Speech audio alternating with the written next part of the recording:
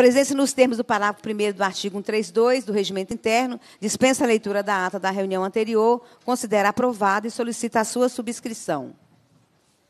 Essa reunião se destina, a finalidade desta reunião, agora pela manhã, destina a debater os impactos e as violações de direitos humanos da população do norte de Minas Gerais, em especial de dezenas de comunidades tradicionais atingidas com as ações da mineradora sul-americana de metais SAM, controlada pela Ombred Holdings Limitada, e a apreciar a matéria constante na pauta, a receber, discutir e votar proposições da comissão Passa-se a primeira fase da terceira parte, que vamos compreender a nossa audiência pública.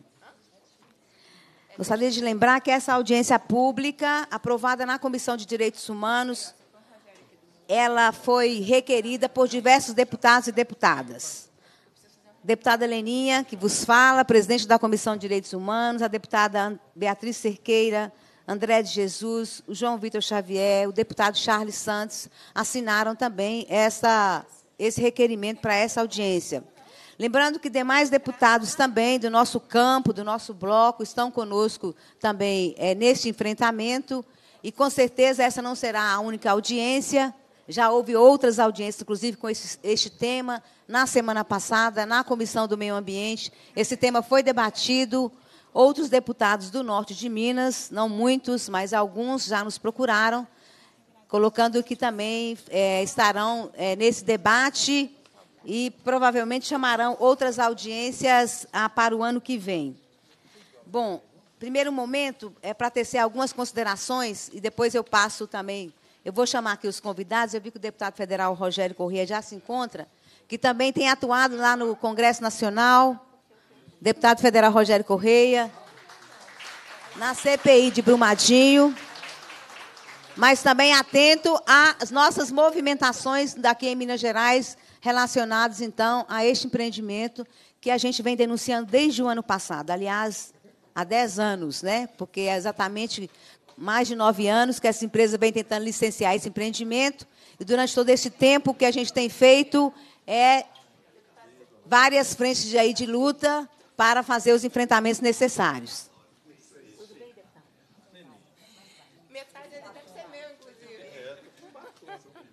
Eu gostaria, antes, então, de chamar para, além do deputado federal Rogério Correia, que já está aqui, provavelmente outros deputados passarão por aqui também. Mas eu queria chamar aqui os representantes da comunidade e dos órgãos do Estado para compor a mesa. Eu queria chamar é, Luzia Alane Rodrigues, ela não é, é representante da Comissão Pastoral da Terra, CPT. Adaí Pereira de Almeida, Nenzão, representante das comunidades tradicionais geraseiras do território Vale das Cancelas.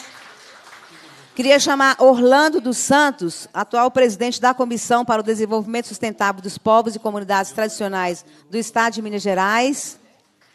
Queria chamar Laisa Queiroz Dantas, advogada do coletivo Margarida Alves. Felipe Leonardo Soares Ribeiro, integrante do MAB, o Movimento Atingidos por Barragem. Doutora Ana Cláudia da Silva Alexandre Stock, defensora pública, da Defensoria Especializada em Direitos Humanos, Coletivos e Socioambientais, da Defensoria de Minas Gerais. André de Lima Andrade, ele é analista ambiental aqui representando, ah, é, representando o doutor Enio Marcos Brandão, do IBAMA, do, né, da Superintendência aqui do Instituto de Brasileiro de Meio Ambiente e Recursos Naturais Renováveis, aqui de Minas Gerais. André de Lima Andrade. Queríamos chamar ainda Rodolfo de Oliveira Fernandes, é analista ambiental aqui representando o secretário Germano Luiz Gomes, da SEMAD aqui em Minas Gerais.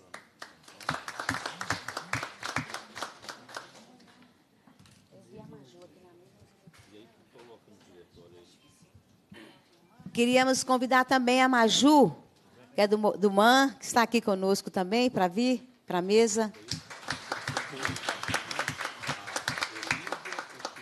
e registrar diversas presenças, né? O Frei Gilvander, da Comissão Pastoral da Terra, o Frei, Frei, Frei Pedro, que é da região de Salinas, estava aqui, mas está aqui com a gente, né? Está lá. Frei Pedro e todas as lideranças aqui presentes nesta manhã. É... Nós Nós temos acompanhado esse debate e a ideia de fazer essa audiência na última semana das atividades daqui do Parlamento estão relacionados a uma preocupação em que, junto com os movimentos, com a CPT, com o pessoal lá do Vale das Cancelas, a gente, na semana passada, semana retrasada, os processos de licenciamento estavam em curso. Aí aconteceram dois fatos que fizessem com que a gente chegasse aqui hoje. Primeiro, estava previsto, segundo as informações que nós tínhamos, que a audiência pública com o povo tradicional do lugar estaria marcada para janeiro. E isso é comum dos grandes empreendimentos colocarem audiências públicas de consulta, de envolvimento do povo, no período do recesso natalino, do recesso parlamentar, do recesso do judiciário.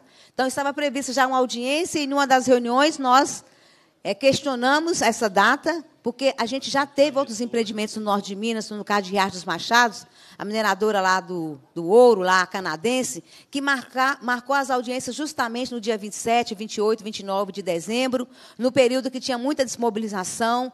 E essas datas, para a gente, sempre foram as datas mais difíceis, não só de mobilizar, mas principalmente Ministério Público, nosso parceiro, Defensoria Pública e os órgãos de defesa dos direitos humanos.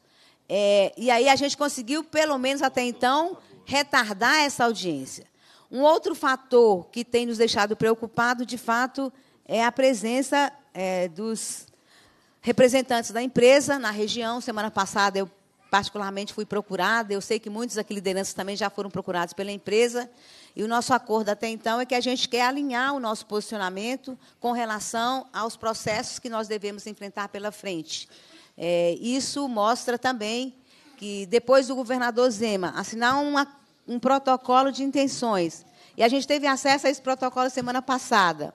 E há pontos completamente absurdos do ponto de vista de uma gestão que pensa numa região em que luta pela água e que a gente sabe, a gente já falou aqui nessa casa, só quem carrega lata d'água na cabeça, só quem fica três, quatro, cinco dias sem água em casa, sabe o valor que tem a água para nós do semiárido, sabe o valor a riqueza que nós temos, a pouca riqueza que nós temos lá na região, e que a gente não quer água para o negócio. Nós queremos é para beber, é para dar os bichos, é para molhar as plantas, é para ter comida. Não queremos água para outro fim. Portanto, a nossa água, que está em disputa no momento, nós estamos aqui falando que não queremos que esse recurso seja utilizado para empurrar minério para a Bahia. E não queremos, numa região, um empreendimento que ponha em risco, pensando em Gramogol, principalmente, uma cidade turística.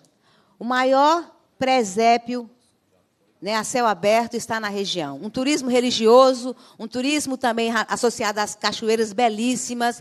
Há um patrimônio, inclusive, né, das pessoas do lugar. Ver esse patrimônio ser ameaçado por um empreendimento que, na nossa avaliação, é um projeto de morte que não significa vida para o lugar. E que nós queremos fazer o debate de outro modelo de desenvolvimento, de outras formas de trazer emprego e renda para aquela região, que não seja a construção do maior mineroduto né, do Brasil, de construção de barragens para ser utilizada também na atividade minerária. Vai ser o segundo maior mineroduto do mundo pelo projeto que nós havíamos acompanhado. Isso com a chancela do governador. Isso, o governador apresentou aqui no Assembleia Fiscaliza que o maior empreendimento, o maior investimento do governo do Estado para o norte de Minas será essa barragem. E isso nós falamos que a gente não quer. Não é esse tipo de investimento, não é esse empreendimento. Além disso, construir a maior barragem de rejeito do país no território onde tem populações tradicionais. E nós sabemos que o povo sempre esteve lá, sempre viveu lá. E de lá o povo tirou seu sustento, sua vida, e de lá o povo ensinou a gente também a conviver com o semiárido, com a seca, com a região. É um povo de sabedoria, é um povo que é lutador e é um povo que merece né, é a consideração do governo em rever esse projeto.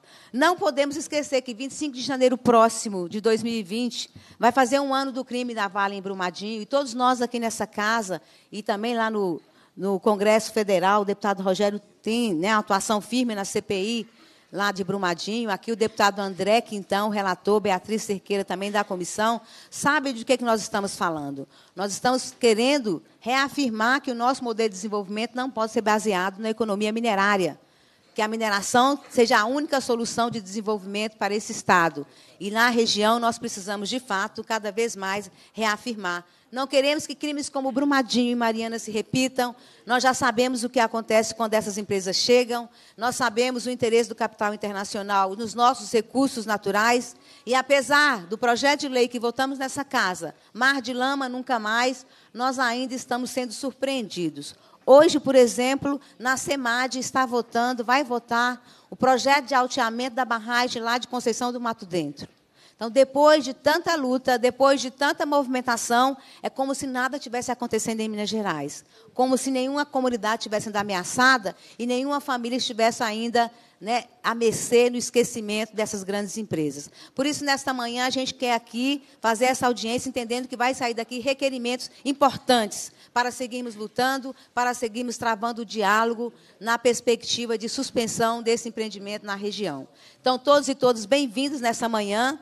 E eu passo para tecer as considerações finais, iniciais, porque depois nós vamos ouvir o povo, né? além dos convidados, a gente vai fazer a fila do povo. Os que não vierem aqui para a mesa falar terão a oportunidade de usar o microfone que está ali para poder também fazer o seu pronunciamento aqui nesta manhã. Eu gostaria, então, de passar para a deputada Beatriz Cerqueira para fazer suas considerações iniciais, depois o deputado Rogério Correia. Bom dia. Bom dia. Deputada Leninha, presidenta da nossa comissão, também um bom dia. A toda a mesa de convidados, aos movimentos sociais, a todos nós que fazemos essa árdua luta contra esse poder econômico e político que é a mineração no nosso estado. Me parece que dois crimes, mais quase 300 mortos, duas bacias comprometidas ainda não foram suficientes para que nós tenhamos interrompido esse ciclo de implantação da mineração no nosso estado. Então, eu acho fundamental a nossa audiência de hoje, a deputada Leninha resgatou. É, nós faremos encaminhamentos, é, de modo que nós nos somemos, pelo menos é o caso dos, das deputadas que estão aqui, na luta contra a mineração. É, a gente às vezes fica com um pudor de ver como será, vamos ver. Não, é contra a mineração. Nós não precisamos da mineração nos nossos territórios. Nós não precisamos de quem retire a nossa água, destrua o nosso modo de vida, jogue comunidade contra comunidade porque é tudo isso que as mineradoras fazem. Elas vão para os nossos territórios, exploram a nossa terra, tiram a nossa água e não devolvem nada, absolutamente nada, no desenvolvimento da região. Fazem a chantagem pelo emprego, que são empregos precários, temporários e que não valem o custo que a região paga para ter é, a exploração por uma mineradora. Se o Estado for sério, ele vai investir na agricultura familiar, ele vai investir nos nossos modos de vida que resultam numa economia solidária, numa economia mais coletiva, e acho que essa é a nossa tarefa. Eu só gostaria de lembrar que quando nós fazemos este debate contra esse modo predatório e destrutivo de mineração, nós temos mais um adversário a enfrentar, que é o próprio governador do Estado. Esta, este empreendimento foi defendido pelo governo de Minas aqui na Assembleia Legislativa. Neste auditório, quando as, os secretários vieram prestar contas e serem sabatinados pelos, pelos deputados e deputadas durante a Assembleia Fiscaliza. Este empreendimento fez parte do PowerPoint apresentado pelo governo do Estado como algo positivo. Então, nós precisamos incluir naqueles que nós temos que enfrentar e muitas vezes denunciar o governador do Estado, que daqui a pouco estará aqui na Assembleia Legislativa recebendo o resultado exatamente desse processo de fiscalização da Assembleia. Quando nós não falamos do governador do Estado, nós corremos o risco de ver matérias como essas, que saiu no jornal de hoje, dizendo de uma aprovação de 57% da população. A população aprova mesmo? Um governador que é a favor desse modelo predatório de mineração? um governador que não tem política de geração de emprego, um governador que não cuida das nossas nascentes, que não cuida da nossa água? Eu imagino que não. Mas como a população muitas vezes não tem acesso a essas informações de como o governador tem se comportado em relação à mineração, eu me recordo, deputada Leninha, quando da nossa posse aqui na Assembleia Legislativa, o governador estava tão preocupado em dar ordens ao que a, os deputados deveriam fazer, que em todo o seu discurso ele sequer citou o crime da Vale em Brumadinho, que tinha acontecido cinco, seis dias antes da nossa posse aqui na Assembleia Legislativa. Um crime que chocou o mundo e trouxe uma solidariedade internacional, mas o governador do Estado, preocupado com outras agendas, não se incomodou em colocar na agenda política do início da legislatura a sua mensagem sobre o crime da Vale cometido no dia 25 de janeiro, com assassinato de 272 pessoas. Acho que a nossa tarefa é enorme porque nós estamos enfrentando poder político, poder econômico, mídia corporativa, mas nós estamos aqui exatamente para isso. É para isso que nós temos mandatos populares, a serviço da luta do povo e da justiça social. E é isso que nós estamos fazendo aqui, nos comprometendo para continuar a fazer essa luta e fazer as denúncias até que cessem essa forma predatória de explorar os nossos territórios, destruir o nosso modo de vida e, muitas vezes, matar o nosso povo, como são os dois crimes em 2015 e 2019 onde a Vale é protagonista desse assassinato. Então, vamos aos nossos trabalhos para que nós possamos dar sequência em 2020 a essa luta que nós já estamos fazendo em 2019. Obrigada. Obrigada, Beatriz Cerqueira. Vamos passar, então, para as considerações iniciais do deputado federal Rogério Correia. Bem, deputada Leninha, primeiro parabenizar a você, deputada Beatriz Cirqueira, cumprimentá-las e parabenizar pela realização desta audiência pública, um tema que também estamos atentos a ele lá em Brasília. Eu estou aqui resgatando a memória desse processo, deputada Leninha. Em 2014, no 9 de abril, nós fizemos uma audiência aqui na Assembleia Legislativa, eu era deputado estadual à época, já tratando deste assunto. Estavam presentes também o Ministério Público, a Defensoria Pública. Você mesmo que estava aqui? Acho que sim. E também o Ministério Público, várias pessoas, Nenzão, que estou vendo aqui também, Frei Gilvander, CPT, Alexandre. Então, vários que estão aqui presentes vão se recordar disso. O, o, o ex-governador, hoje senador Antônio Anastasia, deu o pontapé inicial desse procedimento. Ele fez uma, um decreto desapropriando terrenos para passar o mineroduto, imagine, nas cidades de Grão Mogol, Padre Carvalho, Fruta de Leite, Novo Horizonte, Salinas, Taiobeiras, Curral de Dentro, Berizal e Águas Vermelhas. E depois, dali, ele vai para a Bahia e esse mineroduto vai terminar lá em Ilhéus, no Porto de Ilhéus. Esse é o projeto. A barragem é para colocar um bilhão de metros cúbicos de rejeito. Imagina, um bilhão. Brumadinho foi devastada com 13 milhões né, de metros cúbicos, se eu não me engano. 10, mais ou menos 10 milhões de metros cúbicos. Mariana foram 23 milhões, se não me engano. 59, nossa, minha memória está. 59 milhões de metro cúbico. E lá é o maior projeto da América Latina, um bilhão de metros cúbicos de rejeito. E a forma é através de um mineroduto. Então, vão fazer mineração, colocar esse rejeito, repito, de um bilhão de metros cúbicos, e vão levar o minério via mineroduto, água. Bem, a SAM mineradora diz que vai fazer lá uma enorme barragem também para a água, através do rio Vacarias e que a gente conhece o rio Vacaria. Será que ele consegue armazenar tanta água? Não é um rio tão grande, né? né Leninha conhece bem lá. E eles vão fazer uma barragem do rio Vacarias, diz eles. Mas ele já tem a outorga para 50 milhões de metros cúbicos de água em Irapé. O projeto deles inicial era com a água de Irapé, para tirar 50 milhões de metros cúbicos ao ano de Irapé. Montes Claros precisa, ao ano, de 30 milhões de metros cúbicos de água. É o que Montes Claros precisa. E eles querem tirar nesse mineroduto 50 milhões de metros cúbicos. E ele tem essa outorga em Irapé.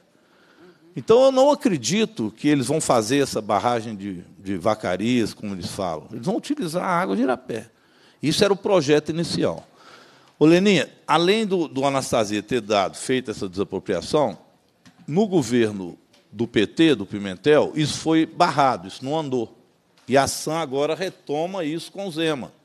Durante o governo do Pimentel, nós fizemos um debate, e a Secretaria de Meio Ambiente, etc., não permitimos que fosse à frente esse projeto. Eles retomam o mesmo assunto agora, dizendo que vai ser a salvação do norte de Minas. Olha, como salvação? Uma região que já não temos um, um índice de água suficiente para a região. Ainda vamos desperdiçar levando o minério para o lucro da empresa. Essas empresas que exportam minério sequer pagam imposto em Minas, vocês sabem disso, né? por causa da Lei Candir, que foi na época de Fernando Henrique Cardoso e Aécio Neves. Pararam de pagar imposto. Então, sequer eles pagam imposto para o Estado, ICMS. A União deve à Minas 135 bilhões, porque o, o que é exportado foi, ficou isento de pagar imposto. Então, a dívida é enorme com Minas. Minas hoje é um Estado falido, eu sempre digo isso, não é porque o, é por causa da, do número de escolas, polícias, centro de saúde, como o Zema acha, né, o governador. Ele acha que enxugando, prejudicando o povo no serviço público, é que ele vai fazer economia para o Estado. Por que, que ele não cobra dessas mineradoras? Não vai em Brasília para a gente aprovar a Lei Candir, que os deputados não querem aprovar, por causa de pressão das empreiteiras, das mineradoras. Isso não aprova lá, está lá o projeto que nós fizemos de Brumadinho. Então, esse é o projeto que a SAM Mineradora quer fazer lá. Então, já existe a desapropriação. E o IBAMA, o Lenício é importante, Bia, o IBAMA ele, ele, ele deu bomba, ele não permitiu que esse projeto fosse feito no início. Aí eles modificaram o projeto e separaram a parte de licenciamento ambiental para vir para Minas e o mineroduto em Brasília, no IBAMA. Nós estamos forçando lá que o IBAMA não conceda esse mineroduto. É tirar a água de uma região carente de água para levar minério. E o licenciamento está aqui em Minas. É, uma, uma luta que nós estamos fazendo também, e a nossa CPI de Brumadinho analisou este caso, é levar todo o procedimento para o IBAMA, para que não seja concedido. Tem que ser visto globalmente eles são tão cara de pau que eles falam o seguinte: não, uma coisa é a construção da barragem, a outra é o mineroduto. O mineroduto independe da barragem. Mentira, por que vai fazer mineroduto se, sem barragem? Então é óbvio que um é vinculado ao outro. Fizeram isso para separar, para tentar aprovar no IBAMA e aprovar o licenciamento aqui. Bem, para terminar, nós colocamos isso na nossa CPI de Brumadinho, lá na Câmara Federal. Vocês lembram que nós fizemos uma audiência aqui, muitos devem ter vindo. Nós fizemos uma audiência aqui que tinha mil pessoas que vieram de todos os cantos do Estado para fazer sugestão para o relatório final da nossa CPI. E o Nenzão, em nome de vocês, trouxe a denúncia, falou muito bem no, no dia, apresentou a denúncia em relação a isso, e nós incluímos no relatório. Tá? Então, a denúncia está no relatório, e no relatório solicitando ao IBAMA para não fazer a concessão do mineroduto e a secretaria daqui do meio ambiente não fazer o licenciamento ambiental. Então isso está no relatório, já foi ao Ministério Público, o Ministério Público também está atento, e eu conversei pessoalmente com o doutor Toné, que é o, o, o, procurador aqui de Minas, né, do Ministério Público, e ele repassou isso para os procuradores da, da, da área de meio ambiente, que já entraram e ganharam na justiça a interrupção de todo o procedimento. Mas fiquemos atentos, porque é muito dinheiro. E quando junta Zema e Bolsonaro para atacar o meio ambiente, ninguém aguenta. Né? Um presidente igual o Bolsonaro, que quer permitir mineração na Amazônia, ele não tem o menor cuidado com as pessoas, com o meio ambiente. Um presidente que ataca uma menina de 16 anos e chama ela de pirralha, porque ela defende o meio ambiente, imagina. Um presidente que não respeita nem quem organiza hoje uma luta ambiental, como essa menina faz, a sueca, né? Greta, né? Como ela faz lá. E o presidente briga com ela. Uma menina de 16 anos que clama pela questão ambiental no mundo. Ganhou a personalidade do ano da revista Time. E o Bolsonaro briga com ela. Com um aliado como o Zema, querendo a todo custo implantar isso. Então, pessoal, fiquemos na luta, viu? É muito importante. É, seria importante também, Leninha, marcarmos uma, uma, uma ida nossa no Ministério Público, para que a gente possa saber como é que está o andamento disso e ver o que, que a Câmara Federal e a Assembleia Legislativa podem fazer junto com o Ministério Público, Defensoria Pública, para a gente não permitir esse, essa, essa, essa barragem horrorosa. Imagina o que, que vai ser essa barragem de um bilhão de metros cúbicos lá, lá perto de, do Vale das Cancelas. É em frente ao Vale das Cancelas, é ali, naquele lado de lá, em frente ao, ao Vale das Cancelas, que eles querem fazer e colocar um bilhão de metros cúbicos de rejeito. Eu termino dizendo o seguinte: a saúde das pessoas. Nós tivemos em Brumadinho, foi anteontem, né, mesmo? Sexta-feira. Quinta, quinta, é sexta-feira. Nós estivemos lá para fazer a entrega do relatório. Eu, a, a Bia, o André foi também. Então, e nós entregamos dois relatórios para o povo em Brumadinho. Hoje está aqui na manchete nos jornais que tem uma, uma barragem pra, quase se rompendo aqui em, em Nova Lima, é, o que inundaria o distrito de Macacos todo que é uma região também belíssima, né, que hoje está lá, coitado do pessoal, não tem mais turismo, não tem nada por causa dessa barragem trincada. Então, essas barragens são extremamente perigosas. Se eles querem fazer é, mineração, que o façam com outra tecnologia, não desperdiçando água, matando o meio ambiente, matando pessoas. Você pode minerar de outra forma, mas eles falam, mas aí é mais caro. Ou seja, vale só o lucro. Né? A Vale só pensa em lucro. A SAM só pensa em lucro. E a exportação de minério só pensa em lucro. Eles não fazem uma indústria a partir daí, não transformam o minério em aço, manda tudo lá para fora, depois a gente compra o aço muito mais caro para o Brasil. Então, nós estamos vivendo apenas para mandar para fora aquilo que é a riqueza do nosso país. E nós estamos, inclusive, com um projeto de lei na, na Câmara Federal, solicitando agora um plebiscito para a reestatização da Vale. Que nós não podemos ter uma mineração predatória apenas para lucro das grandes empresas, sem pensar estrategicamente o que é o nosso país. Então, olha, nós estamos com vocês, vamos barrar esse projeto. Nós conseguimos barrar até agora, a luta começou em 2014, para barrar esse projeto e vamos agora com as nossas deputadas aqui, a Câmara Federal, estar junto com vocês. Parabéns pela luta, muito obrigado. Obrigada. Leninha. Pois não? Eu, eu vou ter que sair, eu estou indo para Brasília. Hoje tem lá um projeto de lei, que é um daqueles projetos que nós apresentamos de segurança da barragem, que vai ser votado hoje. Então, a sessão lá começa às 16 horas. Meu voo é agora meio-dia e 15, então eu vou pedir licença para vocês de não poder ficar, mas as deputadas me repassam o que precisar da reunião para a gente caminhar em Brasília. Tá bom? Obrigado. Obrigada. A gente agradece, então, a presença do deputado federal Rogério Correia. E, mais uma vez, né, sabemos da, do seu compromisso, da sua luta conosco, né, povos tradicionais, comunidades ali da região de Gamagol, Vale das Cancelas e toda a região. Obrigada a presença né, dele e seguimos aí na nossa audiência. É o pessoal da mística, enquanto o pessoal da mística se prepara uma mística breve que vai ter, a gente queria fazer é, falar para vocês algumas ausências justificadas, né, do Ministério Público. Por exemplo, nós estamos falando que o doutor Helder tinha uma missão hoje lá no Espírito Santo, o doutor Afonso está cuidando das ações lá de Felisburgo, é, doutor Edmundo também está com outra diligência. E a gente não conseguiu, então, a presença nessa audiência, mas eles mandaram é, as considerações, colocando a justificativa de ausência e que o Ministério Público está à disposição para seguir na luta. A gente também tinha recebido que o Ministério Público, se não me engano, e a Defensoria, tem que procurar aqui, já tinha entrado com.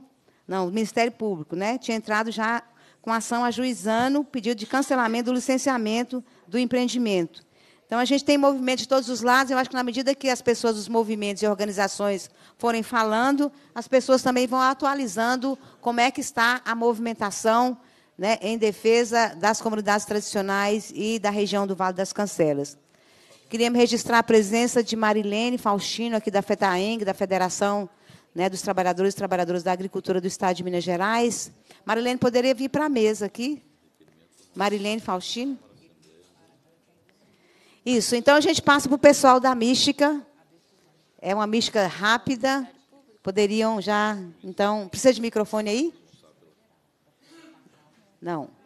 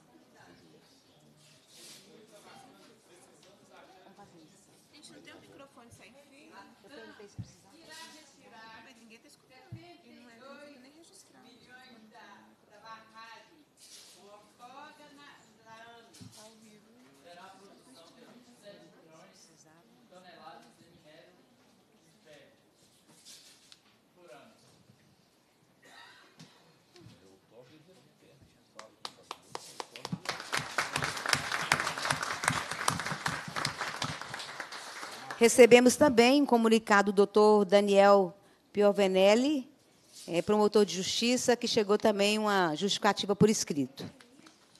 Nós, então, vamos dar início à fala dos convidados e nós vamos ouvir primeiro, é, pela ordem que nós estabelecemos aqui com as organizações e movimentos, nós vamos ouvir primeiro o Nenzão, logo em seguida, só pegar minha ordem aqui. Isso. É, primeiro o Nenzão e depois a Luzia Alane, da Comissão Pastoral da Terra. Tanto faz. Você pode falar daí mesmo. Pode falar aqui mesmo? É ruim, é? Fica melhor?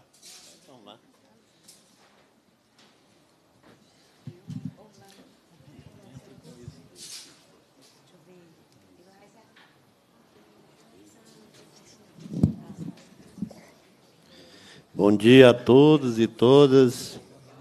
Quero cumprimentar aqui a mesa, na pessoa da deputada Leninha, todos os companheiros do movimento social, os geraizeiros e geraizeiras lá do Vale das Cancelas, que vieram aqui hoje é, denunciar mais esse crime de atentado contra a vida em Minas Gerais. Né? Meu nome é Adair Pereira de Almeida, eu sou geraizeiro lá do Vale das Cancelas. E a gente atua na militância pelo território geraizeiro. Nós começamos a debater esse projeto de morte da Sul-Americana de Metais desde 2010. A gente vem enfrentando as audiências e, e discutindo e posicionando contra esse empreendimento. Nós, geraizeiros, enfrentamos uma luta para reconhecimento da nossa identidade étnica e cultural. Nós lutamos para que o Estado de Minas, essa casa, a Assembleia Legislativa, votasse uma lei que garantisse o direito da população tradicional ao território livre, aonde que essas comunidades pudessem ter o título desse território. e desenvolver políticas de desenvolvimento sustentável, projeto que gera vida, alimentos sem agrotóxicos. Nosso povo já tem uma cultura de plantar os quintais agroecológicos. Nós temos um posicionamento de criar o gado no cerrado, de tratar as doenças do gado com plantas medicinais, plantas nativas. A carne saudável é a carne de um boi geraizeiro, né? Então a gente produz vida lá, além de preservar as nascentes no semiárido mineiro. Nós plantamos água. Nós fizemos uma retomada lá que chama Acampamento Avilmar. Para que vocês querem stand de terra? Para produzir água. E nós estamos produzindo água lá no acampamento Avilmar, na fazenda Buriti Pequeno, São Lourenço. Essa fazenda tem 5.450 hectares, que está sendo grilada por uma empresa de bandidos, que é uma tal de Floresta Empreendimento, ligado ao povo da Floresta Minas. E a gente vê que o Estado brasileiro, o Estado de Minas, ele sempre foi omisso à questão fundiária do, da, região. Nunca quis devolver essas terras ao povo geraizeiro, mesmo os contratos de arrendamento, que eles pegaram as nossas terras e falaram que era devoluta e entregou na mão das empresas para destruir o cerrado, destruir as nascentes, né? jogar veneno no nosso povo. Então a gente perdeu muita gente com veneno. Nós perdemos muita gente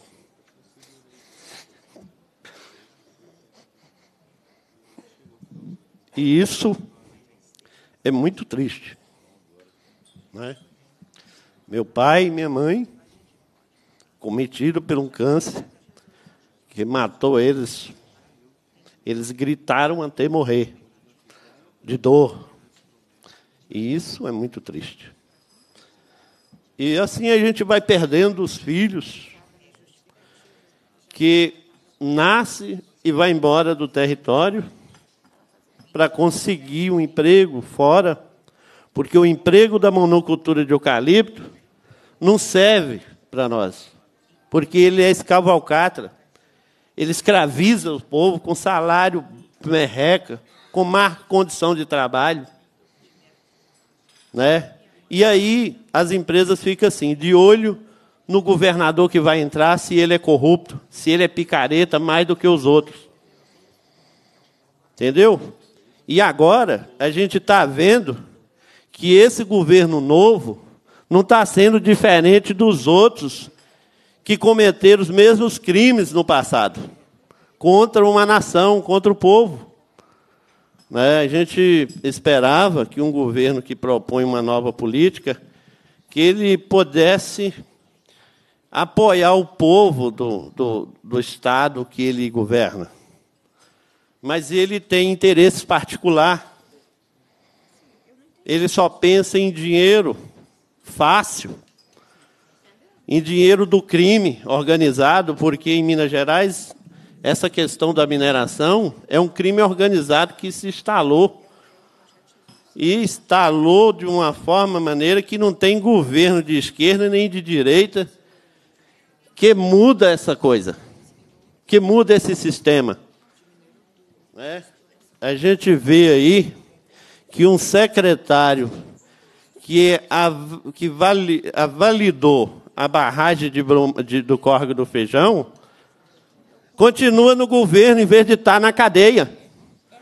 Continua no governo. Um cara desse. Tinha que estar preso.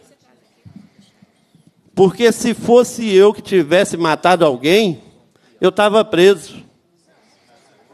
Porque se você facilita a morte das pessoas, né, você não lê nada a respeito do empreendimento, só assina, só dá as canetadas, e mesmo que fale, né, esse projeto da Sul-Americana de Metais, nós geraizeiros, nós entendemos como um projeto de morte.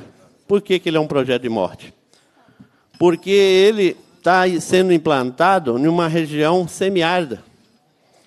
A cada ano, as chuvas estão menos.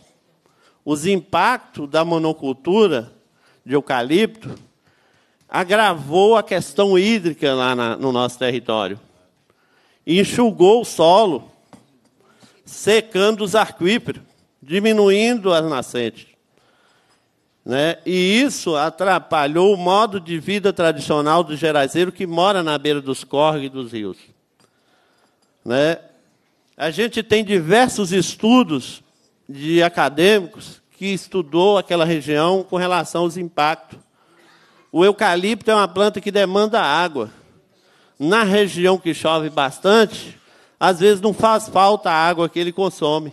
Mas numa região que chove pouco, a água mal, mal dá para o plantio de eucalipto. Não sobra água para os rios, não sobra água para as pessoas.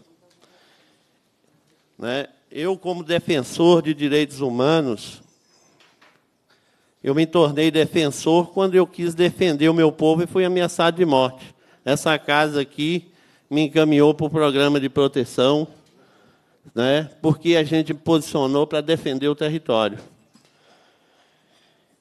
E essa Sul-Americana de Metais quer instalar um empreendimento aonde as comunidades são tradicionais, que tem ali um modo de vida, tem os marcos históricos, né? tem as, toda a simbologia ali do modo é, religioso, do modo é, é, de lidar com o meio ambiente, de lidar com aquele território. É, nós temos um, um, modo de, de criar, nós temos um modo de viver, nós temos nosso grau de parentesco muito forte entre nossas famílias, nossa comunidade. Né? Nós somos ali 73 comunidades tradicionais, divididas em três núcleos: o núcleo do Tingui, o núcleo de Josenópolis e o núcleo de Lamarão. A mineração ela pretende devastar por inteiro o núcleo de Lamarão, com a sua cava, com a barragem do Vacaria, com a barragem de rejeito, né?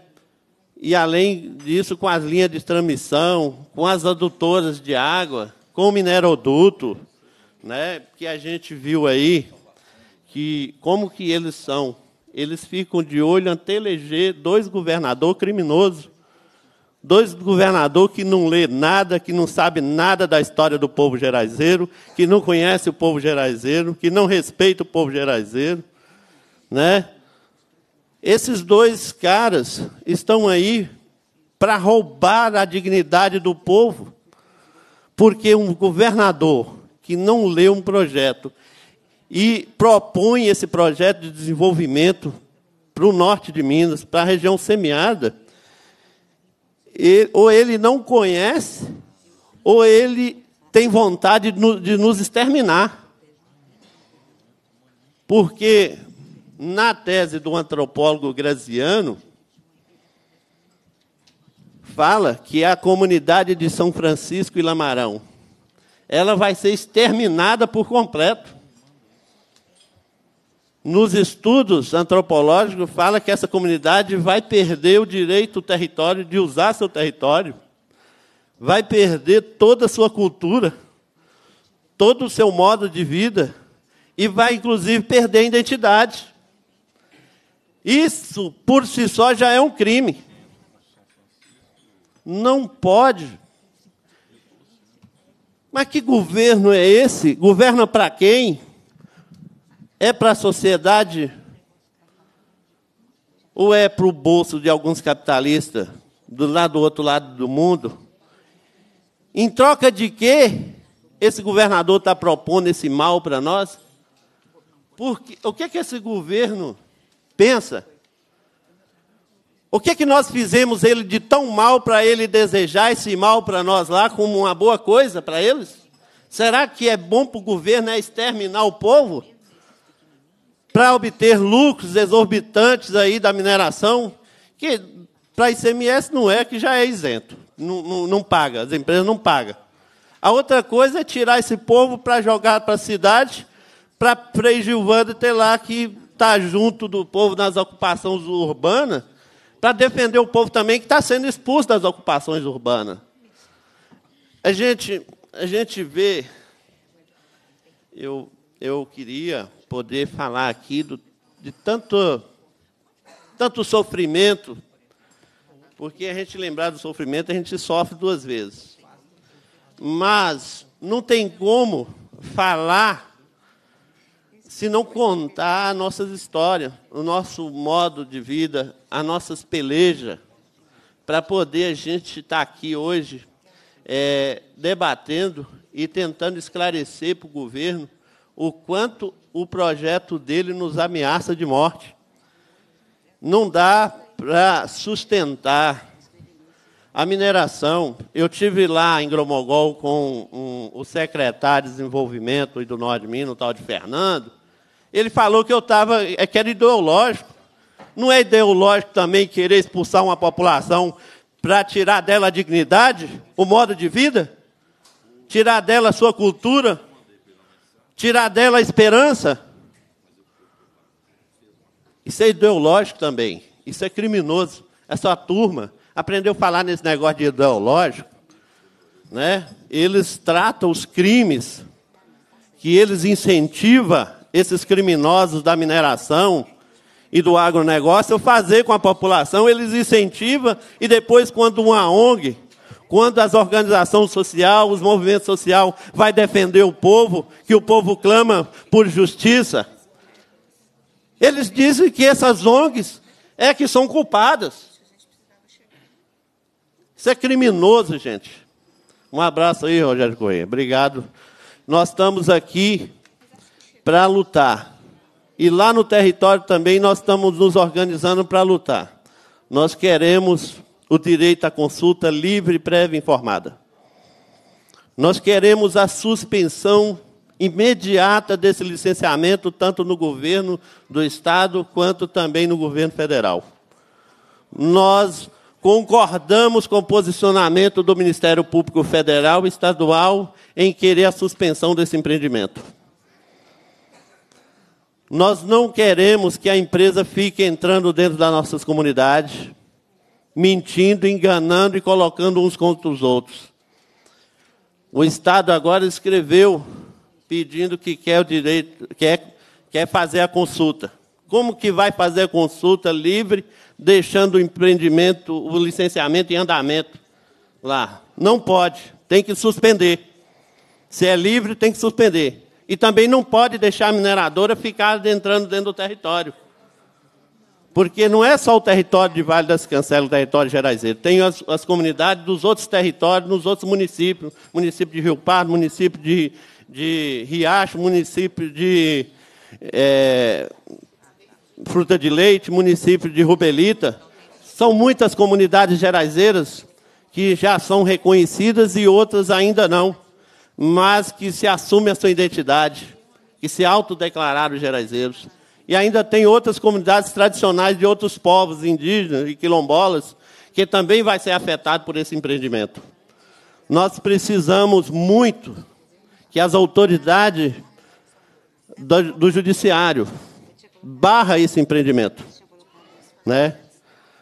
Só tem como conversar numa consulta livre e prévia informada se esse empreendimento for suspenso, o licenciamento for suspenso, e ele não pode ser fragmentado, ou o IBAMA, o órgão federal, se junte ao órgão estadual para fazer a consulta livre e prévia informada, mas nós não descartamos e confiamos totalmente no posicionamento do Ministério Público Federal e Estadual com relação a esse fracionamento.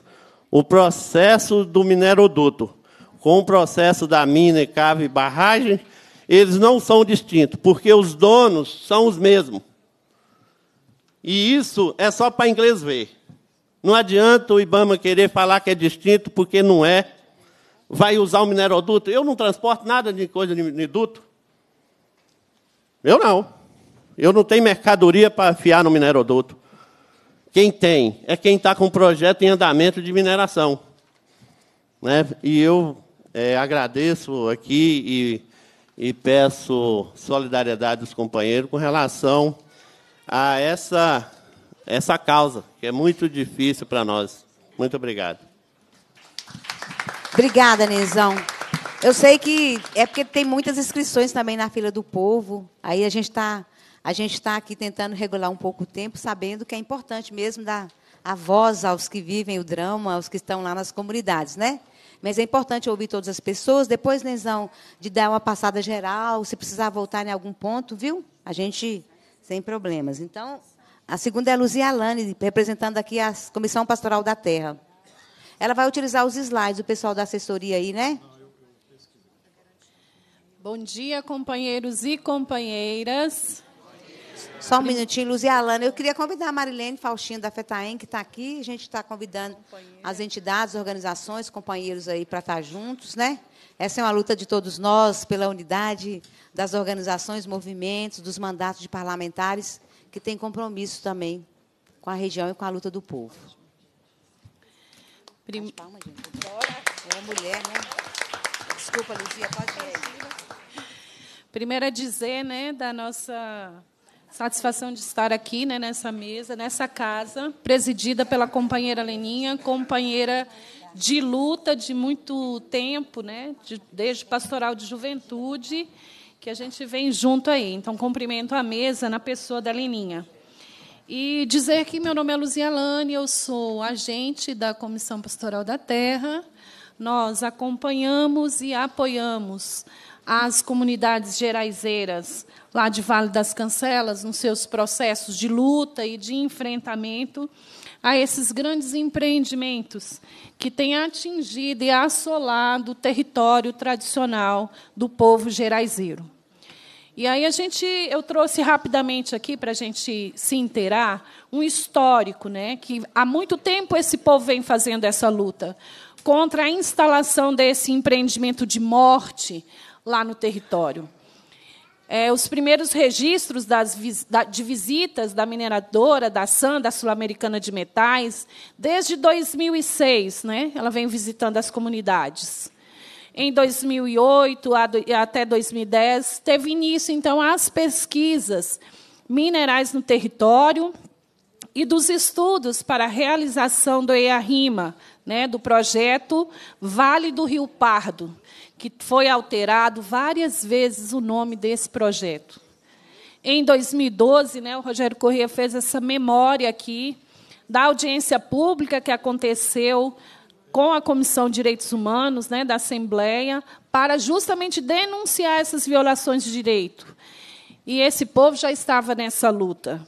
E também, nesse período, começa o processo de licenciamento da mineradora SAM junto ao IBAMA né, que analisa o projeto e pede complementação de informações por já diagnosticar o vasto impacto ambiental desse empreendimento. Em 2013, acontece nova assembleia em Gromogol e também aqui nessa casa, em BH. 2014, eles conseguem um título de utilidade pública e aí aparece, então, a, no projeto o mineroduto, em 2015, aparecem também as barragens de rejeito dentro do estudo né, da empresa. E eles citam nesse primeiro projeto a destruição de 70 nascentes. E acontece outra audiência pública em Gromogol, e nesse meio tempo as comunidades também vão se organizando nesse enfrentamento fazendo a, discu a, discussão de sua categoria identitária, fortalecendo esse, esse discurso e constroem um relatório de autodemarcação desse território, jun juntamente com o CA, né, o Centro de Agricultura Alternativa, eles constroem, delimitam e, se, e começam a fortalecer esse discurso. Em 2016, nós temos o indeferimento do projeto Vale do Rio, Parte, por, vale do Rio Pardo por inviabilidade ambiental. É, em 2017, o, é, a SAM tenta negociar um termo de referência que foi negado né, pelo, pelo o IBAMA e o, pede também o arquivamento do licenciamento. A própria SAM pediu isso. E o IBAMA continua alegando inviabilidade ambiental devido aos impactos na água e no ar, a poluição do ar. A SAM renomeia, então, esse projeto como Ferro Vale do Rio Pardo e solicita ao IBAMA autorização para licenciar o projeto no Estado. Porém, o IBAMA nega essa solicitação.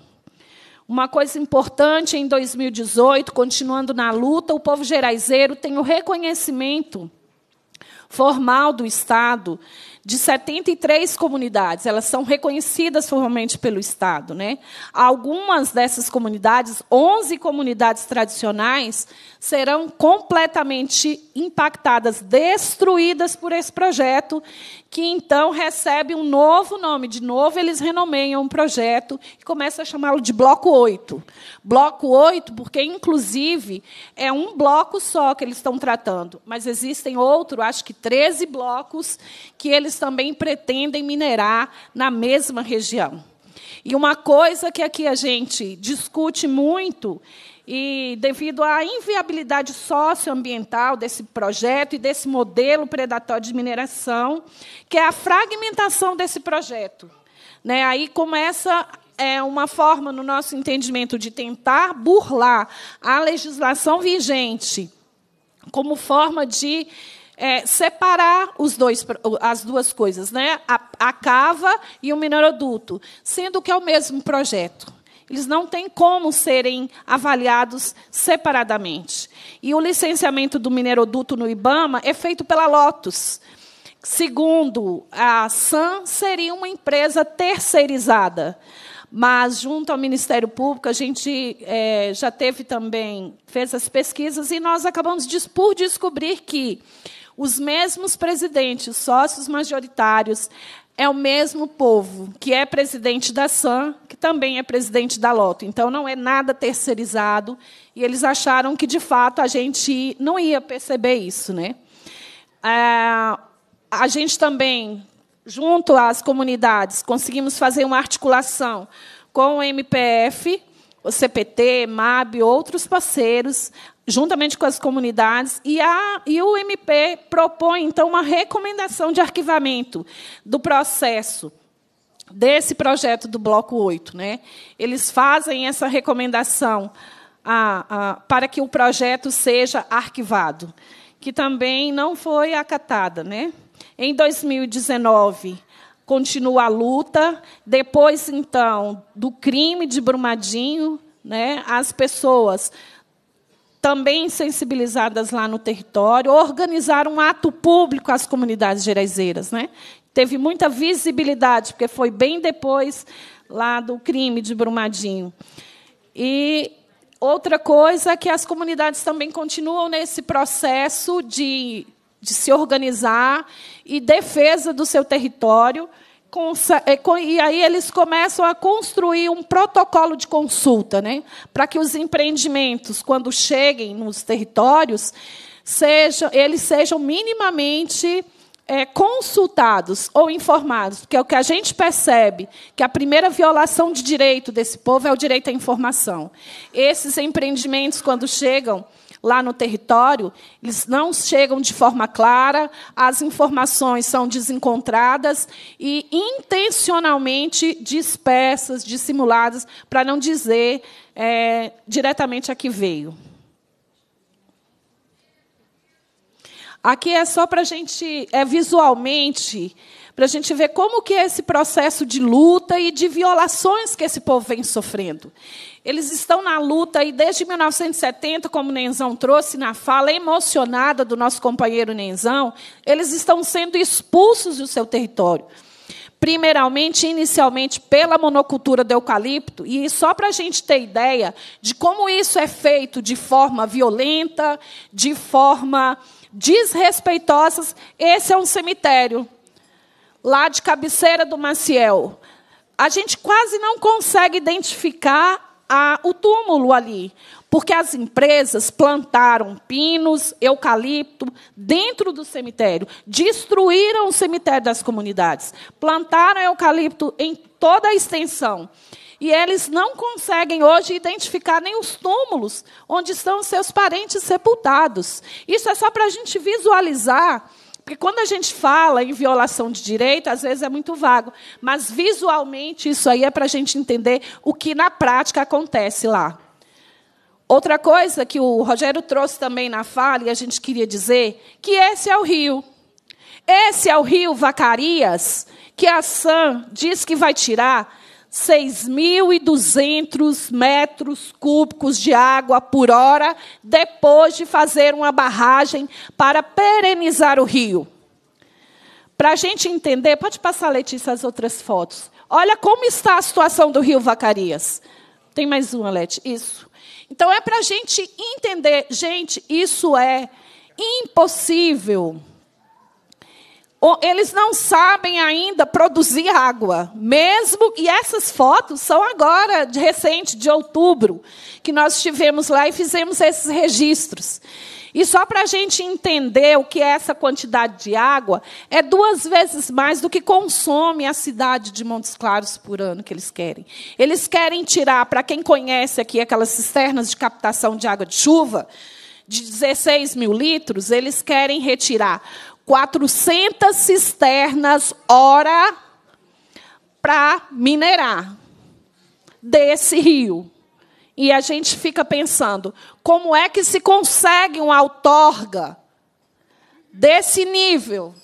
Numa região semiárida, onde as comunidades são abastecidas por carro-pipa na época da estiagem.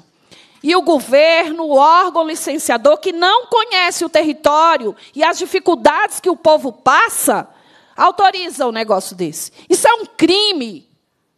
Isso é um crime. É uma contra a população que não tem como se defender. Pode passar, Lete. E aqui outras questões que a gente quer trazer para essa casa refletir. O Estado tem o dever de proteger esse povo. Está previsto na, na, nossa legislação. Nós temos uma lei estadual para proteção desse povo, que é a 21147 de 2014. Além disso, nós temos a Convenção 69 da OIT, nós temos o Decreto 6040, que estão sendo totalmente ignorados para que seja aprovado esse projeto que vai trazer, como Nenzão traz algumas vezes em sua fala, o genocídio dos geraizeiros. Como que esse povo vai sobreviver? Numa região semiárida, com essa quantidade de água absurda. A vida útil desse projeto é de 18 anos. Porém, os impactos ambientais que ele vai trazer são irreversíveis. São 11 comunidades do entorno de Lamarão que vão desaparecer, famílias que vão perder a sua relação com a terra, com o sagrado, nove cemitérios na barragem de água da região do Vacarias e três no entorno da comunidade de Lamarão. Isso é o que eles dizem. É o que o estudo deles apontam. Mas no nosso entendimento, tem nascentes, né, Nenzão, que não estão catalogadas nesse entorno lá. E uma coisa interessante. Eles aumentaram o projeto, mudaram o nome para lá e para cá, fizeram várias alterações, aumentaram a área de extensão e no último estudo deles, eles reduzem isso. Eles dizem que não, que eles não vão mais impactar 70 nascentes, serão só 30 como se 30 fosse pouco. Então é isso que eu queria trazer de forma geral e dizer que nós, da Comissão Pastoral da Terra, somos contra esse projeto de morte.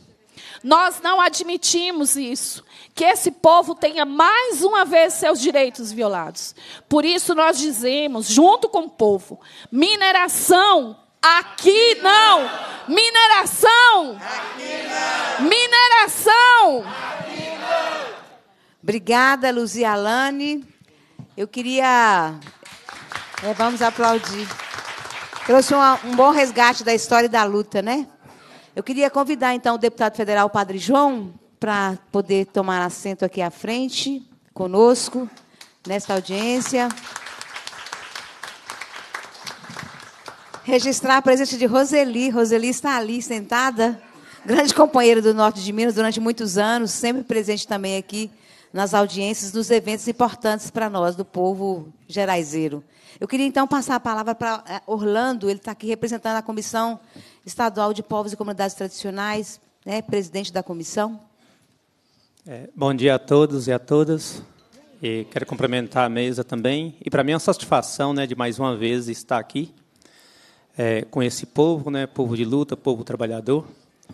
E uma das situações que a gente queria trazer aqui é situações que algumas pessoas já falou, mas a gente vai voltar lá nos anos 70 e 80, né? Que foi a história, né, que nós ouviram da época, né, dos empreendimentos, né, que ia trazer desenvolvimento, ia trazer emprego, né, para a região. Mas na verdade nós vimos o que, que trouxe para a nossa região, né? Foi só crises e seca, que a nossa região não tem mais água, não tem mais um rio para fazer o pescado. Aqueles rios que nós corria, brincava nele, tomava banho, hoje já não existe mais. E que não bastasse isso, né, hoje já está vindo aí né, a situação de uma mineradora, né, com as mesmas promessas do, dos anos 70. E o que, que a gente queria aqui dizer com isso?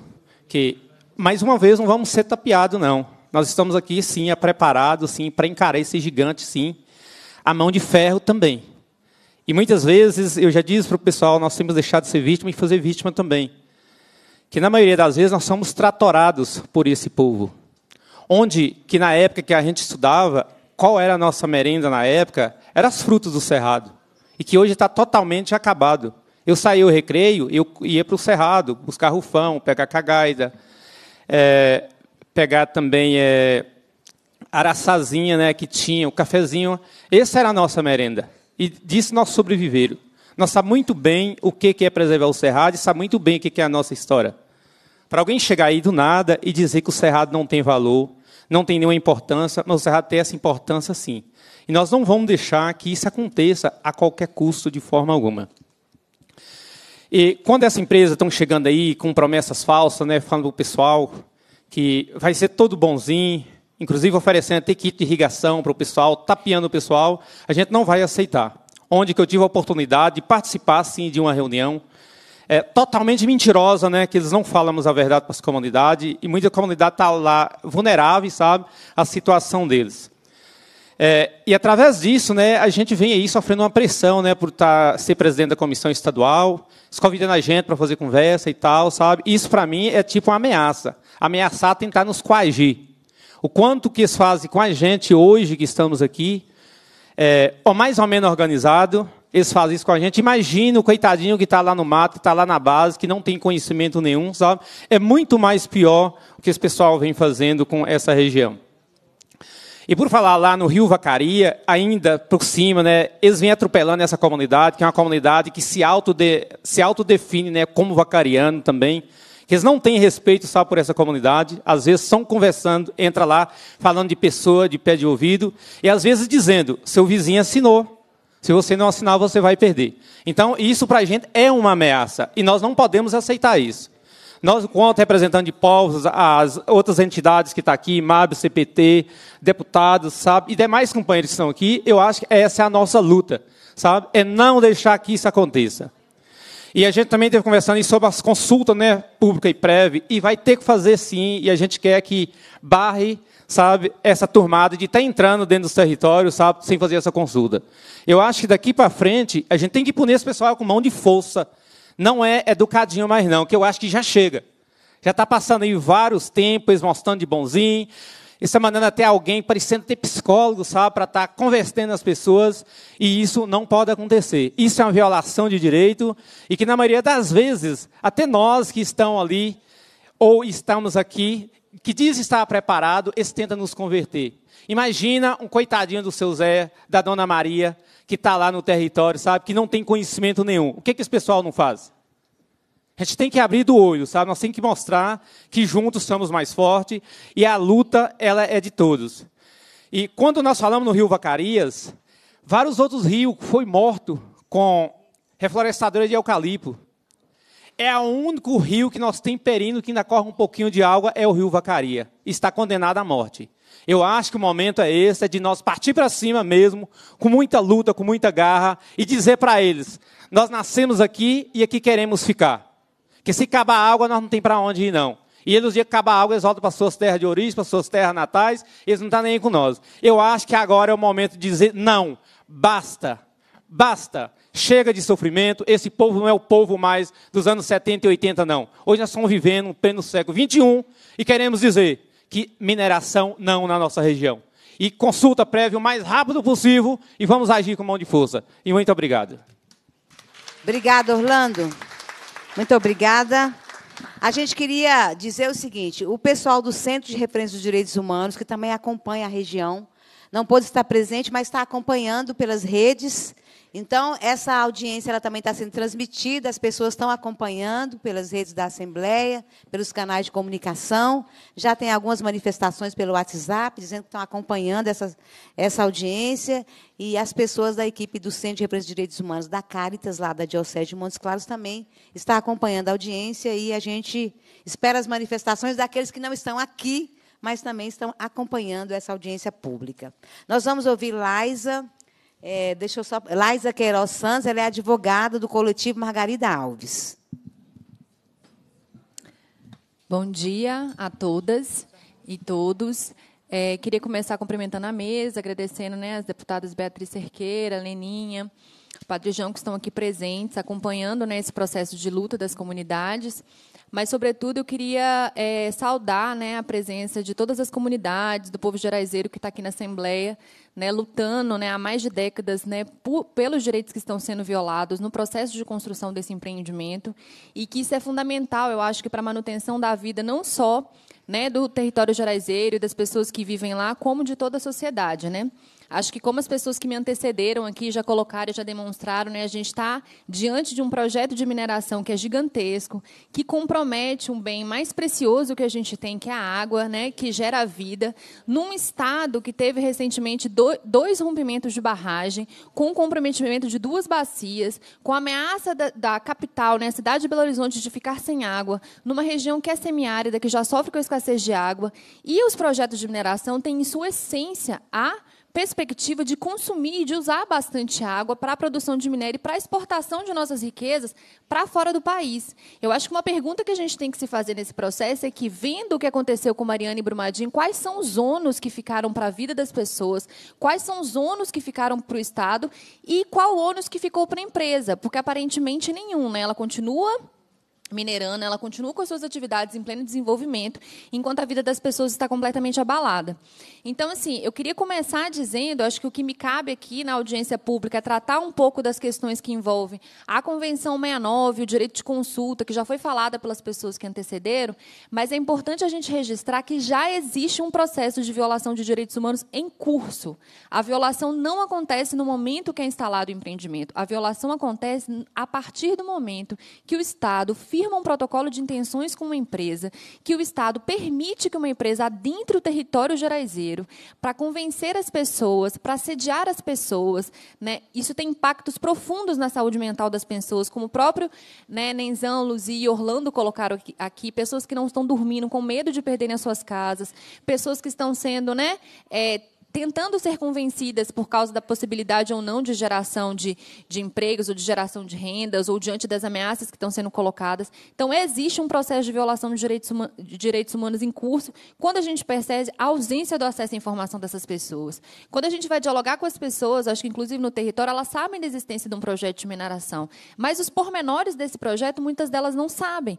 Por quê? E como é que a gente pode aceitar isso? Né? A gente está falando de um projeto que está há 10 anos sendo licenciado é tempo suficiente para as pessoas terem sido consultadas e as pessoas terem sido conversadas sobre essa proposta do, do, do Estado. Né? E a Convenção 69, eu acho que adentrando um pouco aos aspectos, e eu acho que eu queria dialogar muito com as comunidades também que estão aqui presentes, porque a gente está falando de um direito que é de vocês, é, ela é uma norma que ela só está abaixo da Constituição Federal.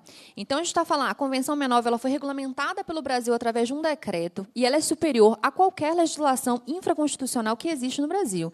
Ela só está abaixo da Constituição Federal e existem, inclusive, entendimentos do Supremo Tribunal Federal que ela tem um caráter, inclusive, constitucional. Então, a gente não está falando de uma liberalidade do Estado brasileiro em respeitar a consulta. A gente está falando de um direito fundamental das comunidades tradicionais há 10 anos sendo violados pelo menos por esse empreendimento. Eu não vou falar nem dos outros, né? da empresa de eucalipto, nem nada.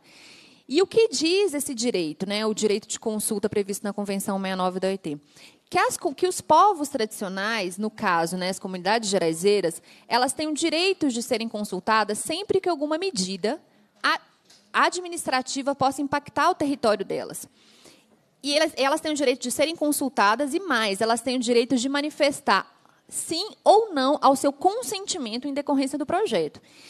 E essa consulta ela tem que ser feita de uma forma, e aí para a gente já como identificando né, como o processo está sendo violado desde o início, ela tem, ela tem que ser feita de forma prévia. A partir do momento que o Estado de Minas Gerais firma um protocolo de intenção e publica um termo de referência e permite a construção de um estudo de impacto ambiental, ele já está violando o direito de consulta. Porque o direito de consulta dá oportunidade para as comunidades, inclusive, modificar o que está presente no estudo de impacto ambiental. Porque vamos conversar, quem mais conhece o território de vocês? É a mineradora ou é vocês? É vocês, não é? Quem pode dizer, quem pode dizer quantas nascentes vão ser impactadas ou não, quantas comunidades vão ser, vão ser diretamente atingidas ou não a partir do momento que eu atravessar um mineroduto no meio do território. São vocês, principalmente vocês que vivem e conhecem o território. Né? Então, por isso que diz que a consulta tem que ser prévia. E, à medida que existe um licenciamento ambiental em andamento, ele já foi violado, esse direito já está sendo violado. Esse licenciamento ambiental tem que parar agora né, para a gente poder iniciar um processo de conversa e de diálogo sobre esse direito de consulta. E, para além disso, a consulta ela precisa ser livre, ela precisa ser informada. O que, que significa dizer que uma consulta tem que ser livre? Ela tem que ser livre de intervenções de pessoas, né, na tentativa de convencer as comunidades ou as pessoas. E aí eu pergunto para vocês: com a mineradora entrando dentro do território e tentando convencer as pessoas, colocando povo contra povo o processo é livre de intervenções internas? Ele não é livre. Então a gente tem uma outra violação em curso. Ela precisa ser informada. Vocês têm o direito de saber sobre tudo o que está envolto na construção do empreendimento. Agora sim, a gente não precisa ser técnico, a gente não precisa ser de um órgão ambiental nem de nenhum local para saber que quando um mineiro, uma mina vai ser construída, quando uma mina vai ser construída um, ou uma barragem vai ser construída para extrair minério de ferro, eles vão transportar esse minério como? Eles precisam de transportar esse minério, correto? Como que o empreendimento tem a capacidade de dizer que mineroduto e mina são empreendimentos diferentes? Um não tem ligação com o outro. Isso é real, gente? Todo mundo sabe que isso não é real. Todo mundo sabe que para você construir a mina, para você construir uma barragem, você vai ter que transportar, e você vai transportar através do mineroduto. Então, por que o Estado de Minas Gerais está licenciando um empreendimento, os empreendimentos de forma separados? Porque o IBAMA está licenciando o empreendimento de forma separada. Não existe, as duas coisas são interligadas. Né? E as comunidades sabem disso, as pessoas sabem disso, e o Estado tem que seguir legislação ambiental. E mais do que isso, o estudo de impacto ambiental apresentado pela SAM, ilegalmente, né, antes de ter sido feito o, o, o, processo de consulta, como eu disse agora, ele fala que ele vai usar a água do, da barragem também de Irapé, do Rio São Francisco, que é um rio federal, não é? Do, do Jequitinhonha, que é um rio federal, correto? E a outorga é da ANA, né, que é a Agência Nacional das Águas. Nessa perspectiva, como o Estado de Minas Gerais está licenciando o empreendimento e como o IBAMA permite que esse empreendimento seja, seja licenciado sem intervenção do ente federal, sendo que o impacto é em dois estados, o impacto é no Rio Federal. Então, a gente tem uma série de ilegalidades presentes no processo e que não só são ilegalidades que ferem a lei, são ilegalidades que violam direitos humanos, são ilegalidades que já trazem consequência para a vida dessas pessoas e para a vida dessas populações. Né? Então, eu acho que esse processo de consulta e da Convenção 69 precisa ficar bem escurecido aqui entre nós para a gente compreender que isso é um direito das comunidades e que ele tem uma forma de acontecer. E essa forma, para a gente gravar aqui, a gente precisa que a consulta seja prévia, seja anterior, que ela seja livre de intervenções das pessoas, que ela seja informada, que vocês conheçam todos os impactos que o empreendimento possa causar e que ela seja de boa, de boa fé. e que ela seja culturalmente apropriada. O que, que significa dizer isso? Que vocês dizem como vai ser o procedimento da consulta, como vocês se organizam, como vocês querem ser consultados, quais são os prazos e o que, que vocês precisam saber para compreenderem o que está sendo discutido e manifestar o consentimento de vocês ou não. Né? Isso não é uma liberalidade do Estado, isso não é um procedimento simplesmente formal no curso de um licenciamento ambiental, isso é um direito estabelecido por, um, por uma convenção internacional ratificada pelo Brasil há pelo menos 10 anos né, e que precisa de ser respeitado. Para finalizar, eu queria trazer um outro elemento também importante nessa discussão, que após o rompimento da barragem de, de, é, de Brumadinho, acho que desde de, do que aconteceu, né, o rompimento da barragem do Fundão, né, em Mariana, tem uma discussão no Estado de Minas Gerais sobre a aprovação de uma lei popularmente conhecida como Mar de Lama Nunca Mais, né? Essa lei foi aprovada em 2019 e ela traz requisitos para a construção né, de barragens no, é, no, Brasil, não, no estado de Minas Gerais. E, e, dentre, e essa lei ela precisa ser observada também pelo estado de Minas Gerais. Né? Pelo Estado de Minas Gerais e pelos órgãos ambientais que estão licenciando, porque essa é uma lei do Estado. E segundo essa lei diz, inclusive no artigo 12, é que num raio de 10 quilômetros, de 10 a 25 quilômetros, né, depende, é, uma barragem, a barragem ela não pode ser construída num raio de 10 quilômetros onde estão. Né, se no raio de 10 quilômetros onde a barragem for construída existirem comunidades, isso não pode acontecer. E esse raio ele pode aumentar de 10 a 25 quilômetros, a depender do impacto. Pergunta: essa legislação está sendo observada pelo Estado de Minas Gerais? O governador sancionou essa lei, ele tem que respeitar minimamente a lei que ele mesmo sanciona né? A, a, lei que ele mesmo aprova né, no âmbito do Estado de Minas Gerais.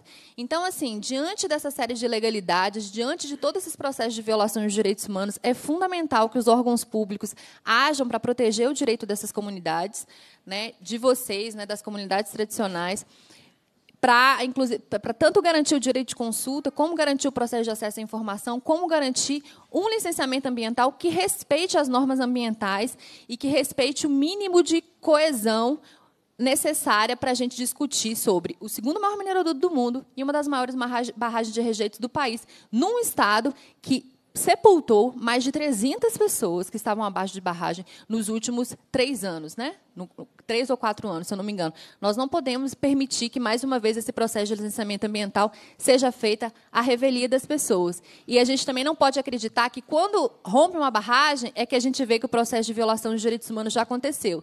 Aqui, Nenzão, Orlando e Luzia já demonstram que a violação dos direitos humanos começa desde agora. Né? Então, por isso, a gente tem que garantir que o procedimento ele seja né, respeitoso com as comunidades e que respeite o direito delas de dizerem o que elas pensam sobre isso e manifestarem é, né, a sua opinião no decorrer do processo, como já tem sido feito por elas aqui desde o início da audiência nos últimos dez anos. Eu acho que é isso. Obrigada, Laisa. Muito obrigada pela contribuição. Nós vamos ouvir Felipe Leonardo Soares, integrante do MAB, do Movimento de Atingidos por Barragens. Então, oi. Bom dia, companheirada. É, quero cumprimentar aqui a mesa, né? Todos os presentes, nas figuras das deputadas Bia, Padre é, Lenin e Padre João também. É, e também a companheirada que está acompanhando aí pela pela transmissão ao vivo. É, eu, para iniciar, eu queria só citar algumas informações para a gente ter é, noção do que, que é esse empreendimento. Né? Então, nós temos é, um empreendimento que vai ter, é, dentro da, do complexo minerário, ele vai ocupar uma, uma área de aproximadamente, é, aliás, maior do que 6 mil hectares. É, um mineroduto de 482 quilômetros de extensão, que vai passar por 21 é, municípios nos estados de Minas e da Bahia. E uma barragem de água prevista que vai ocupar uma área de 757 hectares e duas barragens de rejeito que totalizam quase 2.600 hectares. Né? Então, só para a gente ter dimensão do quão gigante é esse negócio. E aí eu queria iniciar minha fala aqui, trazendo na questão, nessa perspectiva da violação dos direitos, é que o, que é, o direito que talvez seja mais sistematicamente violado é, seja o direito à informação. Porque o que a empresa leva até as comunidades não é no sentido de trazer um esclarecimento é, do que, que é esse empreendimento, dos impactos que ele vai causar, E tanto dos pontos positivos que a empresa analisa que tem, quanto dos pontos negativos, né? Mas ela, ela traz uma narrativa no sentido de produzir nas comunidades um consenso de que aquele projeto ali é bom e, portanto, deve ser, deve ter o respaldo da, da, das comunidades, né? E aí, é, que tipo de informação que chega? Então, há duas formas. A empresa vai direto nas comunidades, fazendo reuniões, né, enfim. E tem também os informativos que ela distribui é, ou via WhatsApp, né, através dos cardzinhos, ou é, via informativos impressos que ela entrega. Então, só trazendo alguns exemplos, em 2018, ela disponibilizou um informativo chamado Nossa Gente, que dizia assim: o projeto Bloco 8 é composto agora pela futura barragem do rio Vacaria, que fornecerá água para o projeto e para a região. A barragem é um sonho antigo da população local, um projeto do Departamento eh, Nacional de Obras Contra Secas, o DENOX, datado da data de 1950, que não se concretizou. Pois bem, é, a, a, a proposta do DENOX era uma obra para garantir água para as comunidades, né? É, e quando a empresa resgata isso, dizendo que é uma, que é uma barragem que é um sonho antigo, ela está produzindo um entendimento de que a água da barragem é para o povo. O que não necessariamente é uma verdade. Né? A gente tem vários exemplos aí, como, por exemplo, Riacho dos Machados, em que o discurso era esse: o rio está seco, as comunidades não têm água, a gente faz a barragem aqui, porque o povo vai ter água e vai servir para o empreendimento. E hoje o povo está lá sem água, com água contaminada, né? aqui tem, e a barragem que foi construída é, teoricamente para viabilizar o abastecimento das pessoas só serve para mineração. É, uma outra, um outro, dois cardzinhos que eles têm distribuído dizem assim, é, é os chamados Você Sabia. E aí um deles diz que a SAM vai construir a sua própria fonte de água. Ora, vou repetir aqui o argumento da Luzia. Não me consta que eles tenham descoberto a forma de produzir água, né? Então, é, essa, eles, na verdade, o que eles vão fazer é, se, é privatizar, se apropriar para fins privados de uma água que já existe, que é a água que hoje abastece inúmeras comunidades aí, desde a da nascente do rio Gromogol até onde ele deságua na, no rio Jequitinhonha. Outra coisa, né? O outro você sabia, que a SAM vai construir a barragem de água do rio Vacaria Além de fornecer água para o projeto Bloco 8, a barragem vai disponibilizar água correspondente ao abastecimento de mais de 640 mil pessoas na região. Então, é, é sempre esse discurso de que, que leva as pessoas da região a, a entenderem que barragem do rio Vacarias necessariamente significa água para o povo. Né? Só que ele não diz, só que a empresa não diz que quem é o responsável por colocar essa água para o povo é o governo do estado, não é a empresa. E aí não há nenhum compromisso do governo do Estado, mesmo no protocolo de intenções, apesar que no protocolo de intenção diz lá que a empresa se compromete a disponibilizar é, 4 milhões de litros, né, ou 4 mil metros cúbicos de água por hora para o governo do Estado disponibilizar para o povo, mas não tem local nenhum esse compromisso explícito do governo de que vai, vai fornecer a infraestrutura, vai fazer o, todo o processo né, de, de canalização dessa água para fornecer essa água para as comunidades. Né? É, e aí, só para a gente ter uma ideia, foi trazida aqui a questão da, da, da outorga. Né? Essa outorga que a Santem, é, que a ANA deu, né, a Agência Nacional de Águas, para retirar essa água de Irapé, é uma outorga de 51 milhões 53 mil 280 metros cúbicos de água. Se a gente quiser transformar isso em litros, a gente, trans, a gente multiplica isso aqui por mil.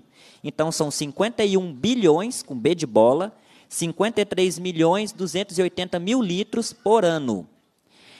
É, só que uma questão, essa outorga foi, foi concedida para a SAM em março de 2012. Em março de 2012, essa barragem é, de Irapé, ela, o volume útil dela, né, é o volume de água que ela tinha dentro da, da, da capacidade da barragem, variou entre 87,6% e 84,6%.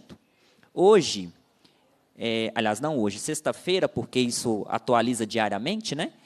Na sexta-feira última, dia 14 de dezembro de 2019, a capacidade dessa barragem, o volume útil dessa barragem estava em 23,12%. Em poucos, poucos dias antes de começar a chuva, no final de novembro, o volume chegou a 14,99%. E ainda assim, a empresa continua tendo uma outorga de 6.200 metros cúbicos por hora dessa barragem. Né?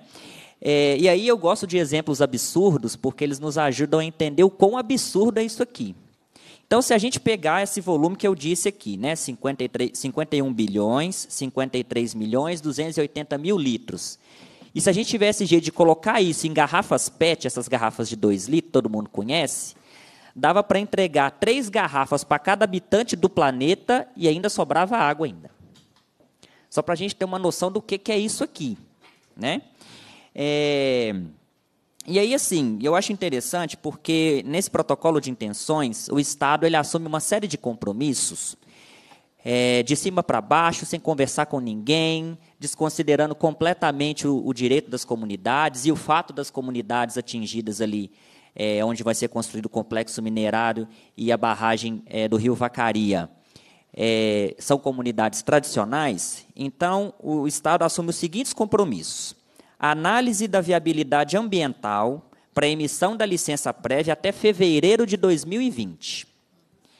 Análise ambiental para emissão de licença de instalação, autorização ambiental e outras em até seis meses após a entrega da documentação necessária. E é, Expedição, e esse aqui é o, é o fim da picada. Expedição de declaração de utilidade pública ou declaração de interesse social para todas as áreas necessárias à implantação do projeto Bloco 8, para fins da constituição de servidão ou desapropriação dos terrenos. Ou seja, o Estado diz que vai dar para a empresa a documentação que ela precisa de utilidade pública, né, que legitima ela a desapropriar as comunidades, a tirar as pessoas do seu território, de um território tradicional, que inclusive tem processo dentro do governo de Estado de regularização fundiária, sem conversar com ninguém, né? sem saber do que está acontecendo. Então, é, é todo um conjunto de absurdos e violações que a gente tem presenciado nesse projeto. E aí, é, e o que eu acho engraçado é porque no projeto Bloco 8, a prime- a- no projeto Vale do Rio Pardo, a primeira versão dele não tinha barragem de rejeito. O que, que a empresa, o que, que dizia o, o RIMA, né, que é o relatório de impacto ambiental do projeto Vale do Rio Pardo? Ele diz o seguinte: a SAM utilizará uma tecnologia inovadora que reduz significativamente os impactos ambientais. Trata-se do método chamado sequenciamento verde. Essa tecnologia irá permitir à SAM ter apenas uma pilha de estéreo e uma barragem de rejeitos, que teria aí 190 hectares mais ou menos. E somente durante o primeiro ano de operação. A partir do segundo ano, quando já houver espaço aberto na mina, o estéreo e o rejeito serão retornados para dentro da cava. A barragem, então, passará a ser usada como um reservatório de água, que será completado também com a água da chuva, que servirá para as operações do empreendimento e ajudará a manter a vazão eh, regular no córrego Mundo Novo e Lamarão. Ou seja, então, no primeiro, no, no, no Vale do Rio Pardo, era uma barragem de rejeito pequena no primeiro ano, depois o rejeito produzido ia ser colocado na cava da própria mina, e, e para o projeto Bloco 8 já são duas barragens de rejeito de dois, com 2.600 hectares de área e 1 bilhão e 500 milhões de toneladas de rejeito. Né? Sendo que a, a produção aqui praticamente não tem variação. No Vale do Rio Pardo, eles previam produzir 25 milhões de toneladas de minério por ano, é, e no Bloco 8 aumentou para 27,5 milhões de toneladas de minério ano. Né? Então, isso aqui não justifica como é que de barragem nenhuma você aparece com duas com a maior barragem de rejeito do Brasil. É, outra questão são os impactos, né? Então, 87% dos impactos desse empreendimento, dentre os impactos que a empresa levantou, porque tem outras que as comunidades colocam e que não aparecem no estudo, mas 87% dos impactos são negativos. Então, a gente tem aí é, alteração nas propriedades físicas e químicas do solo, a remoção das comunidades, eh, a supressão da vegetação nativa, a fauna e a flora que vão desaparecer em decorrência desse processo, eh, enfim, uma série de impactos e que também não são colocados para as comunidades. Né? O que é colocado para as comunidades? Vai ter emprego e a barragem do Vacaria vai, tá, vai dar água para as comunidades. Né? É, o que, é o que aparece lá.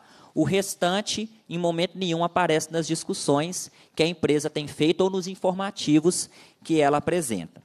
E aí eu queria trazer é, dois últimos pontos aqui para concluir minha fala.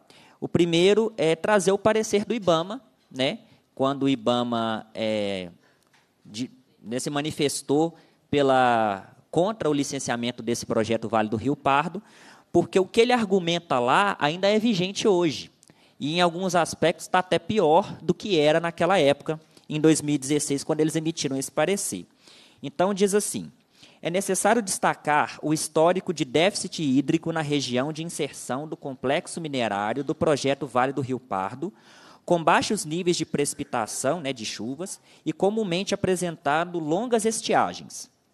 É, outrosim, a retirada do minério de ferro trará impacto significativo sobre os recursos hídricos da região, tais como a supressão de 70 nascentes. Na época era 70, hoje eles, a, a, a empresa diz que são 30.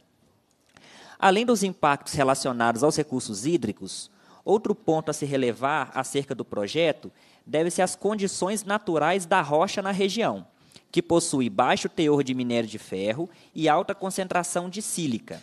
Essas condições potencializam o impacto negativo da dispersão atmosférica sobre a saúde das comunidades do entorno, o que demandaria medidas mitigadoras com um grau de eficiência acima da média para o enquadramento da concentração de particulados em níveis aceitáveis. Registre-se que o empreendedor, né, no caso a SAM, indicou para todos os impactos alguma medida de mitigação, programa ou compensação. Porém, há incertezas se todas as medidas e ações seriam suficientes para tornar sustentável o empreendimento. Dentro desse viés, salienta-se a proximidade do projeto com as comunidades do Lamarão e do Vale das Cancelas, sendo que essa primeira teria que ser removida da área e a segunda sofreria efeitos diretos com a implantação e operação do empreendimento. Face ao exposto, entende-se que o projeto sob análise remete a impactos ambientais importantes, particularmente relacionados aos recursos hídricos e à qualidade do ar, os quais demandam complexas medidas de mitigação. Ademais, prevê grandes volumes de rejeito, e aí é que nessa época eles já tinham re, é, reformulado o projeto né, e já tinha essas barragens de rejeito. Ademais, prevê grandes volumes de rejeito, Condição essa que, além dos riscos associados, se contrapõe à tendência tecnológica atual de se optar, no âmbito da mineração de ferro, por processamentos que minimizem a dependência de barragem de rejeito.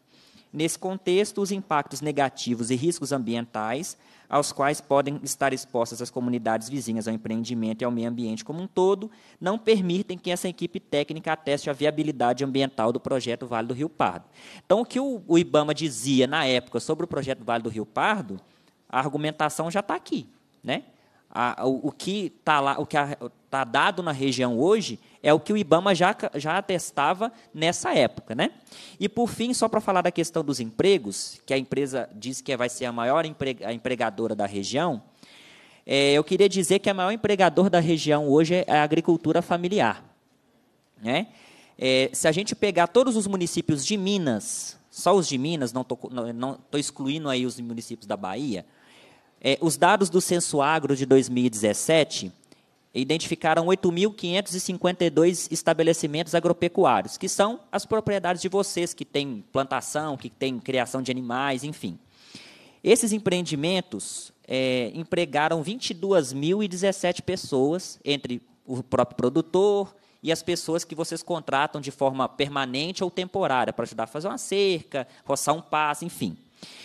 Se a gente pegar só os municípios mais perto ali da barragem da, do Vacaria, né, que seriam Gramogol, Padre Carvalho, Josenópolis e Fruta de Leite, seriam 3.725 estabelecimentos para 8.867 pessoas empregadas. Se a gente pegar essa água que a SAN é, conseguiu a outorga e distribuir, por exemplo, para essas 3.725 é, estabelecimentos, daria 37.549 litros de água por dia para cada um. Aí vocês imaginam, né? É, nas comunidades de vocês, na roça de vocês, com todas as dificuldades que você tem, se o governo desse condições para vocês terem essa quantidade de água por dia para irrigar, para fazer sedentação animal e ainda fornecesse crédito, assistência técnica, acesso aos mercados, isso aqui virava de, de 8 mil para 50 para 100 mil empregos numa região como é o semiárido, que é fartamente dependente também da agricultura familiar. Então, é, eu concluo dizendo que é um empreendimento que não que é não, não traz desenvolvimento, assim como o exemplo de, de outros que foram para a região com, essa, com esse discurso. É, é, um empreendimento que não cabe naquela região pelos impactos que ele vai trazer. É, e eu espero, é, na linha do, do, que já outros companheiros já colocaram, que os órgãos ambientais é, estejam atentos para isso e para as violações que as empresas têm feito e para as, e para as violações, inclusive, da legislação é, para que vocês não compactuem com, com mais crimes é, e mais violações como essas que a gente tem verificado em todas as Minas Gerais e, e dos povos e comunidades tradicionais como um todo. Obrigado. Obrigada, Felipe. A gente quer registrar também a presença do Diogo do Leia, Observatório, Conhecimento e Plataforma pelo Meio Ambiente, que também tem acompanhado essa audiência. O deputado estadual Charles Santos está aqui conosco, depois vai fazer uso da fala. Ele também realizou na semana passada uma audiência relacionada a esse projeto. Então, é importante a gente ir juntando as atividades realizadas em torno desse tema, para nos encaminhamentos a gente verificar é, como damos desdobramentos ao debate que nós estamos fazendo aqui. Então, eu queria convidar Maria Júlia Gomes Andrade, ela é coordenadora do Movimento pela Soberania Popular na Mineração, MAN, também para fazer uso da palavra. Bom dia a todos e todas que estão aqui no plenário. Esse povo de luta que viajou muitas e muitas horas essa madrugada para estar aqui. É, a Bia, o Padre João, Leninha e o Nenzão acompanhando super querido. Aí pelo Nenzão cumprimenta a mesa toda. Então, gente, o MAN acompanha a outra ponta do projeto, a ponta final, que é o Porto Sul. Nós temos um núcleo que pega Itabuna e Ilhéus, que é justamente onde eles querem construir na Bahia o Porto Sul. Então, já conversamos aqui muito nessa audiência, né? É, que eles pretendem pegar esse minério de ferro, essa polpa de minério de ferro beneficiada, que parece uma borrona de café, e pela água, essa água escassa do semiárido, levar por mineroduto. E levar para onde? Para um porto que ainda não existe que está sendo licenciado nesse momento e que se localiza no seu projeto na cidade de Ilhéus, que fica no sul da Bahia, que é uma cidade muito famosa pelo cacau, pela produção de cacau e pelas suas praias e pelos seus manguezais, é uma cidade turística da Bahia. E é lá que eles querem construir esse Porto Sul.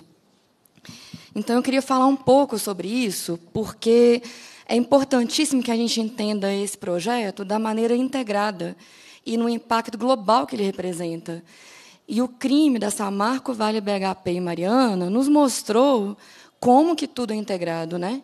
Então, são 700 quilômetros de Rio Doce que foram destruídos, são vidas destruídas, famílias destruídas, povoados e comunidades inteiras destruídos, todo o Rio Doce e pescadores em regência no Espírito Santo que até hoje não conseguem mais viver da pesca. E é esse projeto perigosíssimo que está projetado para o norte de Minas e também para o sul da Bahia por todo o Vale do Rio Pardo até chegar no sul da Bahia. Então a gente fala muito essa palavra, né, que é uma palavra que parece complicada e difícil, mas que, que sintetiza isso que a gente está falando, que é o modelo primário exportador. Primário, que é o quê? Matéria-prima, minério de ferro bruto. E no caso lá do norte de Minas é água. É exportar minério bruto e água sem beneficiamento nenhum e é exportar. Não é ficar no Brasil para de repente, construir uma siderúrgica, que não acho que é o caso, inclusive, como solução para o norte de Minas, ali no Grão-Mogol e etc., da região ali, não. Mas não é sequer pensar um projeto de desenvolvimento integral de, desse, desse minério. É pegar aquilo, usando a água, exportar. E aí eles precisam do Porto Sul. E aí eu queria contar para vocês em que pé que está, então, a construção desse Porto Sul. Porque a lógica que eles estão fazendo aqui em Minas Gerais, de fragmentar o licenciamento todo, é a mesma lógica que eles estão fazendo lá na Bahia também. Então, aqui eles estão licenciando como se fossem coisas separadas: planta de beneficiamento, barragem de rejeito, e a cava, como se não fosse um projeto só e um dependesse do outro. E eles estão fazendo a mesma coisa, eles querem simplificar esse licenciamento do mineroduto por várias etapas e querem tratar o Porto Sul como se fosse uma coisa à parte. Mas sem ele, não faz sentido existir um projeto como esse no norte de Minas. Em que pé que está, então, esse projeto lá? E aí a notícia ruim é que ele está em uma fase muito avançada. E se o capital e o Estado da Bahia, o Estado da, de Minas e o Estado brasileiro tratam é, de uma maneira tão super, subserviente, né, tão subjugada ao capital mineral, lá também foi o mesmo processo que a gente vê aqui, um processo muito acelerado e que hoje se encontra numa fase muito avançada. Eles possuem hoje todas as licenças do Porto Sul. E eles apressaram isso no último ano. Então, não é uma grande coincidência que, de repente, nós temos funcionários da SAM e das empresas agora com outros nomes, andando de novo no norte de Minas e andando de novo em Grão Vale das Cancelas. Eles também estão fazendo isso mais agora, no último ano, em Itabuna e Ilhéus. Então, o processo do licenciamento é fragmentado, mas a estratégia toda é muito casada. E eles apressaram bem esse ano, e eles têm todas as licenças. Eles têm a licença do IBAMA, e eles têm a licença do INEMA, que é o órgão estadual ambiental da Bahia. Eles conseguiram essa licença. Faltava uma última etapa, que era um TAC que foi assinado com uma empresa que chama Bahia Mineração, para para garantir, vamos dizer assim, uma mediação dos impactos, um TAC de 45 milhões. Então, foi assinado isso com o Ministério Público da Bahia, que então consensuou muito rebaixado por baixo, então, eles não precisam de mais nada. A última formalidade, que era a assinatura desse TAC, eles conseguiram, e a previsão agora é que essas obras se iniciem no segundo semestre do ano que vem. Olha como é casado o projeto como um todo. Esse projeto é muito casado. Então, nós temos todas as licenças do lado de lá da Bahia garantidas já. Nós temos a última formalidade, que era um, um TAC assinado, e nós temos já uma previsão do início das obras com investimento que eles estão prevendo de 4 bilhões. Olha como isso também mexe com o imaginário do povo, que está vivendo uma crise no Brasil, precisando de emprego, e a chantagem do emprego que é feita em Grão-Mogol, em Vale das Cancelas, é feita na Bahia também.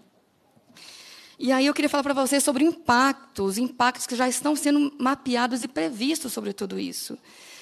Nessa previsão inicial é que 4 mil pescadores e pescadoras fiquem sem o seu emprego porque ali é uma região de pesca artesanal ainda. A maioria do emprego que vem da pesca não é pesca industrial, é pesca artesanal. Então, vai estar tirando aí da agricultura familiar no norte de Minas e também vai tirar dos pescadores e pescadoras. 4 mil pescadores e pescadoras são 4 mil famílias. Olha a quantidade de gente que está para ser impactada por esse projeto lá, que é o projeto integrado, né? SAM com Porto Sul e o projeto da Bahia Mineração. É tudo muito integrado. E nós temos ainda um impacto ambiental que é, é terrível, que é supressão de mata atlântica, é supressão de corais, supressão de manguezais. E eles já conseguiram licença para tudo isso. Essa parte eles já conseguiram pelo IBAMA. Então nós temos então uma área turística já está previsto e mapeado que vão ter praias nessa cidade turística do sul da Bahia que vão ser assoreadas por esse empreendimento. Isso já está previsto no próprio projeto, que vão ter assoreamento de praias. Então, é uma área turística que é uma fonte de renda muito importante para aquela região, que vai ser impactada de modo irreversível. Tudo isso acontece nesse modelo que é, tá, que é o Estado brasileiro, que são os governos estaduais de Minas da Bahia, totalmente reféns desse capital mineral. Esse Porto Sul ele só pode se garantir, do ponto de vista econômico, se o projeto da Bahia Mineração, que é um projeto de minério de ferro, de uma região também de semiárido, que é de Caetité, não sei se vocês já ouviram esses nomes, Caetité, Guanambi e Pindaí. É uma região que existe assim muito próximo, engraçado, muito próximo de Porteirinha. Porteirinha vocês conhecem? Porteirinha todo mundo aqui conhece. É, Caetité fica uma hora e pouco de, de Porteirinha. Então, é essa região do norte de Minas que é quase Bahia. Então, tem um projeto lá de minério de ferro da Bahia Mineração. Para isso, eles construíram uma ferrovia exclusivamente para escoar o minério de ferro, que foi licenciada toda por trechinhos, não pensando no impacto total que é essa ferrovia, que é a Ferrovia Oeste-Leste, chama FIOL. Essa ferrovia já existe. Então, eles construíram essa ferrovia para escoar desse projeto ali perto de Porteirinha, mas já no lado da Bahia, e para então construir o Porto Sul para escoar tudo isso. Mas o projeto Porto Sul ele não se garante economicamente, isso já está mapeado. Ele não se garante economicamente só pelo projeto da Bahia Mineração, lá de Preguité e Pindaí, Guanambi. Ele precisa se garantir, para se garantir economicamente, para valer esses 4 bilhões que vão ser investidos, ele precisa do projeto da SAM. Ele precisa que também exista o projeto de Grão-Mogol, de Vale das Cancelas. Só assim, a médio e longo prazo, esse projeto do Porto Sul ele se garante. Ele vai se pagar e ele vai, gerar lucros. Olha como está tudo integrado. Então, eles estão acelerando lá para usar a pressão que já existe lá para pressionar para que saia aqui. E aí, então, para finalizar, né, e indo para o final, que é muito importante que o povo que está aqui, que caminhou, que viajou tantas horas de tão longe para poder estar tá aqui fazendo esse esforço estar presente, ele possa falar também. É, é o projeto de morte, gente, do começo ao fim. É um projeto de morte de Vale das Cancelas até Ilhéus, na Bahia. Então, a gente, para conseguir lidar com esse capital que está tão integrado e com o Estado brasileiro tão refém e tão sequestrado, né? é um Estado que é sequestrado, que não está pensando no povo, não está pensando na sua população, está pensando no lucro do capital. Ah, vai gerar emprego? A agricultura familiar, Norte Minas também gera emprego vai gerar emprego o Porto Sul, a construção do Porto Sul, e vai tirar o emprego de 4 mil pescadores e pescadoras. O que, que tem mais peso na balança? E aí você já pode imaginar que todo, tudo isso assim já existe uma, uma lógica de fazer propaganda eleitoral disso, de vereadores lá atiçados dizendo que vai vir emprego, do mesmo jeito também que é aqui no Norte de Minas. Então, eu tenho duas propostas aqui para a mesa de encaminhamentos. Uma ligada a uma coisa que apareceu bastante também, que é o mineroduto, que existe essa excrescência, que é o decreto de utilidade pública, na onde que você escoar água de graça num lugar que precisa de água, que o povo precisa de água para beber e mal tem. Isso é uma utilidade pública. A lógica da utilidade pública é, é que é serviço de um bem maior da população. Olha que excrescência. Então, a proposta de encaminhamento para a mesa, um pedido de providência para imediato cancelamento do decreto de utilidade pública da SAM, de 21 de 1 de 2014, e que o governo de Minas se abstenha de declarar de utilidade pública para desapropriação de pleno domínio ou constituição de servidão qualquer área de passagem do mineroduto para a empresa SAM ou Lotus. Utilidade pública significa, sabe o quê, gente? Para quem mora, vai morar perto dessa possível obra, que quer vocês queiram ou não, a obra vai ser feita de um modo muito autoritário. Modo autoritário é polícia no quintal de vocês obrigando que essa obra saia. Isso aconteceu em Conceição do Mato Dentro. As pessoas lá chorando, e a polícia cercando, e o choque presente, e as obras acontecendo. Isso aconteceu aqui, Conceição do Mato Dentro. Então é um absurdo e então não importa se a gente quer ou não nessa loja da utilidade pública. E não importa nem se é a comunidade tradicional, eles vão passar, tentar passar por cima de tudo isso. Então, tudo que a Laisa fala é muito importante. É mais uma ferramenta de luta para a população gerazeira que está aqui, a população tradicional, lutar. Mas, juridicamente, a utilidade pública, ele, eles conseguem ter um ganho assim, muito forte. Então, é, impossível, é, é muito importante que a gente tenha a intermediação da Assembleia Legislativa, dos deputados e deputadas comprometidos, que são duas deputadas aqui.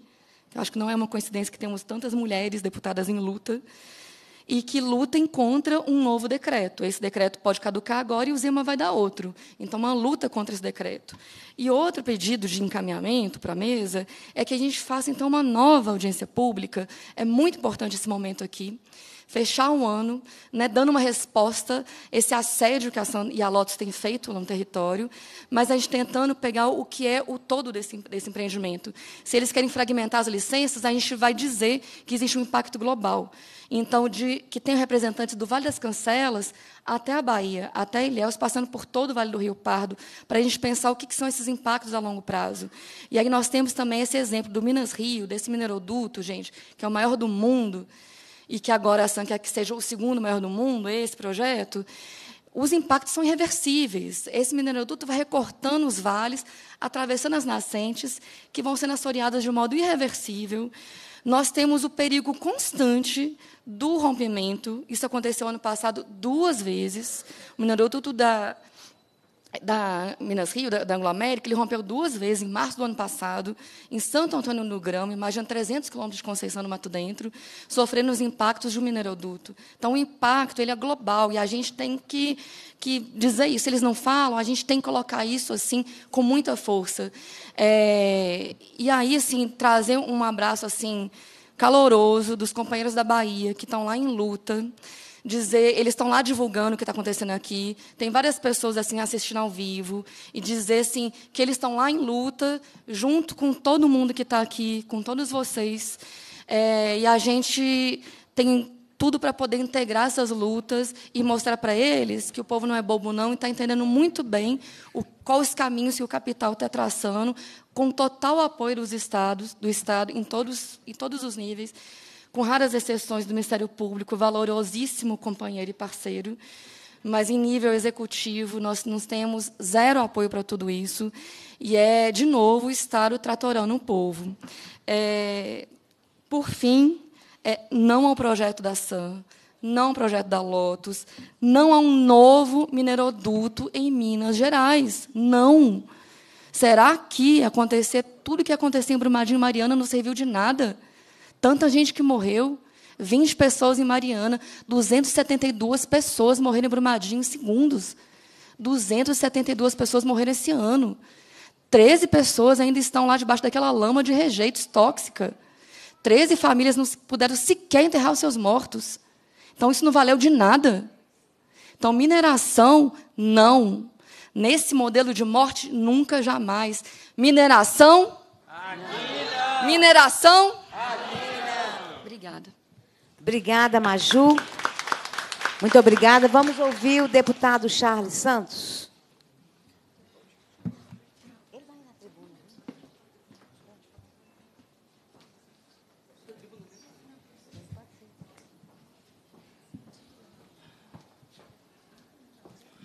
Bom dia a todas e todos.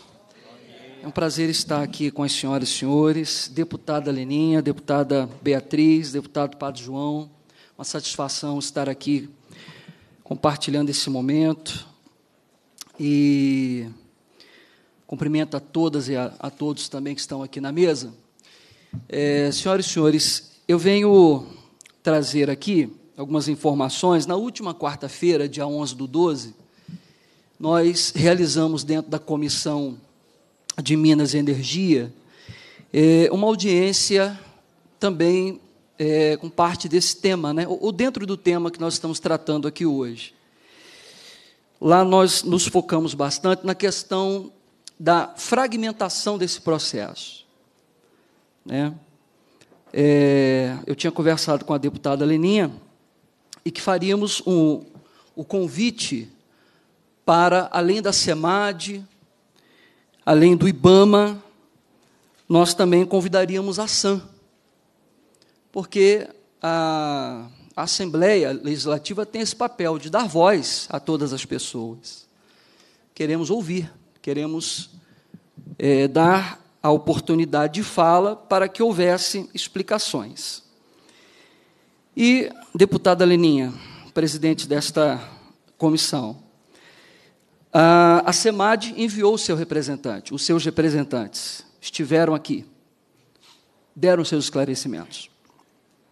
O IBAMA também enviou aqui o seu, o seu representante, também deu as suas explicações, expôs aqui também as suas explicações.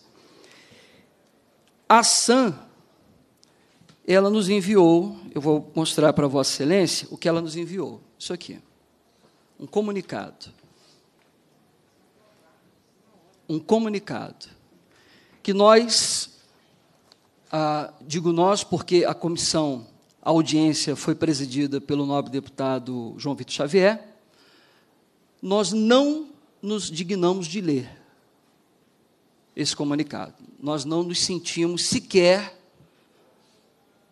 na obrigação de ler esse comunicado. Porque pensamos no seguinte: se. De, desculpem até a, a comparação. Se eu fosse dono de uma padaria, eu tivesse dez funcionários e a minha padaria tivesse que participar de uma audiência para prestar algum tipo de explicação à justiça, e eu não pudesse, ou como dono, eu não pudesse participar dessa audiência perante a justiça ou perante autoridades, eu tenho certeza que eu encaminharia um gerente, eu teria alguém, algum representante, uma empresa de, de dez funcionários, eu enviaria algum representante para falar pela minha empresa.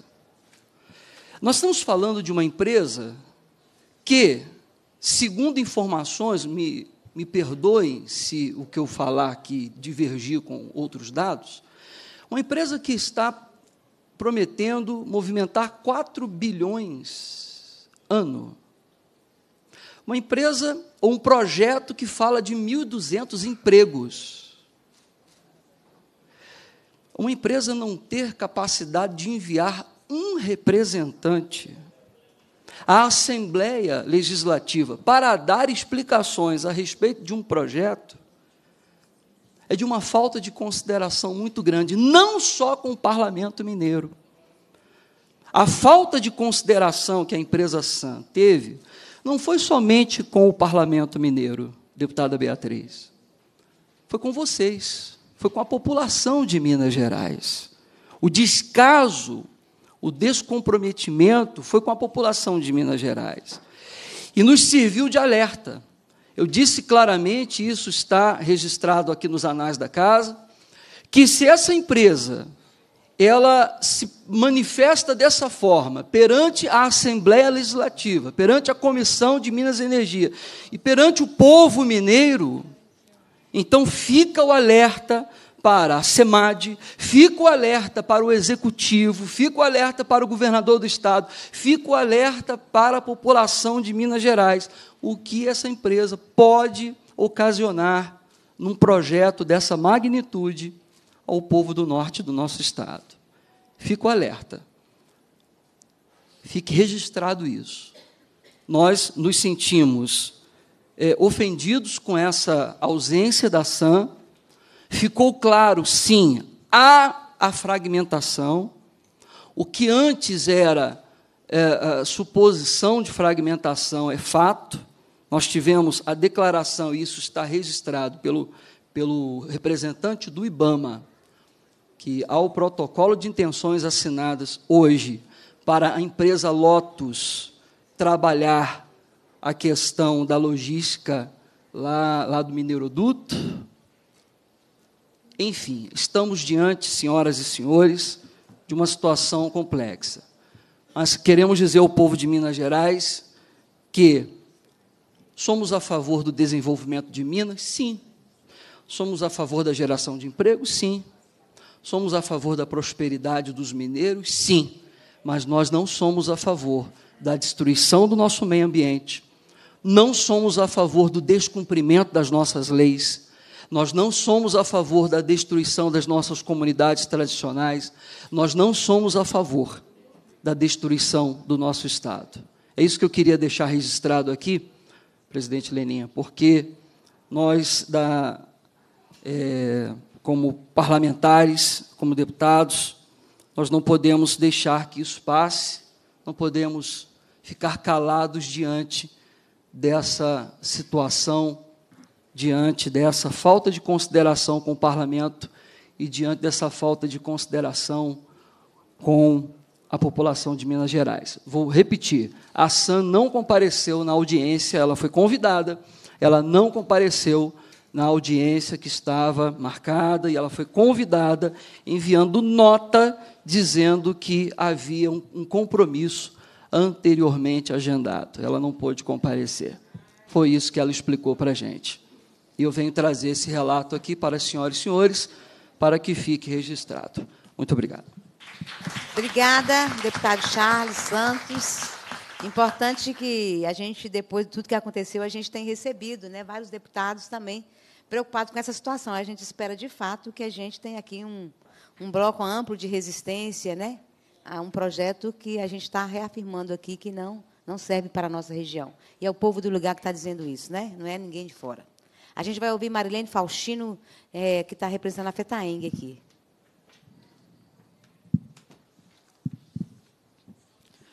Bom dia, companheirada. Eu cumprimento aqui os companheiros e companheiras da mesa, na pessoa da companheira Leninha, né, e dizer que é uma honra tê-la representando né, o Estado, especificamente a nossa região, norte de Minas, aqui, e na pessoa dela cumprimento os demais é, mandatos aí que se propõem nessa luta junto com a gente. Na pessoa de Dona Ivanete, nossa liderança sindical, cumprimento todas e todas vocês, e na pessoa do Rafael, nosso jovem Rafael também, nossa liderança sindical, cumprimento cada um e cada uma que está aqui é, fortalecendo essa luta. E todos já disseram assim sobre trouxeram muitos elementos, muitas informações técnicas, né, de todos os impactos, de tudo que a gente vai vivenciar, vivenciar com esse projeto de morte. E eu queria reforçar um pouco é, a, as questões mais políticas de mobilização. E quero aqui, né, já também é, parabenizar a CPT e o MAB, sempre aí com essa luta, né, de forma muito incisiva, grandes combatentes aí é, de, dessa questão da mineração. E dizer que os nossos é, o nosso momento agora é de cada vez mais a gente se fortalecer, né? Os nossos sindicatos de trabalhadores e trabalhadoras rurais estão aí junto, construindo aí essa pauta e fazendo esse enfrentamento. Somos nós, povo trabalhador, né? O povo geraizeiro, nossas comunidades tradicionais que vamos sofrer com todo esse impacto e nós que estamos consciência, que estamos à frente dessa luta, a gente sabe muito bem que essa que essa esse projeto ele vai cortar na nossa carne, né? Então, assim, é reforçar entre nós, trabalhadores e trabalhadoras rurais, nós agricultores e agricultoras, ainda mais o desejo de convencer ainda mais, de ganhar ainda mais na mente e coração para a nossa luta. Eu acho que a gente está no momento de conversar mais com o nosso vizinho, conversar mais na nossa igreja, na escola do nosso filho, trazer mais esse debate e se juntar ainda mais nos espaços que a gente tem, na luta do MAB, nos nossos sindicatos de trabalhadores rurais. Né? E aí é o momento da gente fazer muita pressão.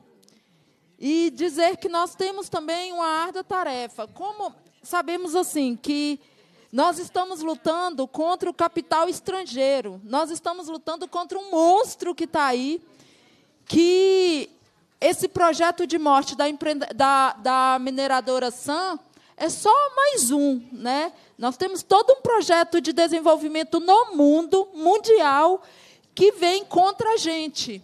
Então, assim, a nossa luta ela é muito árdua. Não sei se a gente consegue barrar esse projeto. Porque, afinal de contas, nós, nós, não, nós estamos lutando contra o poder econômico que a gente não sabe mensurar o tamanho disso. A gente olha para esse empreendimento e a gente vê um monstro à nossa frente. Quando esses dados são apresentados aqui, de tanto, de tanto que está sendo feito, do, infringindo direitos já, a gente, a gente fica assim pensando, né? Como que a gente está pequeno diante disso. Mas aí a gente tem ferramenta. Nós não estamos aqui por acaso, a gente não, não tem a esperança na nossa luta por acaso, e a gente tem, que, tem alguns espaços que são muito fundamental para a gente também atuar. E aí, cada um e cada uma é importante nesse papel, principalmente quando tem no seu município o representante do legislativo, o representante do executivo, os vereadores, o prefeito. Então, lá a gente pode fazer uma pressão, principalmente no cara que eu votei, que, ele, que eu coloquei ele lá para me representar. Então, a gente precisa comprar essa, essa luta, junto com essas caras, eles precisam compreender que nós estamos de olho e que a gente colocou ele lá para nos representar. Então, esse é um papel que cada um aqui pode fazer individualmente, né? E aí também, quem sabe, articular. Eu sei que o MAB e a CPT, os nossos sindicatos também têm feito essas reuniões, mas também chamar essas audiências públicas nos municípios não é fácil quando o cara está contra a gente lá na ponta também. A gente sabe isso lá na Câmara de Vereador, a gente não consegue nem chamar uma audiência pública, né? mas eu acho que são caminhos que a gente precisa fazer. E nós, do movimento sindical, no Brasil, estamos fazendo esse debate. Estamos.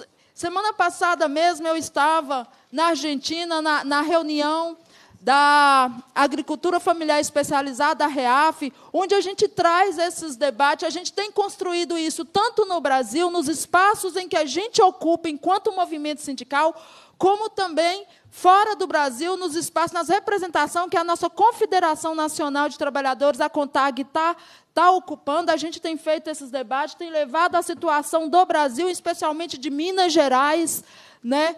Com, com relação às questões ambientais. Então, a gente tem construído isso. Estamos agora, a ONU lançou a década da agricultura familiar, né? são 10 anos aí, e a questão ambiental está sendo central.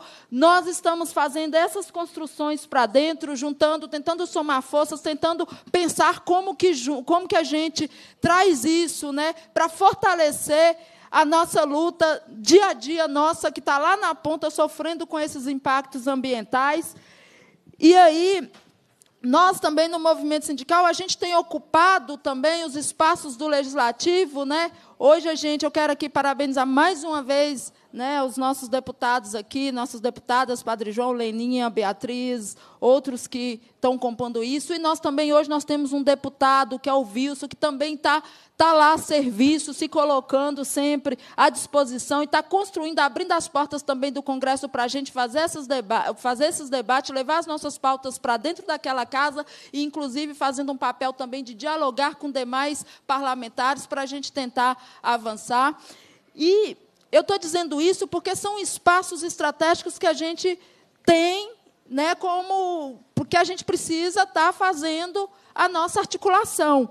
E aí, aqui em Minas, Tizé está aqui, sabe, o CEDRAF também, eu acho que é um espaço que a gente precisa tentar ganhar solidariedade, como diz o Nenzão aqui, ganhar a solidariedade das pessoas, das instituições, dos órgãos, inclusive do governo, né, fazer esse debate, não abrir nunca a, a, a mão de fazer esse debate no governo, nesses espaços que a gente tem, que são poucos, né, onde a gente, o governo tem ouvido a gente. E aí eu queria é, trazer também a questão, nós temos a federação, hoje a gente tem, ocupa alguns espaços, nós temos uma cadeira no COPAN, né, que é o Conselho de Meio Ambiente. E aí, Leni, eu queria, inclusive, estava é, aqui, estamos com um assessor aqui que representa o Copan. Eu acho que é um espaço também que a gente pode, inclusive, pedir uma audiência do Copan, né? há, uma, há uma, uma prerrogativa na, na, no Conselho, no Copan, onde a gente pode pedir uma audiência lá dentro do Copan e fazer esse debate dentro do Copan, inclusive com a participação dos principais afetados, que são os trabalhadores e as trabalhadoras da agricultura familiar, o povo que está lá na ponta que vai ser impactado diretamente. Eu, te, eu, eu, eu deixo isso aqui como encaminhamento, eu acho que a gente pode, nessa ainda não foi para o Copan, a gente está de olho nisso lá, ainda não foi para o Copan essa, esse pedido de licenciamento e vejo que a gente pode fazer a solicitação e fazer também esse debate dentro do Copam, pressionando principalmente os conselheiros ali para que se posicione ao nosso favor e contra esse projeto de morte. São espaços que talvez a gente olhe não seja de uma grande dimensão, mas são espaços em que a gente pode se fortalecer e que pode ganhar aí adesão para a nossa luta. Enfim, e no mais é dizer assim, é, estamos Estamos à disposição nessa luta com vocês, os nossos trabalhadores, no fortalecimento dessa questão política, da mobilização, de ganhar as pessoas. É, enquanto FETAENG, a gente se compromete mais ainda aqui, juntar os nossos sindicatos, para nós poder construir mais fortemente essa pauta junto com o MAB, junto com a CPT, junto com os outros movimentos que já estão lá na ponta, para que a gente possa somar ainda mais na luta contra esse projeto de morte. No mais é dizer, estamos junto, companheirada, estamos junto. Eu sou trabalhadora rural, sem terra. Sabemos que o que está em jogo no Brasil e no mundo são os nossos recursos naturais, é a nossa terra, é as nossas águas. Então, é a nossa sobrevivência que está em jogo e nós não estamos em um governo que olhe para nós, que nos considere humano nesse processo, porque senão não assumiria um projeto de morte desse, onde tira principalmente os nossos direitos de continuar, de permanecer no nosso território, onde a gente sempre esteve, e principalmente no nosso direito de, de continuar vivendo como a gente gostaria de viver com dignidade de vida no nosso lugar. Então, nós estamos juntos, essa luta não é pequena, essa luta não é fácil, mas nós temos uma coisa que a gente sempre teve, né, desde os povos aqui nesse, nesse, nesse território que foram é, escravizados, como os povos indígenas, como os negros que aqui foram escravizados, a gente tem a nossa coragem, a nossa força, a nossa garra e, principalmente, o sonho e o desejo de lutar e de encarar isso. Então, resistiremos, estamos juntos e vamos lutar até incansavelmente para que a gente consiga aí parar esse projeto de morte ou que minimamente ele seja menos agressivo do que está sendo proposto para a gente. É isso. Obrigada e estamos juntos. Obrigada, Marilene. Muito obrigada. Nós vamos ouvir o André Lima de Andrade, analista ambiental do IBAMA. Ele está aqui representando o Enio Marcos Brandão Fonseca, superintendente do IBAMA, aqui superintendente em Minas Gerais. Bom dia a todos. É, agradecer o convite. É, me apresentar. Meu nome é André, sou analista ambiental, servidor de carreira. É, trabalho como técnico no licenciamento ambiental. O doutor Enio, que é o superintendente do IBAMA, me pediu que representasse a instituição, né? E a gente veio aqui muito mais para ouvir vocês, é, mas também para fazer um breve histórico, né, expor qual é o status atual do licenciamento é, desse empreendimento no IBAMA. É, vou ser bem breve, porque eu acho que muita gente já falou e tem muita gente para falar ainda. É, muito já foi falado aqui do processo do, da SAM, né, que passou pelo licenciamento ambiental no IBAMA, é, que era o projeto completo, né, que previa a mineração mais o mineroduto. É, foi feito um estudo de impacto ambiental, isso é, em 2014, é, e em 2016, o IBAMA, com base na análise desse estudo de impacto ambiental, ele indeferiu o projeto, é, ele considerou que não seria viável do ponto de vista ambiental, as razões já foram expostas aí pelo é, Felipe, né, do MAB, é, até leu os trechos do parecer, né, então acho que está bem claro aí os motivos, inclusive com essa possibilidade de afetar aí os gerazeiros. Né?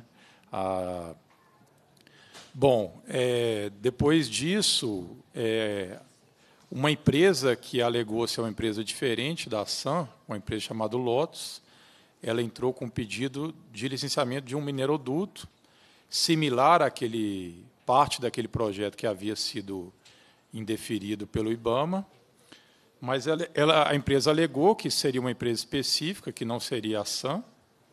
Ela alegou que o projeto havia sido alterado e que esse projeto previa o transporte de minério não só da mina prevista pela SAM, como outros minérios que poderiam é, ser transportados pelo mineroduto. É, num primeiro momento, isso já em 2018, é, esse pedido foi indeferido pelo IBAMA, pelo, alegando que se, tra, se trataria de projetos intrínsecos, o IBAMA já tinha avaliado esse requerimento. É, então, em 2018, a empresa entrou com um recurso administrativo. Esse recurso ele seguiu os trâmites legais né, da instituição e foi é, julgado pelo presidente do IBAMA, que, além de presidente do IBAMA, é procurador da Advocacia Geral na União. É, e ele considerou que a empresa tinha o direito de dar o prosseguimento ao projeto do mineroduto apartado do projeto da mina. É, então, ele considerou legal e, e, então, ele, ele autorizou o início do processo no IBAMA. Essa autorização foi dada em julho, é, de um projeto específico do mineroduto. É, e, é, atualmente, esse projeto está na fase de elaboração dos estudos de impacto ambiental. É, vai ser feito um novo estudo, começando do zero. É, ainda está na fase de consulta às instituições. É, e, nesse momento, o IBAMA não tem qualquer juiz de valor em relação a, a esse projeto novo do mineroduto. É, então, a gente veio aqui mais para escutar vocês. Né? Eu não trabalho diretamente na equipe de que conduz o processo. A equipe que está conduzindo isso está lá em Brasília, eles não puderam estar presentes. É, e o que eu me comprometo é levar né, todas essas observações para a equipe lá, para que considere né, a, a, fala de muitas pessoas que me antecederam aqui, é, os impactos né, do, do, empreendimento, isso tudo vai ser considerado dentro do processo de licenciamento ambiental que está sendo conduzido pelo IBAMA do Mineroduto. Tá certo? Eu fico aqui à disposição para também para prestar algum esclarecimento. Agradeço a oportunidade e, e Estou aqui à disposição. Um abraço, obrigado. Obrigada ao André de Lima. Nós vamos ouvir Rodolfo de Oliveira Fernandes, analista ambiental da SEMAD, aqui representando o secretário Germano Luiz Gomes Vieira. Bom, bom dia a todos. Meu nome é Rodolfo Fernandes, eu estou representando o secretário de Estado de Meio Ambiente, senhor Germano. Né? É, primeiramente, gostaria, na figura da deputada Leninha, de, de agradecer é, a mesa e, a, e saudar todos os presentes principalmente os membros da comunidade que saíram de tão longe e trouxeram para a gente o que é de tão importante, né? que eu acho que não tem valor mensurável, que é o tempo de vocês. É, eu gostaria de fazer uma contextualização do histórico do processo dentro da SUPRE. A SUPRE é a Superintendência de Projetos Prioritários que fará a análise do projeto. No dia 10 de janeiro, o projeto ele foi é, encaminhado para a SUPRE, de acordo com a deliberação normativa 217, do ano de 2000, de 2019, é, justamente para poder é, ser analisado. Ele foi apresentado para a gente como, é, como modalidade LAT. Que isso, o que, que quer dizer isso? É, são as três fases do licenciamento. Neste primeiro momento, ele apresentou para a gente foi a fase de LP, a fase da licença prévia, onde que a gente verifica a viabilidade do empreendimento. Por que, que eu falo a gente? Porque eu também faço parte da equipe técnica que vai avaliar o processo. Eu faço a parte tanto da socioeconomia como a parte da socioambiental também. E quando dá análise do processo, vocês, muitos de vocês vão ver o meu rosto lá no território conversando com todos vocês, né? É, contextualizando então, no dia 10 de janeiro foi protocolado de acordo com a 217 de 2017, desculpe só a correção, é, o processo na modalidade LP, quando foi no dia 30 de janeiro, o próprio empreendedor, para poder complementar os estudos ambientais, ele pediu o sobrestamento do processo. O que, que é isso? O processo paralisou. Então, a análise ela não continuou sendo feita, porque a gente aguardava que o empreendedor apresentasse esses estudos complementares, né, por uma iniciativa dele e também de encaminhar é, uma complementação dos estudos. Houve duas solicitações de audiência pública, a partir do momento que o processo ele é protocolizado na superintendência que fará a análise do processo, conta-se um prazo, começa o prazo aí dos 45 dias para que, eu, para que as pessoas possam estar solicitando as audiências. É, as duas solicitações de audiências, uma foi da Prefeitura de Fruta do Leite e a outra da Associação Pro Pouso Alegre, que solicitaram essas audiências para acontecer no território. Tem algum representante? Pouso Alegre. Foi a, a, a Associação Pro Pouso Alegre. É isso mesmo? Tem algum representante dessas instituições aqui? Não? Tá. É, deputada Leninha, presidente, desde já, eu gostaria, se fosse possível, para que eu possa levar esses encaminhamentos aqui da mesa também, se fosse formalizado junto à SUPRE, junto à SEMAD, todas essas tratativas, o material que foi apresentado por representantes da comunidade também, para que, assim como o deputado Charles disse, todas as vozes aqui têm que ser ouvidas. Então, como as todas as vozes devem ser ouvidas, a gente queria incorporar isso para dentro do processo também, quando da retomada da análise técnica pela equipe da SUPRE.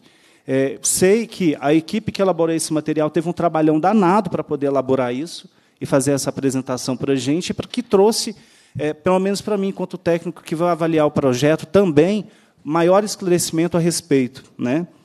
É, então, é, no dia 26 é, do 9, o IBAMA também encaminhou uma nota, encaminhou uma manifestação técnica à SUPRE, é, falando do, da possibilidade de analisar o processo é, aqui no estado de Minas. Foi um despacho que foi encaminhado pelo IBAMA, e até então não houve é, nenhuma concessão de nenhum tipo de licença dentro do órgão ambiental. Eu acho que a gente deveria ficar, deixar bem claro, porque em algumas chamadas também para papel audiência isso foi, foi apresentado, que é, comunidades que foram impactadas pelo licenciamento ambiental que já foi concedido, e não foi.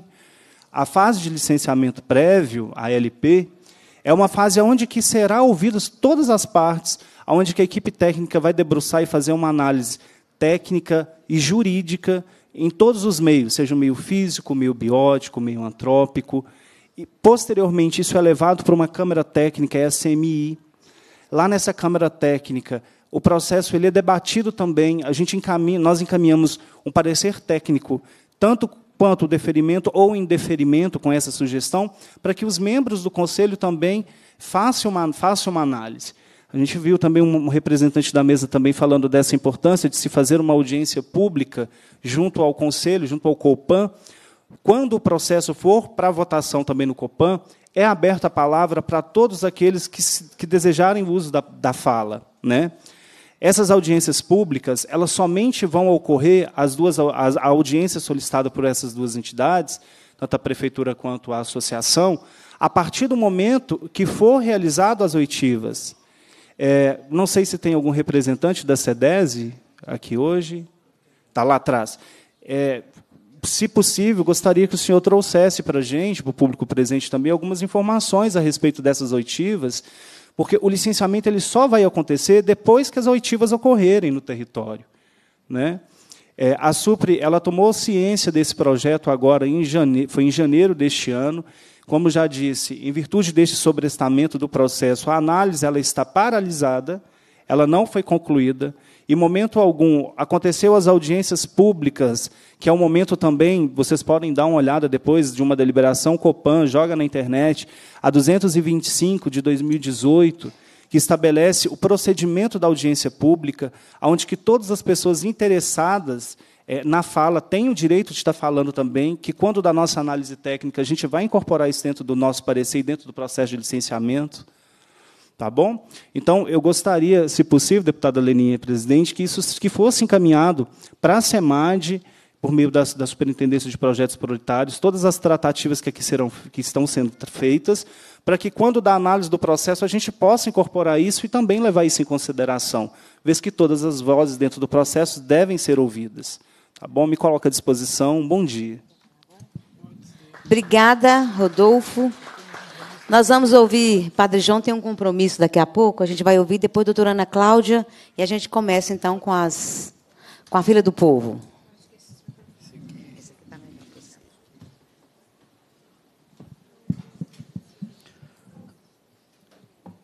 Nosso bom dia, né? boa tarde a todas e todos.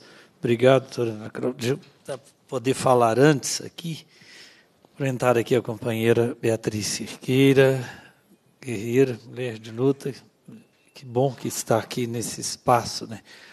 Companheira guerreira Leninha, né, deputada, que tem também essa grande sensibilidade, presidente dessa comissão, a todos os convidados, todos que compõem a mesa. Infelizmente eu não vou poder ouvir os demais, mas acho que estão aqui também representados por de ouvir todos que compuseram aqui a mesa. Devido à convocação em Brasília, a gente, para hoje, normalmente a convocação é terça, se antecipar, a gente segue hoje para Brasília. Eu queria só mesmo reafirmar, primeiro, o conhecimento dessa região, um povo que sempre foi prejudicado pelas atividades que dizem econômicas. Foram como que expulsos das suas terras, foram penalizados, grandes áreas que foram entregues para as empresas. Então é lamentável que o Estado mineiro tipo assim, nunca foi do lado do povo. Né? Todos os governos que passaram, infelizmente, não tiveram compromisso com a população. Não tiveram compromisso com a população.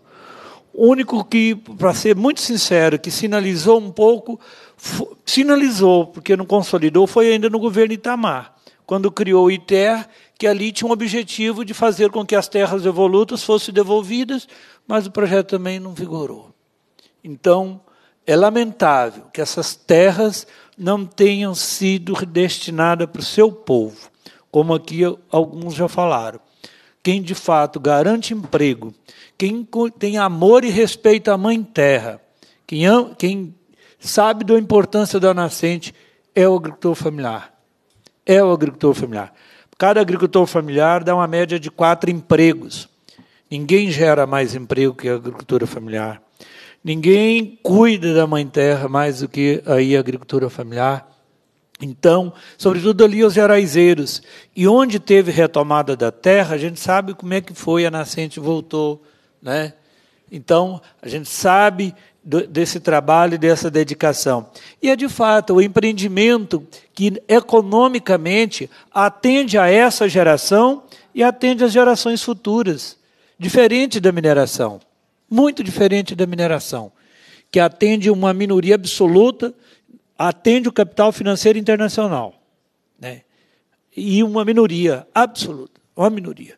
Então, é, é Espero que os prefeitos não deem a anuência, porque acho que essa pressão política tem que ser feita também em cada prefeitura, porque eles têm que dar a carta de anuência, não é isso? Eles têm que dar a carta de anuência. Então, é importante essa, uma pressão política lá, esse enfrentamento lá. Ano que vem é ano eleitoral. Eles têm que dar uma carta, viu?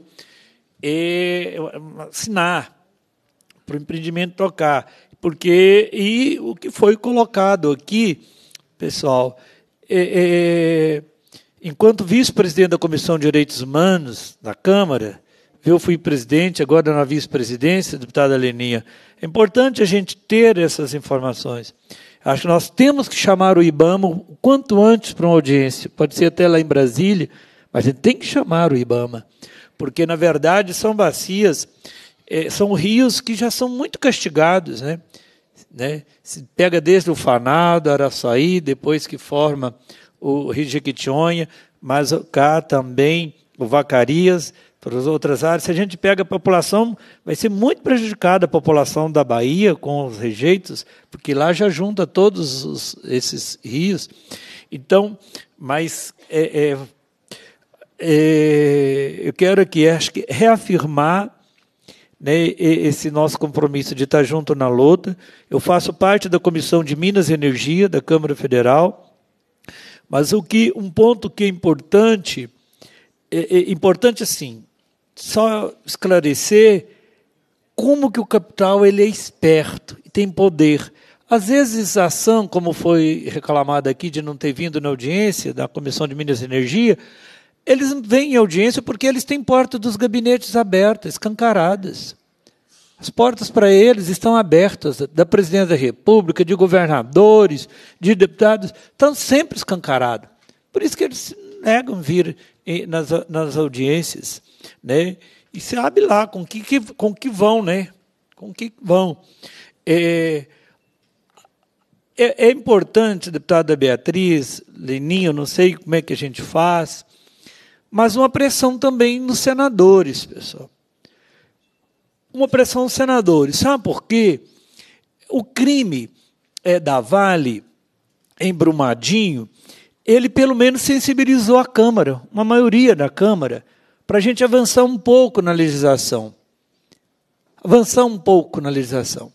Que poderia. É, é, é, o processo não seria igual ao que está acontecendo agora. Entendeu? Então, eles estão acelerando esse processo porque estão sob a lei atual, a lei que, que não foi alterada na Câmara, porque ela está parada no Senado. Então, senadores mineiros, os três senadores mineiros, eles também têm culpa, eles teriam que. Como que acelerar? Talvez o relatório, os relatos daqui, da própria comissão, como forma de apelo para o presidente do Senado, para encaminhar para a gente também, porque para, para, para a Comissão de Direitos Humanos da Câmara, porque para a gente viabilizar essa institucionalidade, pressionar o presidente do Senado para pautar, pautar, né, porque lá tem a lei dos atingidos, são várias leis, são seis leis, na verdade, né, que, que já foram aprovadas na, na Câmara e que precisam. Talvez o Rogério Correia teve aqui antes, deve ter feito alguma referência também. Né? O Wilson foi parceiro lá na, na, na Câmara, mas então nós temos que unir também todas as nossas forças para cobrar do Senado, pessoal, porque será uma segurança a mais para uh, os possíveis atingidos. Já são atingidos, na verdade, porque aí a gente percebe chantagem, a gente percebe até assédio, essa pressão, essa tortura psicológica.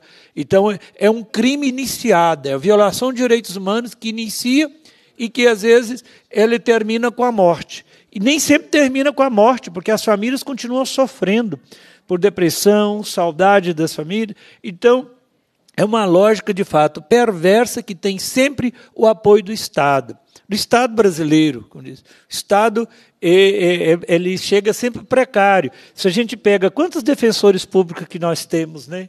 Que, tá, que pode ter essa disponibilidade a campo, né? Os, o pouco que nós temos na Defensoria Pública, pouco que nós temos do Ministério Público, às vezes não dá, não, não tem na, não é nada. O que é a Defensoria Pública em relação ao aparato jurídico que essas empresas têm? Para fragmentar todo um processo, para conseguir enganar o IBAMA, com todo respeito, né? para convencer que ali que um empreendimento não tem a ver com o outro, não tem cabimento. Foi, ficou muito claro aqui o nexo de todos, né? do porto, do, do, do, do, do mineroduto, do empreendimento cá, e é o lugar que o pessoal não tem água para beber, pessoal. É, onde não tem água para beber.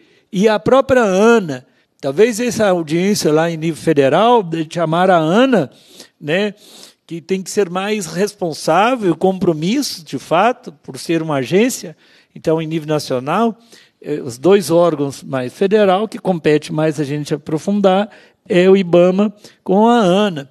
Né? E, e, e pra, não tem água para beber. E olha o que é 50, mais de 51 milhões de metros cúbicos. Não vou nem, aqui já foi bem reforçado, né? É, a, a, a, precariedade do lago de Irapé. Lá, Bia Leninha, Irapé foi uma luta, a gente conseguir lá um apoiozinho para o pessoal, com emenda nossa, para colocar um tanque rede, mas não tem jeito. Primeiro, cuidar da água. Depois, como que oscila, né? Você põe um tanque aqui, depois está lá embaixo. Então não tem atividade econômica, é uma enganação, uma enganação. Eu posso falar, pessoal, aqui muitos me conhecem, né? Olha, eu morei nove anos em Mariana. Então, nove anos em Mariana. Então, desde 85, eu mudei para Mariana. Lá morei nove anos. De Mariana, eu fui para Ouro Branco. O Ouro Branco, um trabalho em Ouro Branco e Congonhas. Né? Congonhas. Então a gente sabe o que é, né, seja no coração do quadrilátero. Então a gente sabe o que é, é os prefeitos, o próprio povo fica refém dessas empresas o tempo todo e uma atividade é, econômica que não é sustentável, nem socialmente, nem ambientalmente né? E nem economicamente, né? não é, não, nem economicamente, porque fica refém também do mercado internacional, das commodities, então não, não dá garantia, não dá perspectiva, e aí o nosso povo do norte de Minas, do Jequitinhonha, da Bahia, vão continuar indo para trabalho análogo a escravo no sul de Minas, esse ano já teve trabalho escravo no sul de Minas na lavoura de café. Ano passado foram mais de 13 pessoas do norte de Minas, da Bahia. Então, ou seja, o Estado brasileiro, junto com os governos do Estado, da Bahia e de Minas, não dão perspectiva para a nossa juventude. Num terreno que, se tiver apoio, assistência técnica, tiver apoio, ali tem como viver com dignidade, ter renda, ter uma relação amorosa, de respeito à mãe terra, com água. É possível fazer as barraginhas, fazer as barraginhas, louça de contenção, né? vão dar condições das agroindústrias para os frutos do cerrado. Olha a fartura que já estão tendo, com certeza, né? nos pequis, a cagaito, coquinha azedo. É possível. Vão avançar com energia é, solar, fotovoltaica. para o nosso povo ter lá uns freezers, armazenar os frutos cerrados. Então, é possível ter dignidade, ter renda, e, infelizmente, a esse povo foi retirada a terra, garantiu para a monocultura de eucalipto, que matando a mãe terra, exterminando as abelhas, gerando desemprego, um grande problema é, ambiental e social e econômico, e econômico, porque o município que tem nós temos município que tem mais de 80% do seu território só com a monocultura de eucalipto. Não tem emprego. Isso é um crime que foi feito pelo Estado. Pelo Estado. E não foi reparado. Tivemos a oportunidade de reparar e não, e não foi feita essa reparação. Em governo, inclusive, é, é, do Partido dos Trabalhadores. É lamentável a gente ter que reconhecer isso, porque o volume de terras devolutas que nós temos nesse Estado teria que ter tido um aparato do Estado para devolver a terra para o seu povo, e isso não foi feito. Tivemos a oportunidade e isso não foi feito. Lamento, lamento. Né? Mas eu deixo aqui que nós não podemos perder esperança, nem a nossa capacidade de dar as mãos e firmar né, de unir as nossas forças, a nossa inteligência, o saber do povo, né, mas com essa transformar todas as nossas energias em indignação e luta e barrar esse processo, pessoal.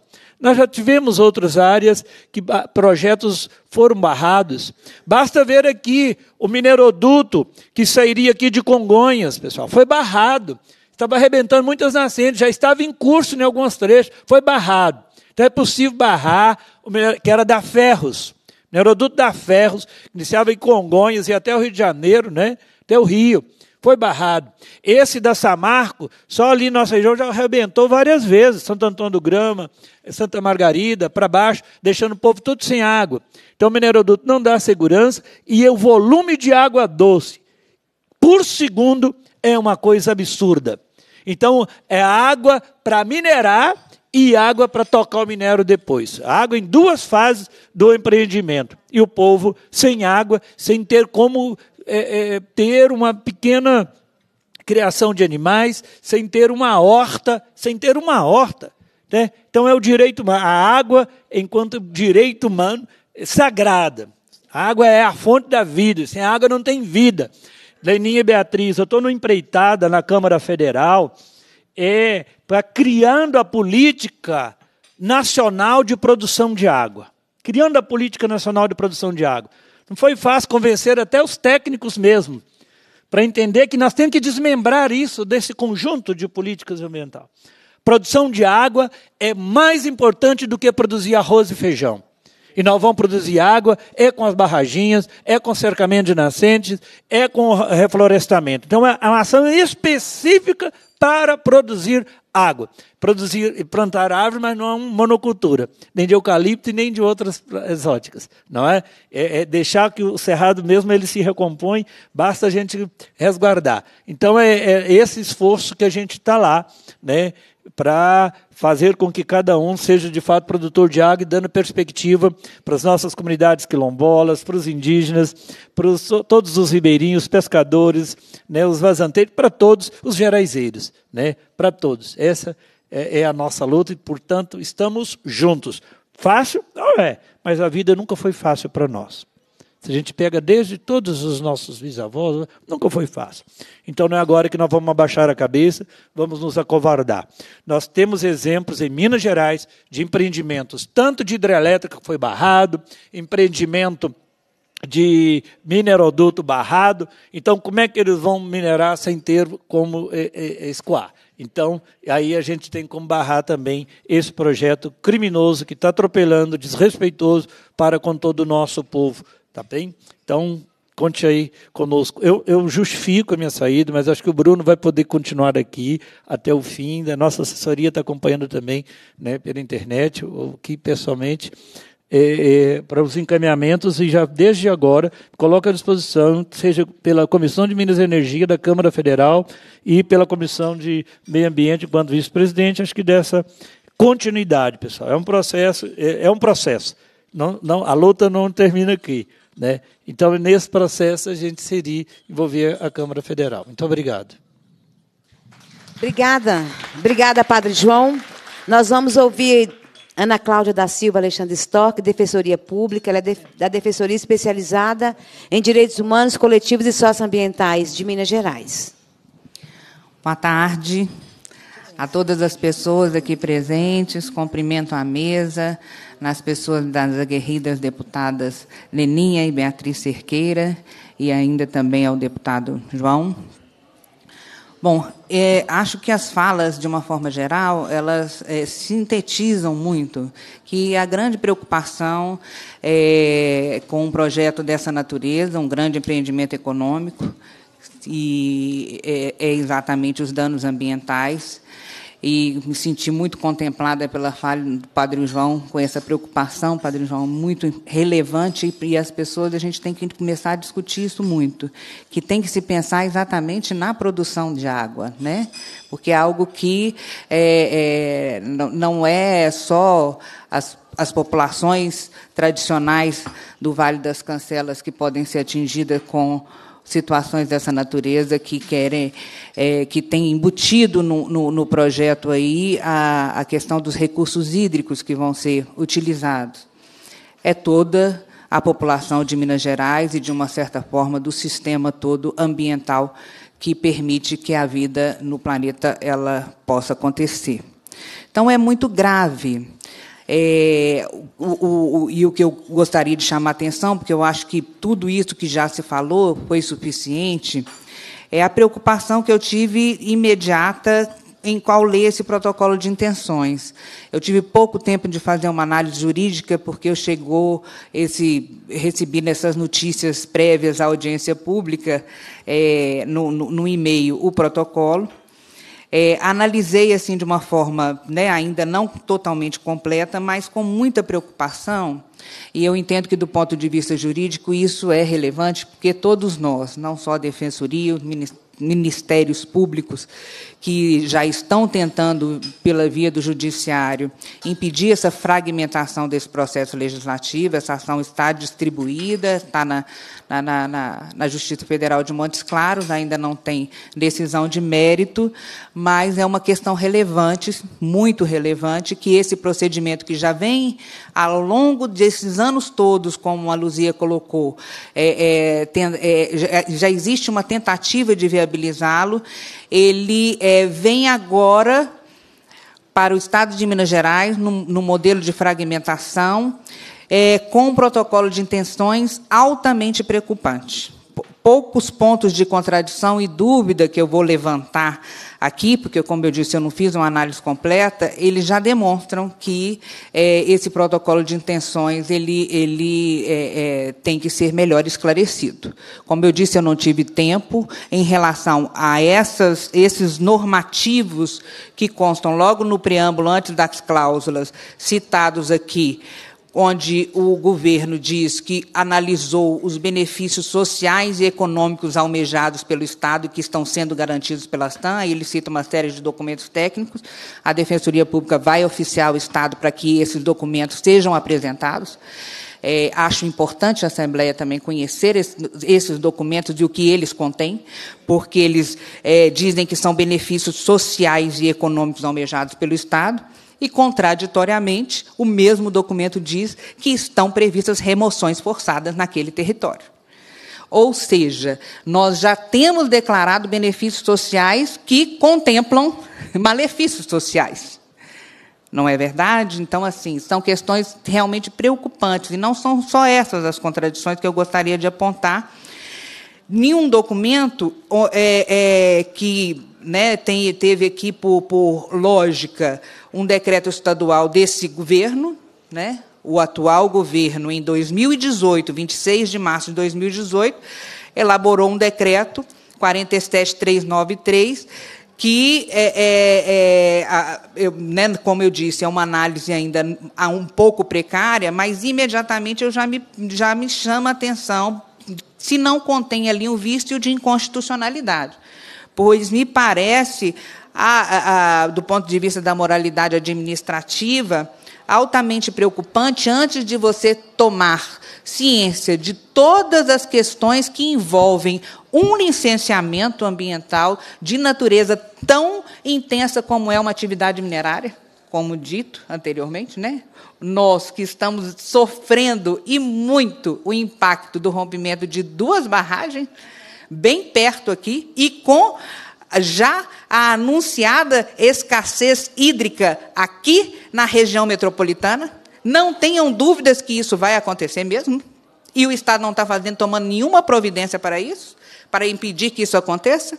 Ao contrário, numa região árida, onde a escassez de água é fator para que ali a gente tenha, seja a região de mais baixo IDH do estado de Minas Gerais, um projeto minerário dessa audácia, que tem exatamente na, a, na sua audácia a utilização dos recursos hídricos que já, nos, já são escassos.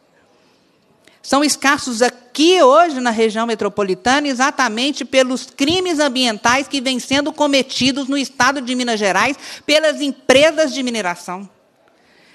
E, efetivamente, um projeto dessa natureza chega com o protocolo de intenções. Então, o representante da SEMAD fala até com muita tranquilidade que esse projeto ele ainda é, será objeto da, das análises de todas as questões que, que a SEMAD terá no seu âmbito, é, é, promover e né, todo licenciamento ele passa pelo COPAN, pelo Conselho mas nós conhecemos muito bem as toadas e sabemos muito bem que, diante de um protocolo de intenções dessa natureza, e aqui eu vou pedir licença para chamar a atenção, porque né, é um documento jurídico, como eu disse, uma análise muito ainda preliminar. A gente tem na cláusula primeira que esse protocolo tem por objetivo viabilizar. A palavra viabilizar, ela não admite muito assim interpretação sobre ela, né? Viabilizar, tornar viável. É, a implantação do projeto Bloco 8, voltado à extração e beneficiamento de minério de ferro pela SAM e suas atividades complementares. Ou seja, o órgão fiscalizador, ele não é só autorizador, não o Estado ele é o órgão fiscalizador. Ele está intencionalmente tentando viabilizar o projeto de mineração, que contempla exatamente remoção forçada naquele território. Isso está escrito no protocolo de intenções. Eu não estou, alguém me contou. Eu não tive ainda análise completa, como disse, estou abrindo o procedimento em cima desse protocolo de intenções, porque o mínimo que tem, tenhamos que ter conhecimento é desses documentos que dizem quais são essas premissas justificadoras dos esforços do Estado em apoiá-lo. E vai muito mais. São coisas assim que, que, que me deixaram realmente exatamente preocupada. Bom, o protocolo de intenções é feito com base numa lei do governo atual, um decreto do ano passado, de março do ano passado, que disse que o Estado, tentando viabilizar o desenvolvimento econômico, pode fazer protocolos de intenções com empresas privadas. Ou seja, nós temos um ordenamento jurídico criado né, antes que esse governo fosse eleito, com base em normas, né, é, é, na própria Constituição, normas federais, normas estaduais que estão em vigor, né, porque foi essa Assembleia que aprovou. Por isso que eu acho que vícios de inconstitucionalidade e controle dessas atividades, eles têm que ser feitos pelos órgãos do sistema de justiça, e aqui Ministério Público e Defensoria Pública, mas também pelo Legislativo e pelo Judiciário. Nós estamos falando de ações do executivo que, na minha opinião, mereceriam pelo menos um, um, um, um questionamento. É, então, assim, Além dessas questões que eu suscitei, eu faço questão só de registrar algumas é, é, irregularidades, na minha opinião, que né, já, já por, por, essa via a gente pode imaginar que, que é, estejam previstas. É, e, e, entendo que, quando a Luzinha coloca a foto do córrego Vagaria, né, um rio com muita escassez de água, né, eu não sei exatamente, eu não sou dessa área da, da geologia, geografia, mas assim a, a gente gente, pelo senso comum, imagina que uma barragem, que é o que está previsto no protocolo de intenções, no córrego Vacaria, é, é, e segundo aqui será feita com recursos da SAM, é, ela né, deve, deva realmente ter umas dificuldades. E não deve ser realmente por acaso é, que talvez um dos grandes é, é, já indícios de inviabilidade do projeto lá atrás, como eu disse, já foram vários questionamentos, o IBAMA já deu, é, né, inclusive sinalizou inviabilidade técnica e tudo mais, ele está previsto aqui no final. Chamou a minha atenção que está escrito aqui, que será usado os recursos da adutora de Irapé a ser instalada no caso de não viabilidade da barragem do Rio Ibacaria. Exatamente aquele rio que a gente viu na foto ali. Então, assim, um dos motivos de inviabilidade técnica do empreendimento, me parece que ele é hoje solucionado por essa barragem do Rio Vacaria, né? Mas já está previsto que, se não der certo, gente, nós vamos a pé.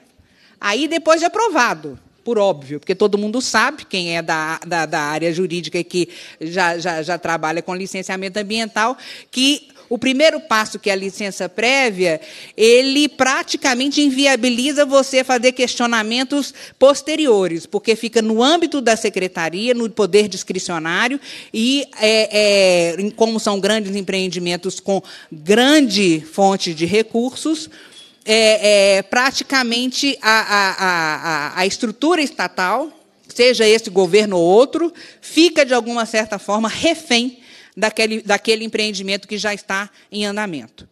É, e digo isso por uma preocupação também que agora eu acho que ela é muito grave.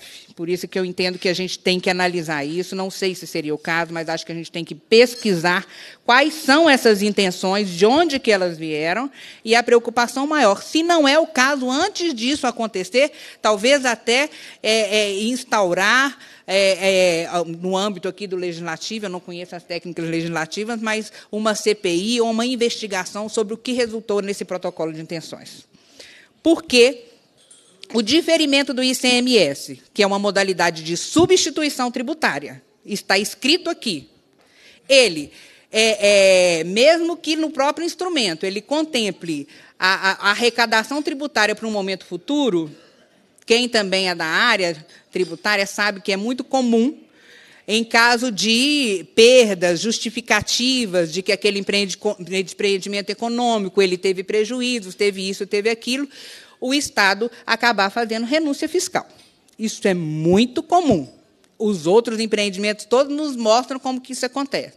E eu também tenho notícia e acompanhamento das questões, principalmente ali onde foi citado a questão de Conceição do Mato Dentro e outras situações. Em, depois do empreendimento instalado, as empresas elas começam a fazer, com, com o poder econômico que tem, de forma midiática, uma intensa é é, é, é, é, situação de terrorismo com as comunidades, que estão ali agora reféns daqueles empregos e daquilo que praticamente minou toda a fonte de renda que elas tinham anteriormente.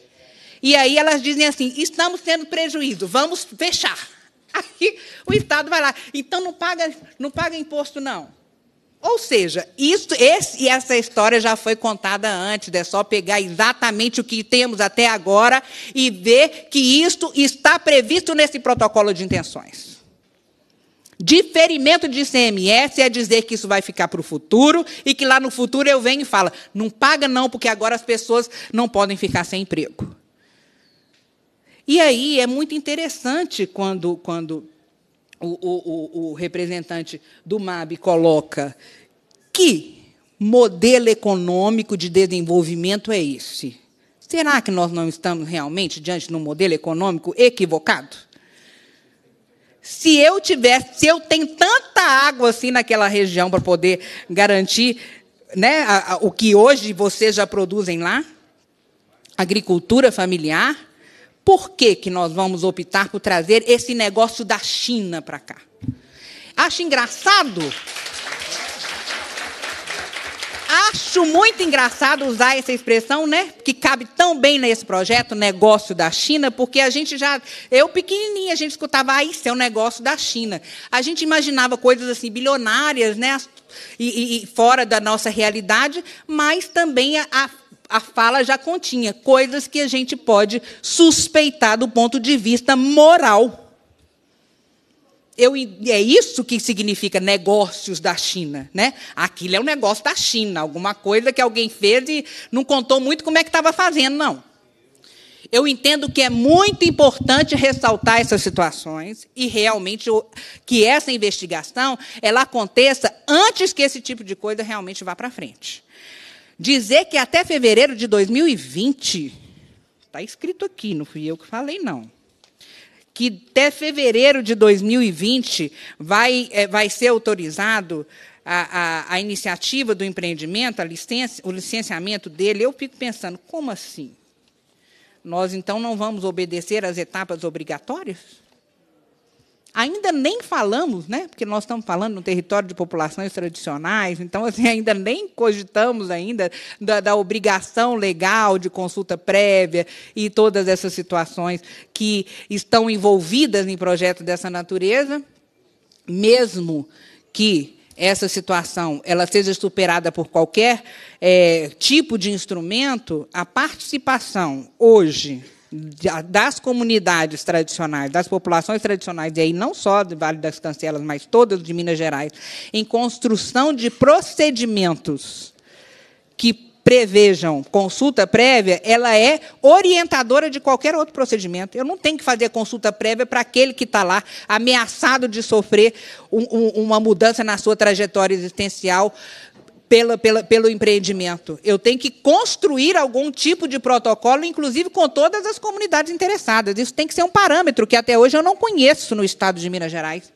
Me socorra alguém se eu estiver enganada, mas eu realmente ainda não vi construção com as populações tradicionais, e aí quilombolas, indígenas e comunidades tradicionais, de construção de procedimentos de consulta prévia nós não temos no Estado de Minas Gerais, com a participação da Assembleia, com a participação da Defensoria Pública, com a participação dos Ministérios Públicos. Então, nós estamos falando de coisas que a gente ainda nem fez, mas em fevereiro de 2020, ou seja, daqui a dois meses. Não é isso? Está escrito aqui. Em fevereiro de 2020, isso aqui já vai estar autorizado. Me parece realmente, sabe, o representante da SEMAD, que não é uma coisa assim tão simples e que nós não vamos simplesmente cumprir é, é, esse protocolo de intenções ou né, a, a, lei se a gente não superar essas questões antes é, que isso realmente aconteça. Então, fevereiro de 2020, por si só, eu já digo, é algo que, se for feito, será feito na infringência legal. Na infringência legal. E, e, e é, além desses pontos, o último que eu gostaria só de, de ressaltar é que cláusula 11, por intermédio do índice, se compromete a prestar apoio e assistência à SAM. Isso está escrito nesse protocolo, tá, gente?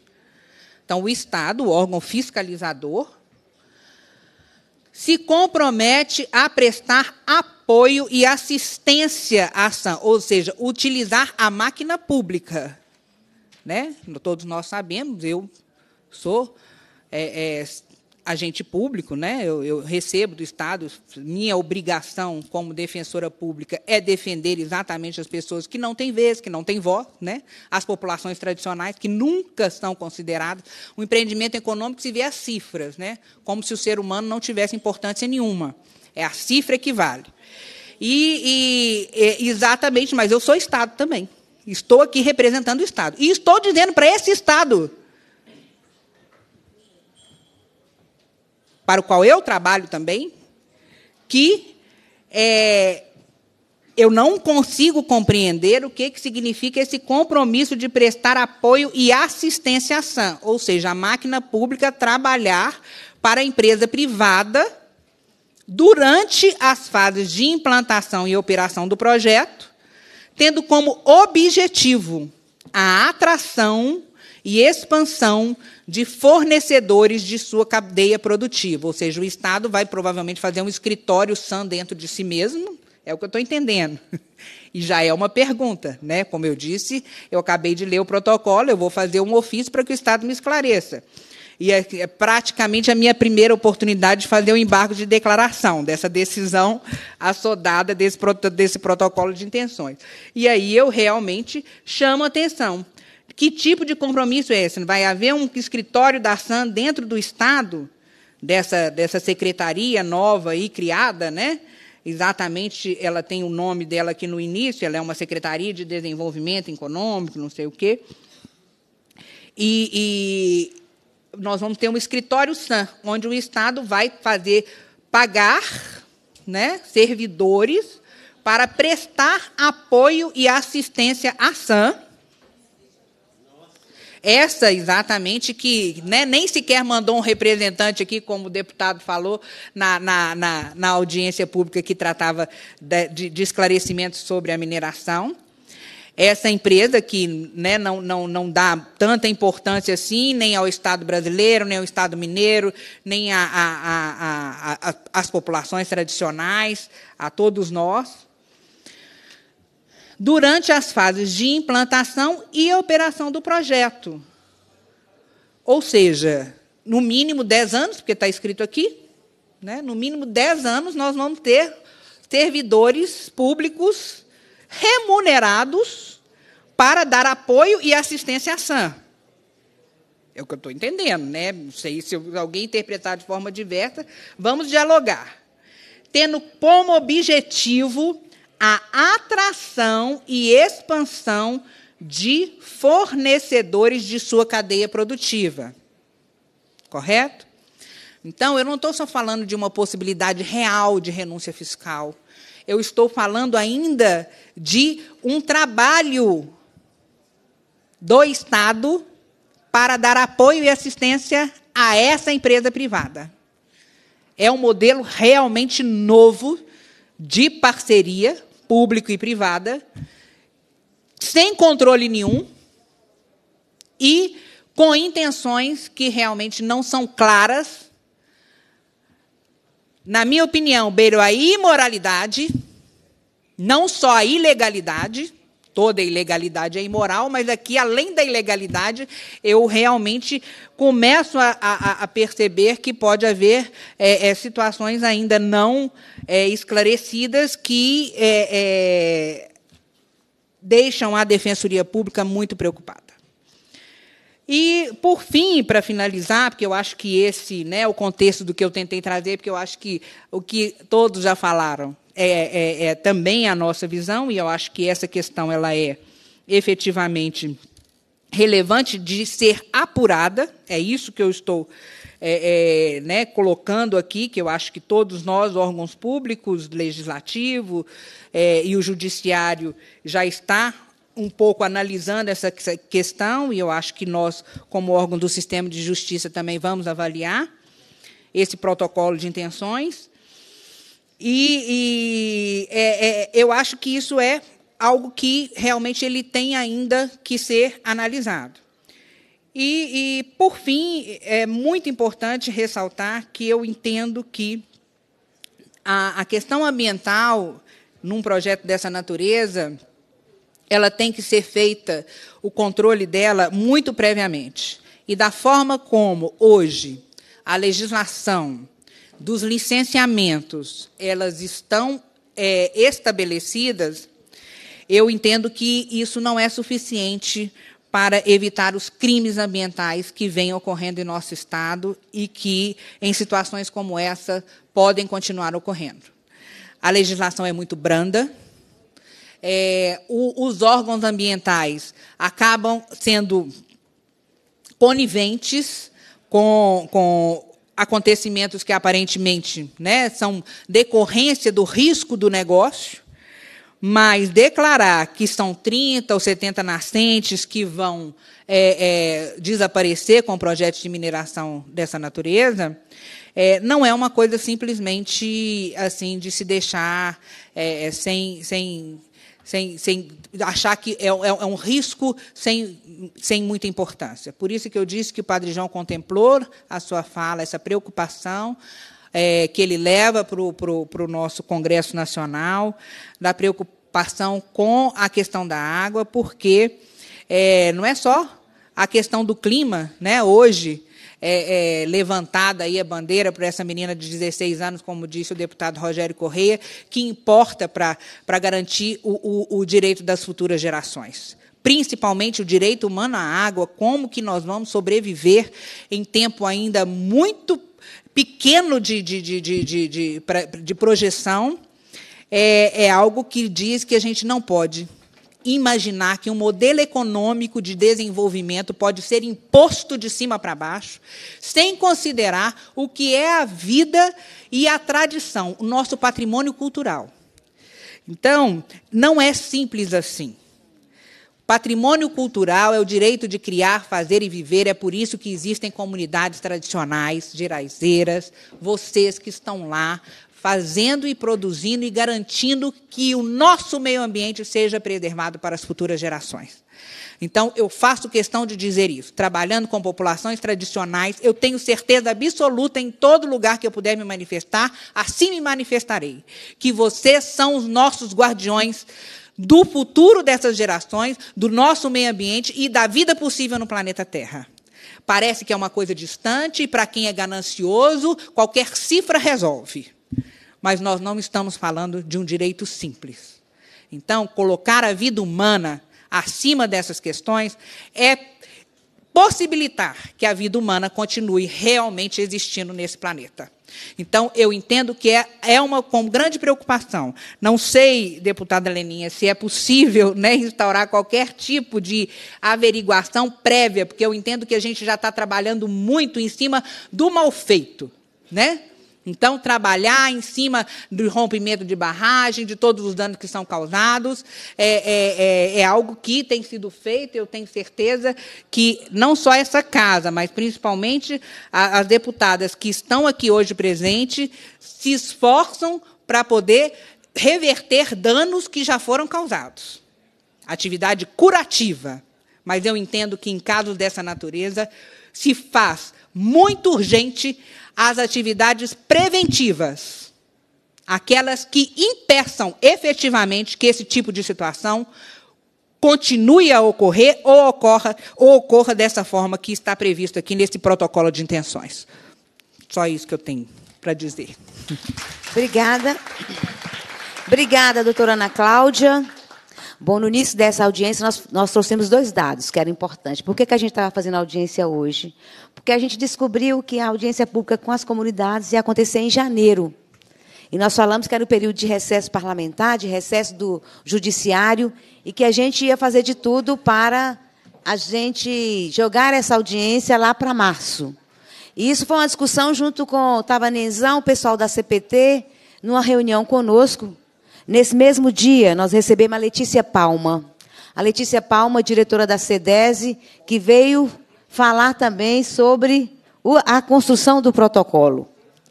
É, a Letícia Palma nos reuniu com essa mesma comissão aqui no nosso gabinete para a gente discutir o processo, já que tanto o MAB, CPT, as organizações, né, assessoria dos mandatos que estão presentes lá, têm ajudado a construir já esse protocolo porque a gente sabe que essa é uma peça importante. A mensagem de criação de empregos, de redenção da região através desse empreendimento, divide a comunidade. E a gente sabe disso. Os interesses dos prefeitos, de vereadores, daqueles que estão no lugar. Então, nós estamos num processo de negociação de prazos. E, de fato, a doutora Ana Cláudia colocou uma questão correta, que lá no protocolo de intenções, o governador Zema se compromete de licenciar até fevereiro de 2020 esse empreendimento. Então, nós, o Felipe Dumab também falou que um direito humano violado são as informações e que a gente tem tido muita dificuldade de ter as informações, né? É, nós estamos falando como o projeto já foi renomeado, modificado várias vezes. No fundo, a gente está ainda buscando muitas informações para fazer as análises técnicas e políticas junto com as populações, junto com a comunidade. Nenzano tem participado das reuniões, aqui junto com o pessoal da CPT, para a gente tentar fazer essa análise e construir esse caminho juntos. Pessoal, olha só, o horário foi muito bom aqui. Queria agradecer de antemão os convidados, porque provavelmente não teremos tempo da réplica e do retorno aqui para as considerações finais. Com certeza, assim como eu, as pessoas estão com fome, viajaram a noite inteira, só tomaram o café da manhã. Mas a gente tinha 13 pessoas inscritas. E a ideia é que a gente fosse fazer aqui, nesse momento de fala, é, o pessoal da assessoria já fez meio que uma conversa com cada um e cada uma e a gente então está mantendo algumas, né? E a gente então queria que o pessoal usasse esse microfone aqui do meio, se identificasse antes de falar, falasse o nome de onde veio e de forma breve também pudesse dar o seu recado nessa audiência aqui. O primeiro inscrito é o Frei, Frei Pedro, da paróquia de Salinas. O Frei que acompanha também a comunidade de Vale das Cancelas. Bem, então, é boa tarde para todos, né? Todas um prazer estar aqui com vocês, uma alegria Só um minutinho. imensa. Talvez pudesse falar aqui da tribuna, talvez fosse melhor, né? Aí, vamos fazer a fila do povo. Depois de Frei, Frei, Frei Pedro, vai ser Marlene. Depois de Marlene, Senhor Elaci dos Santos? Isso. Depois Alexandre da CPT. Só para a gente ganhando tempo. Bem, então, boa tarde a todos e a todas. Prazer muito grande. Primeiro, gostaria realmente de parabenizar a iniciativa dessa audiência pública aqui, com a presença e a participação, viu, de tantas pessoas que vieram. E eu gostaria de primeiro começar com uma mensagem rápida, que nós estamos vivendo um tempo muito oportuno, que o tempo de preparação para o Natal. Eu vejo na Assembleia as mais diversas faixas etárias, desde criança jovens, pessoas eh, adultas e idosas. Eu creio que nós temos aqui conosco um presente de Deus a começar a olhar pelas crianças, que representa gerações futuras, e que nós precisamos todos juntos, porque nós fazemos parte de uma cultura cristã, né? seja católico, seja evangélico, nós fazemos parte de uma cultura cristã pelo qual nós devemos pre prevalecer essa cultura cristã, os valores dela em todas as nossas vidas parte na nossa vida. Isso aqui é muito importante para todos nós. Tá certo? Ver que o Natal que está chegando, que seja o presente para nós, quem sabe esta luta, essa luta em defesa da natureza, da Mãe Terra, e das águas, e da, da, da, humanidade, das pessoas, sobretudo aquelas que podem ser mais atingidas.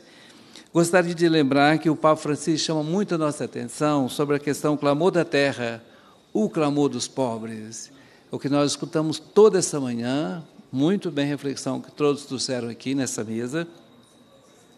E ele fala também a questão do terrorismo, do controle do capital sobre a terra e os pobres. É uma palavra muito séria esta. É, o terrorismo, quer dizer, na verdade, esse empreendimento, esse capital provoca o terrorismo mesmo, né? sobre a terra e sobre os pobres. E, e a gente tomar consciência disso, estamos unidos muito fortalecido na nossa luta, no dia a dia de nossas vidas, no compromisso. E a fala da nossa e a doutora Ana Cláudia, defensora pública, acho que é fantástica. Eu também fiquei muito preocupado quando ouvi esse protocolo. Pensei, mas pus um protocolo desse? É, um protocolo de intenção dessa, desse jeito, tudo favorável, a mineradora, tudo favorável. E lá ele não indica, inclusive, a questão do menor adulto. Né? O quanto de água vai gastar, não coloca. E outra coisa também que não coloca, a cratera que eles vão fazer ali. A cratera que vai abrir lá naquela região do Vale das Cancelas, de 950 hectares, e com a profundidade de 420 metros. Imagina abaixar o solo freático. Além de usar eh, a proposta de fazer menor duto, vão fazer um rebaixamento do solo freático, 420 metros de profundidade. É uma coisa impensável uma coisa dessa magnitude. Então, eu gostaria de estar manifestando um pouco essa. Esse, eu fiquei muito contente de que eu escutei aqui, de fato, que isso possa prevalecer, viu? É, quem sabe é uma mobilização popular também. Eu acho que tem que ir para a rua também. Tem, eu tenho a impressão que mobilizar a imprensa, mobilizar lá na comunidade, arrumar um jeito de fazer esse grito também em outros espaços, sabe, Leninha? Como é que poderia esse grito também aparecer em outros espaços da nossa comunidade? Dentro da própria igreja. Eu sinto, por exemplo, eu moro em Salinas, eu vejo lá que tem que ter um dinheiro, fica imaginando que ele vai ter um aquecimento da economia local. Teve uma reunião há poucos dias lá no início do mês de novembro. Eu não fui convidado, né? Eu não fui convidado porque não sei já tem uma certa reserva aí. Mas com o pessoal do MAB nós fomos lá. Mas é, é, a, o pessoal do MAB, o pessoal da SAM apresentando o projeto, e os empresários que estavam ali não fizeram um questionamento. Colocou a ação lá em cima, a ação que vai resolver o problema, o progresso que vem para o norte de Minas, e tem parte da igreja aqui, olhando para mim, tem parte da igreja aqui que é cega, que não quer progresso para o norte de Minas, etc, etc, e foi por aí afora. Aqui para o pobre eles vão arrumar psicólogos depois o hospital depois o cemitério. Essa é a questão da proposta. Quando eu perguntei os atingidos, o que vocês vão fazer com os atingidos? É psicólogo. A dona Maria, seu Francisco, seu Pedro, seu Bernabé, trabalhou ali 100, 200 anos, nunca foi preciso psicólogo. A terapia é o trabalho, a terapia ocupacional, é do povo que tira o sustento das suas terras. Agora estão pensando em psicólogo para isso. Eu perguntei, e para os ricos, o que vocês vão resolver para o rico? O que vocês vão arrumar também psicólogo para os ricos? É dinheiro para os ricos, naturalmente. Né? Então, eu gostaria de expressar aqui a minha sincera e profunda gratidão pela promoção dessa audiência, que serve também como uma terapia para todos nós aqui juntos, e quem sabe celebrar, quando foi falado aí também que nós estamos diante do monstro, mas eu gostaria de lembrar que Davi também venceu Golias o Davi venceu Golias. A força vem da comunidade, bem organizada, sabendo o que quer, sabendo o que defender, e aí então, bem organizado, bem vivo, eu, eu tenho certeza que nós podemos juntos destruir esse monstro que vai chegando por aí, que já no tempo de Jesus aconteceu quando Jesus expulsou o mal de um homem que estava num lugar que era, ninguém podia passar por ali, que era muito violento, e a Sam propõe essa violência também onde ela vai ocupar. Se ela está lá, é violento o lugar. Jesus expulsa o mal daquele homem e manda para os porcos. Uma economia porca, uma economia suja, suja, não serve para nós cristãos. Aonde foi parar os porcos, foram para o abismo. Onde foi parar a economia aqui da Vale, foi para os abismos, com quase 400 pessoas mortas aqui. Uma economia que mata, que aniquila as pessoas, uma economia suicida, não pode servir para nós cristãos, seja católico, seja evangélico. No, no, no, mais, um abraço fraterno a todos vocês, um feliz e santo Natal e um ano novo muito abençoado, na certeza de vencer essa luta. Uhul! Uhul! Paz e bem. Valeu, Frei, Pedro. Vamos ouvir Marlene, depois de Marlene e Assi.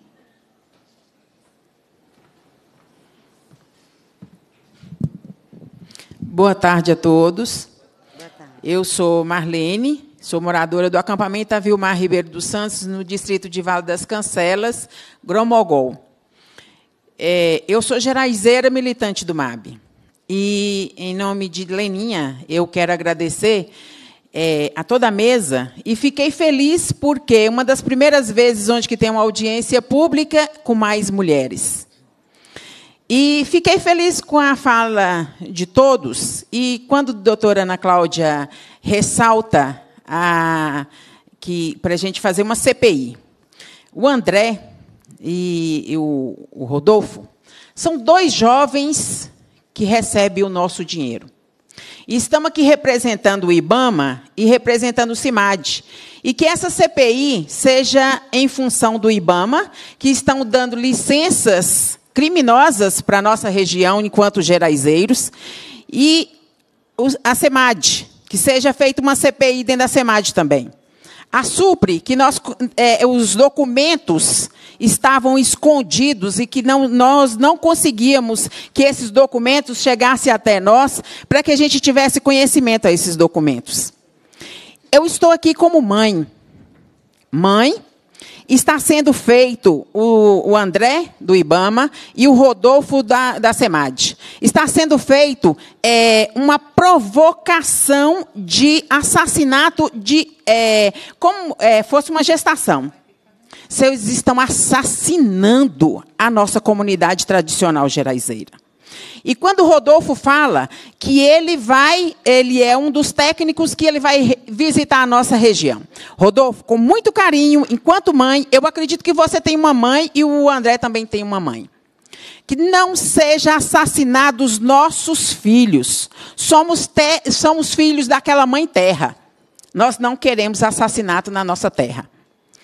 E outra coisa, eu gostaria de chamar a atenção de todas as pessoas, que quem não está aqui presente, mas tem muita gente que está nos ouvindo a nível de município de Gramogol, os nossos prefeitos, se o prefeito de Fruta de Leite pediu essa audiência pública, ele é um dos que o nosso vice-prefeito de é, Fruta de Leite, ele é um, do, um dos nossos grileiros que não é justo estar tá puxando essa audiência pública para é, fruta de leite. Por que, que não tem audiência pública lá no nosso prefeito Cuta? Por quê? É a parte mais atingida. E nós, enquanto falou aí que nós vamos estar rebatendo todos os nossos quatro municípios, é, pedindo a, a conscientização dessa autorização para que não tenha essa liberação da nossa região. É um assassinato. Quando você falou que é o técnico que vai estar lá no nosso meio. A, quando a Gisele, a Ivete Santana, são mulheres, colocaram essas duas mulheres para estar lá dando tapinha nas costas das pessoas. Por que, que ela nunca foi na minha casa? Porque ela sabe qual é a minha posição enquanto essa assassina chinesa. Por que, que vai na casa das outras pessoas agora vai estar distribuindo panetone na casa das pessoas? A gente não come minério. Quando a Gisele fala que o teor de minério de ferro do norte lá de, de Vale das Cancelas é 22%, e aí que vai usar é, é, amido de milho e amido de mandioca, isso é conversa para boi dormir. Nós que somos biólogos, nós conseguimos entender que a agregação de valores do minério de ferro que tem em Vale das Cancelas é baixíssimo. E são produtos químicos para chegar a 66%. São 18 tipos de produtos químicos. Quem já trabalhou em laboratório consegue entender a minha linguagem. É suicídio. É veneno que vai estar colocando na água todos os empresários, todos os comerciantes das, dos lugares aonde que nós vamos, usam água mineral. É uma das águas melhores de Gramogol, é a água mineral de Gramogol, que o vale teor de, de, de pH é da nossa região. A nossa região é sagrada. A nossa região é sagrada. E nenhum dos meninos colocou que vai sacrificar 124 cavernas. Nós temos sítios arqueológicos, nós temos pinturas rupestres. E quando é, é, o Iarrima estava na região fazendo pesquisas, porque fazem pesquisas na época do, do, da, do tempo seco e do tempo chuvoso, eles só detectaram que tinha plantas é, é em extinção, que tinha animais em extinção e que não tinha ninguém não tinha seres humanos. Nós falamos, o Vitor não está mais na, na, na SAM, nós falamos para o Vitor, e as pessoas? E os seres humanos que tem ali naquela região. Então, Rodolfo, você vai ser um dos técnicos que vai estar no nosso meio. Se você vier assinando um decreto para estar sendo incriminado as pessoas, você não é muito bem-vindo. E o André, leva o recado para os seus representantes, que nós já tivemos alguns representantes do IBAMA lá, que foi é, nos conhecer como é que é rico a nossa região. Se vocês estiverem vindo para vier conosco para eh, derrubar a SAM, seja muito bem-vindo. Mas se vocês estiverem vindo para vocês assinarem o atestado de. É, é, é como se vocês estivessem é, provocando um aborto no nosso povo, vocês não são bem-vindos. Nós não queremos é, é, cúmplices do assassinato para os nossos povos e comunidades tradicionais, nem de Minas Gerais e nem da Bahia. Então, Heleninha, que seja feita a CPI, igual a doutora Cláudia falou, que seja feita uma CPI dentro do IBAMA, dentro da SEMAD, dentro de todos os órgãos públicos, porque nós não queremos assassinos. Então, está aqui a minha indignação. Quando o Ivete Santana vai na casa das pessoas e chama, dá panetone, não aceite a Gisele, não aceite a Ivete Santana dentro da sua casa. São demônios incorporados de pessoas. Nós não queremos demônios dentro da nossa casa. Amém? Obrigada, Marlene. Iaci, depois do Iaci, por favor, Alexandre, da CPT.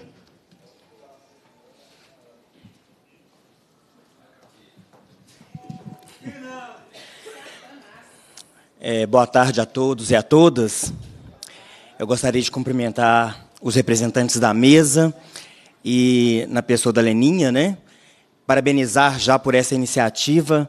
Eu acredito que, como o Frei Pedro falou anteriormente, é dessa forma que a gente vai conseguir mobilizar, conversar e travar aí é, as lutas necessárias, né, a, as alegrias que o povo tem de receber de volta.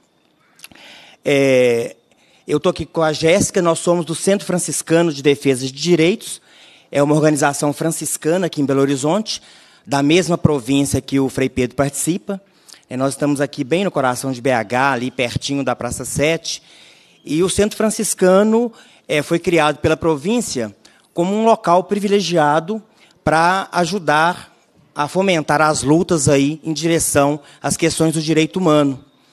É, nós são muitas as lutas, mas lá nós abraçamos principalmente três categorias: a ligada à educação popular, outra luta ligada à saúde e uma outra luta ligada ao meio ambiente. Eu moro em Betim, então eu estou bem próximo aí do último crime, né? E eu vi bem de perto isso lá em Brumadinho e isso respingou também na cidade de Betim, que é muito próximo. É, o Centro Franciscano ele trabalha basicamente para a promoção da vida e a vida de forma abundante. Então nós somos contrários a quaisquer tipos né, de situação é, que vem contradizer isso. Ou seja, e a gente percebe que o sistema minerário que está posto no estado de Minas é um sistema que promove exatamente o contrário. Promove destruição e promove mortes, muitas mortes. Então, nós viemos aqui na perspectiva de nos colocarmos à disposição do movimento, à disposição das deputadas. Né? Nós temos um escritório aqui no centro, é, que esse escritório possa ser é, uma ferramenta, né? possa ser uma estrutura de apoio a essas lutas. Nós já temos uma presença franciscana muito boa, principalmente através do Frei Pedro, na região de Jequitinhonha, no norte de Minas, e nós queremos é, ajudar né, essa presença franciscana, esses enfrentamentos é, com o escritório e com a estrutura que nós temos aqui é, em Belo Horizonte. Então, a nossa estada aqui é para dizer que nós estamos à disposição né, com essa ferramenta e com as nossas possibilidades, com o pouco da técnica que nós temos e o muito da vivência pastoral que nós desenvolvemos aqui em Belo Horizonte. Eu quero parabenizar novamente a todos vocês e consolidar aí com vocês nessa luta, nessa busca aí por mais esperança e dias melhores. Muito obrigado. Fiquem com Deus. Obrigada, Laci. E assim, agora, Alexandre.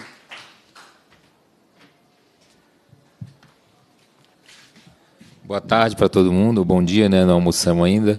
Mas hoje é o dia do lançamento da campanha Mineração aqui não, pela vida dos povos e das águas do semiárido. Campanha contra a SAM e contra os outros projetos minerários de morte na região do semiárido e do Jequitinhonha. Eu queria dizer aqui rapidamente é, é, que esse projeto é um projeto de é uma manobra.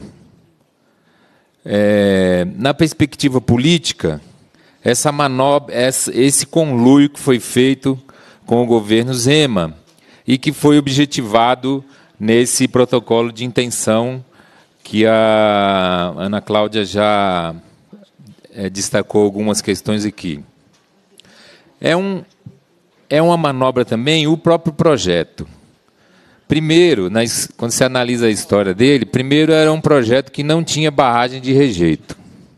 De repente aparece uma barragem de rejeito com mais de um bilhão de metros cúbicos é, de rejeito. De, o, o projeto dizia que tinham 70 nascentes que iriam ser destruídas. Hoje no Iarima fala em 30. A barragem, a barragem no Vacarias, é, na verdade, o, o conluio vem de um pouco antes da, da, do, do protocolo desse projeto é, na SUPRE, Porque se você for pegar os dados na SUP, você vai ver que já existia lá atrás um protocolo pedindo, um procedimento pedindo essa barragem de vacarias é, dentro da SUPRE.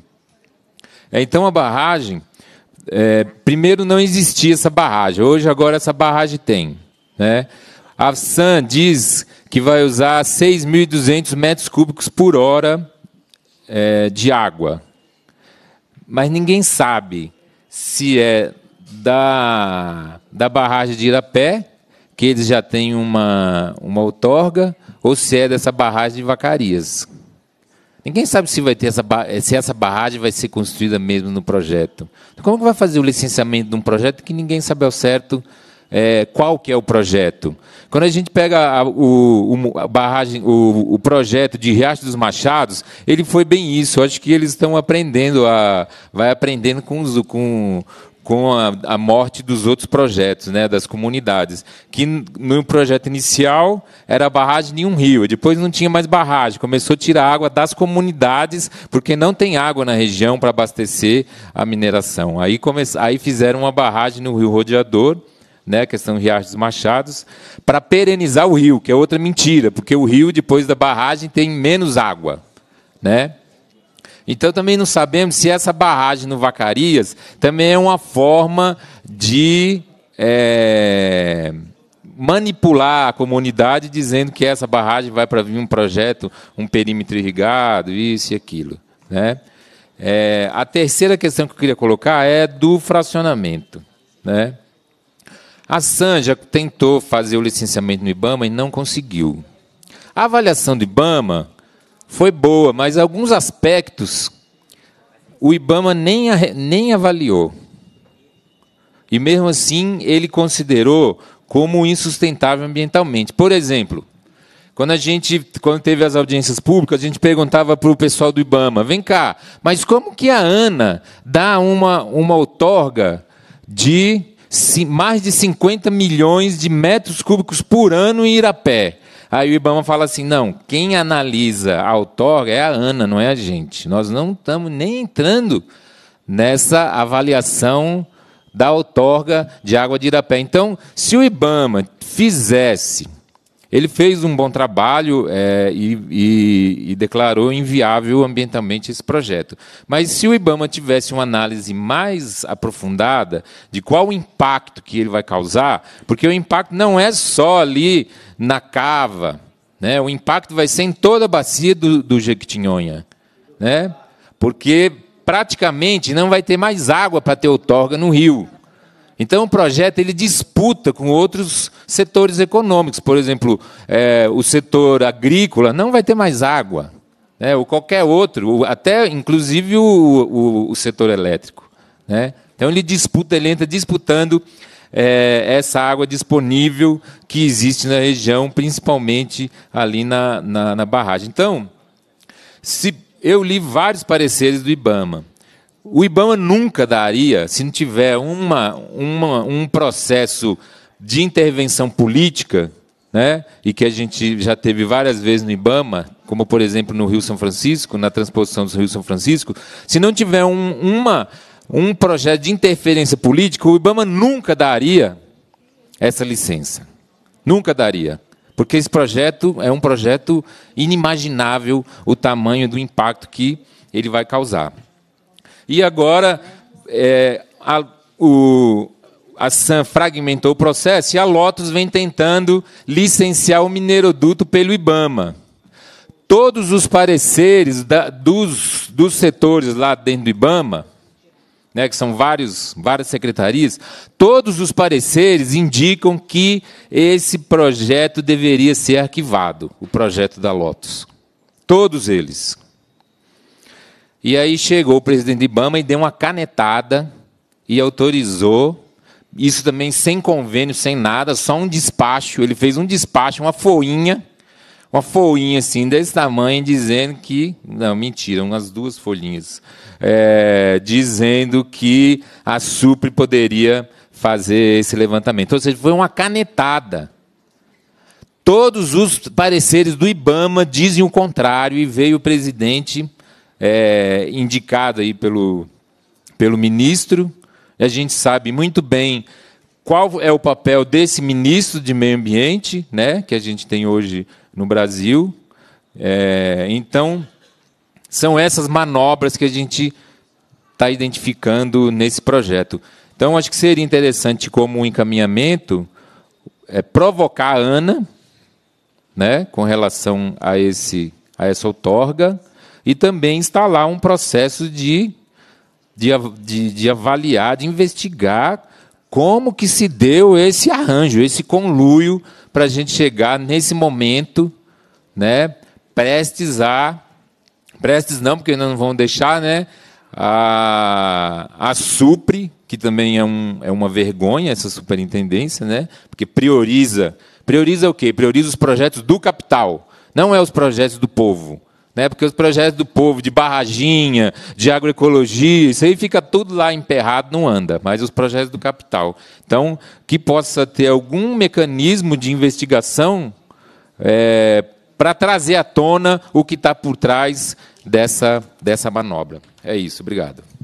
Obrigada, Alexandre. Temos lá ainda Domingos e Alaide. Domingos e Alaide de Almeida, por favor.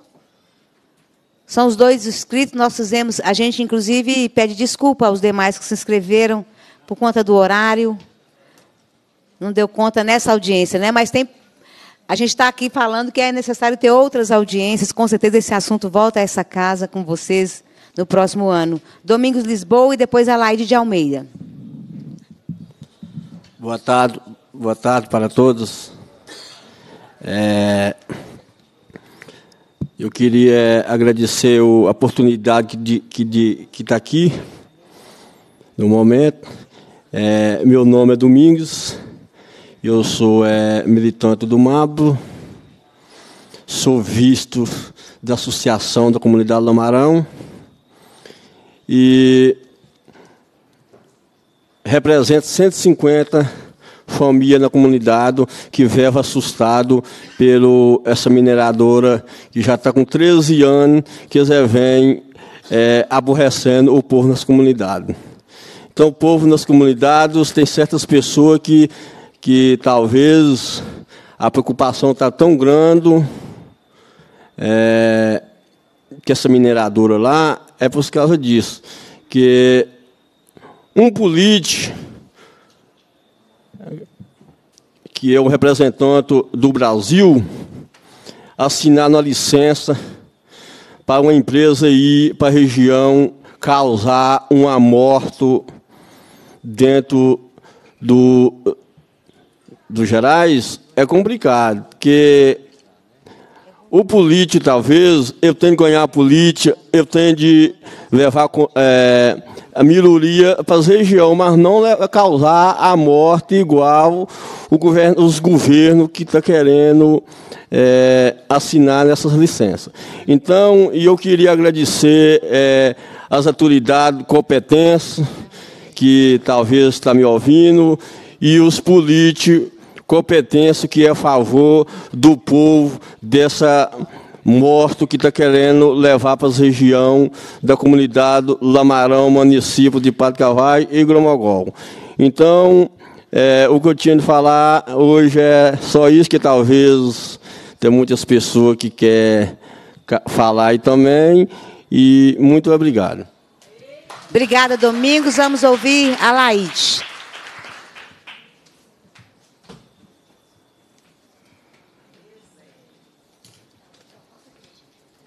Laide. só um minutinho, Alaide. Peraí, Alaide, só um minutinho. Por questões regimentais, nós prorrogamos a nossa audiência por mais meia hora. Boa tarde a todos. Digo boa tarde, que o dia já se foi.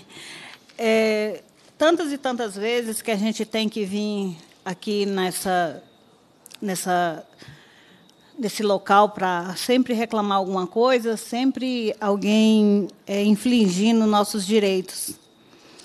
É, eu nunca vi nenhum setor do governo é, apoiar o povo. Já vi, sim, no passado. Mas, hoje em dia, só se apoia empresa. É, se uma pessoa pequena for lá, for lá tirar um, um, uma licença para fazer uma roça, para colher 10 sacos de feijão, que não é nada, não sai. Agora, para as empresas, é rapidinho. Eu não sei por que é isso. Mas do que eu quero falar mesmo é da infeliz, da Sam, que ela chega na, na por exemplo, nós temos associação.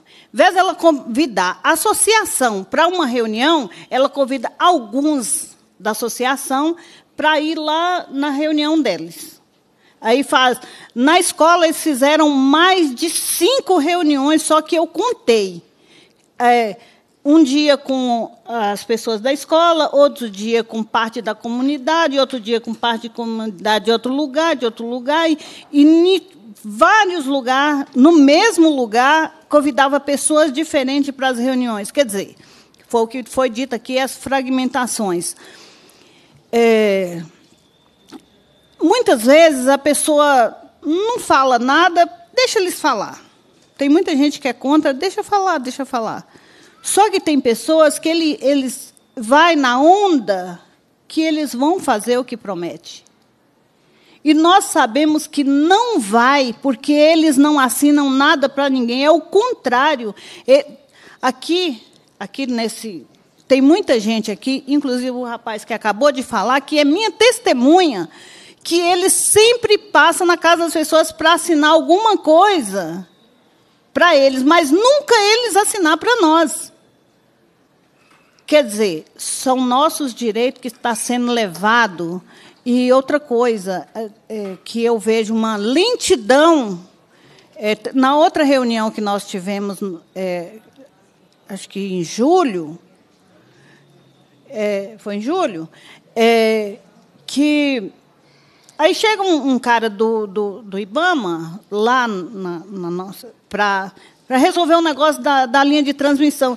E disse que a reunião de, que nós fizemos não tinha chegado a lugar nenhum. Aí eu falo assim, gente, o que, que nós vamos fazer lá? Será que nós somos um bando de desempregados? É um saco. É um saco a gente tem que gastar nosso tempo que eu podia. Eu tenho obrigação na minha casa, assim como eu, todos que estão aqui. A gente vem reclama, reclama, reclama. A gente não vê acontecer. Agora, porque SAM tem dinheiro, porque a, o pessoal da, da linha de transmissão tem dinheiro, mas nós não temos vida. Nós não somos seres humanos, nós não somos nada. É lamentável. É lamentável que nós não somos nada. Zero à esquerda. Muito obrigada. Obrigada, Laís. Pessoal, a deputada Beatriz Cerqueira se ausentou da audiência. O nosso, é, nosso Fernando Haddad está em Belo Horizonte e ele está para uma atividade. Ela foi dar um abraço nele, mas deixa um abraço para todo mundo. Os requerimentos oriundos dessa audiência está sendo assinado por mim e por ela. Eu gostaria de passar brevemente quais são esses requerimentos. Se porventura tiver outros pedidos de providência que não constam aqui, depois ou pode mandar na Comissão de Direitos Humanos, na nossa assessoria, ou com o Nilson, ou com o Glaucio, o pessoal que está da assessoria dos mandatos aí, para a gente poder encaminhar. Um dos pedidos nós estamos querendo que seja encaminhado à SEMAD, né? E ao IBAMA, à Defensoria Pública do Estado de Minas Gerais. Nós estamos falando que nós vamos encaminhar as notas taquigráficas dessa audiência para esses órgãos, né? Defensoria Pública, o IBAMA e o SEMAD. Eu acrescentaria também o Ministério Público, porque eles não tiveram presente em função de outras agendas, mas é que é fundamental eles também acompanhem todo o processo de discussão e debate que fizemos hoje aqui. Aí depois só refazer esse aqui, acrescentando esses dois. Nós também. Ah, está aqui. Seja encaminhado ao Ministério Público e ao juiz federal Marco Fratese Gonçalves, da terceira vara federal civil e criminal, as notas taquigráficas dessa reunião, que teve por finalidade debater os impactos. Esse juiz é o juiz que está é, analisando aquela ação que o Ministério Público impetrou, impetrou na semana passada. A gente está também enviando para ele. Pedir de providência para que o governador de Minas cumpra integralmente os termos da Lei 23.291, especialmente no que tange à existência das comunidades tradicionais na zona de autossalvamento, garantindo informação adequada aos atingidos de toda a bacia. É que seja encaminhado ao governo do Estado pedido de providência para revogar o decreto do governo do Estado número 30 de 2014, que declara de utilidade pública terrenos situados nos municípios do Norte de Minas e do Jequitinhonha, área de implantação do projeto Bloco 8, para a passagem do mineiroduto, projeto Vale do Rio Pardo, da empresa Sul América SAM, que já caducou de acordo com o artigo 10 do Decreto-Lei Federal 3365 de 1941.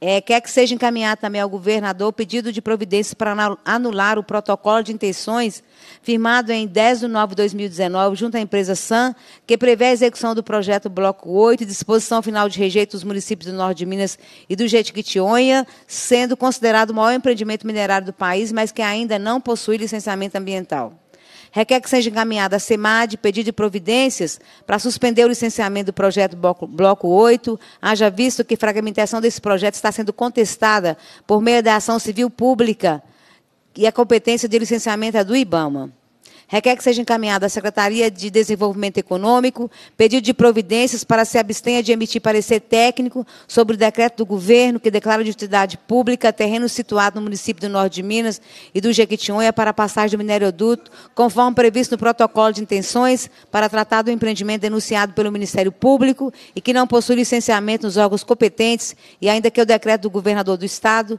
de, 30, de 22 de 1 de 2014 já caducou de acordo com o artigo 10 do Decreto-Lei Federal 3365 de 1941.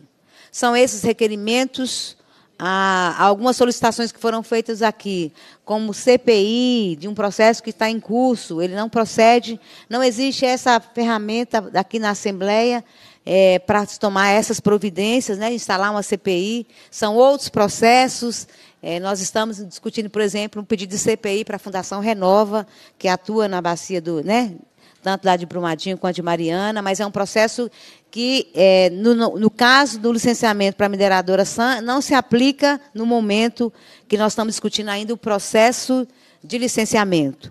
Processo de construção de consulta livre né, com as comunidades, o diálogo com a CEDESE e com a comissão que está aqui mais ou menos dialogando com a Comissão de Direitos Humanos, que a gente possa fazer isso, não em janeiro, que nós estamos falando que é recesso parlamentar e recesso do Judiciário, mas é uma discussão que a gente devolve para. Nós estamos falando para a comissão que vem construindo essas movimentações aqui na Assembleia, a comissão que ajudou a pensar também essa audiência pública, com a lista de convidados, com a mobilização das comunidades presentes aqui nessa audiência. Então, nós estamos entendendo que nós não estamos encerrando o assunto, todos esses processos de construção do protocolo, do processo de audiências públicas também nas comunidades, elas seguem na negociação já que já nós já começamos a fazer esse processo de negociação e que a gente entende que pelo que a gente viu em processos anteriores, né, mesmo tendo essas audiências públicas para compor um processo de licenciamento, a gente assistiu e acompanhou algumas é, reais armadilhas né, para o povo. Então, nós estamos atentos a essas armadilhas que a gente já viu anteriormente, e a gente, junto com a comissão aí, né, do Vale das Cancelas, as organizações que estão construindo o protocolo, o MAB,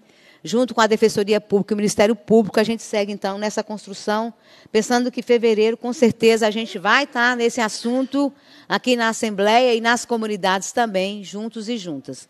Então, eu gostaria, então, de encerrar a audiência, é, pedindo desculpa, mas agradecendo aos convidados, ao representante do IBAMA, ao Rodolfo, né, da SEMAD, ao André Lima, do IBAMA, a doutora Ana Cláudia, da Defensoria Pública, a Felipe, do MAB, a Laisa, do coletivo Margarida Alves, a Luzia Alane, da Comissão Pastoral da Terra, a Nenzão, Adair Pereira, que é representante das comunidades tradicionais lá do Vale das Cancelas, a Orlando, que é presidente da Comissão para o Desenvolvimento Sustentável dos Povos e Comunidades Tradicionais. O Kleber estava presente, acompanhado pela CEDES. A CEDES já está em diálogo conosco e eu creio que a gente vai pavimentar um caminho de construção, mas entendendo que é, a gente precisa estreitar as relações e, nessa relação de reciprocidades, tratar esse assunto com a, é, a seriedade e a responsabilidade que ele exige. Então, a todos e todas, muito obrigada.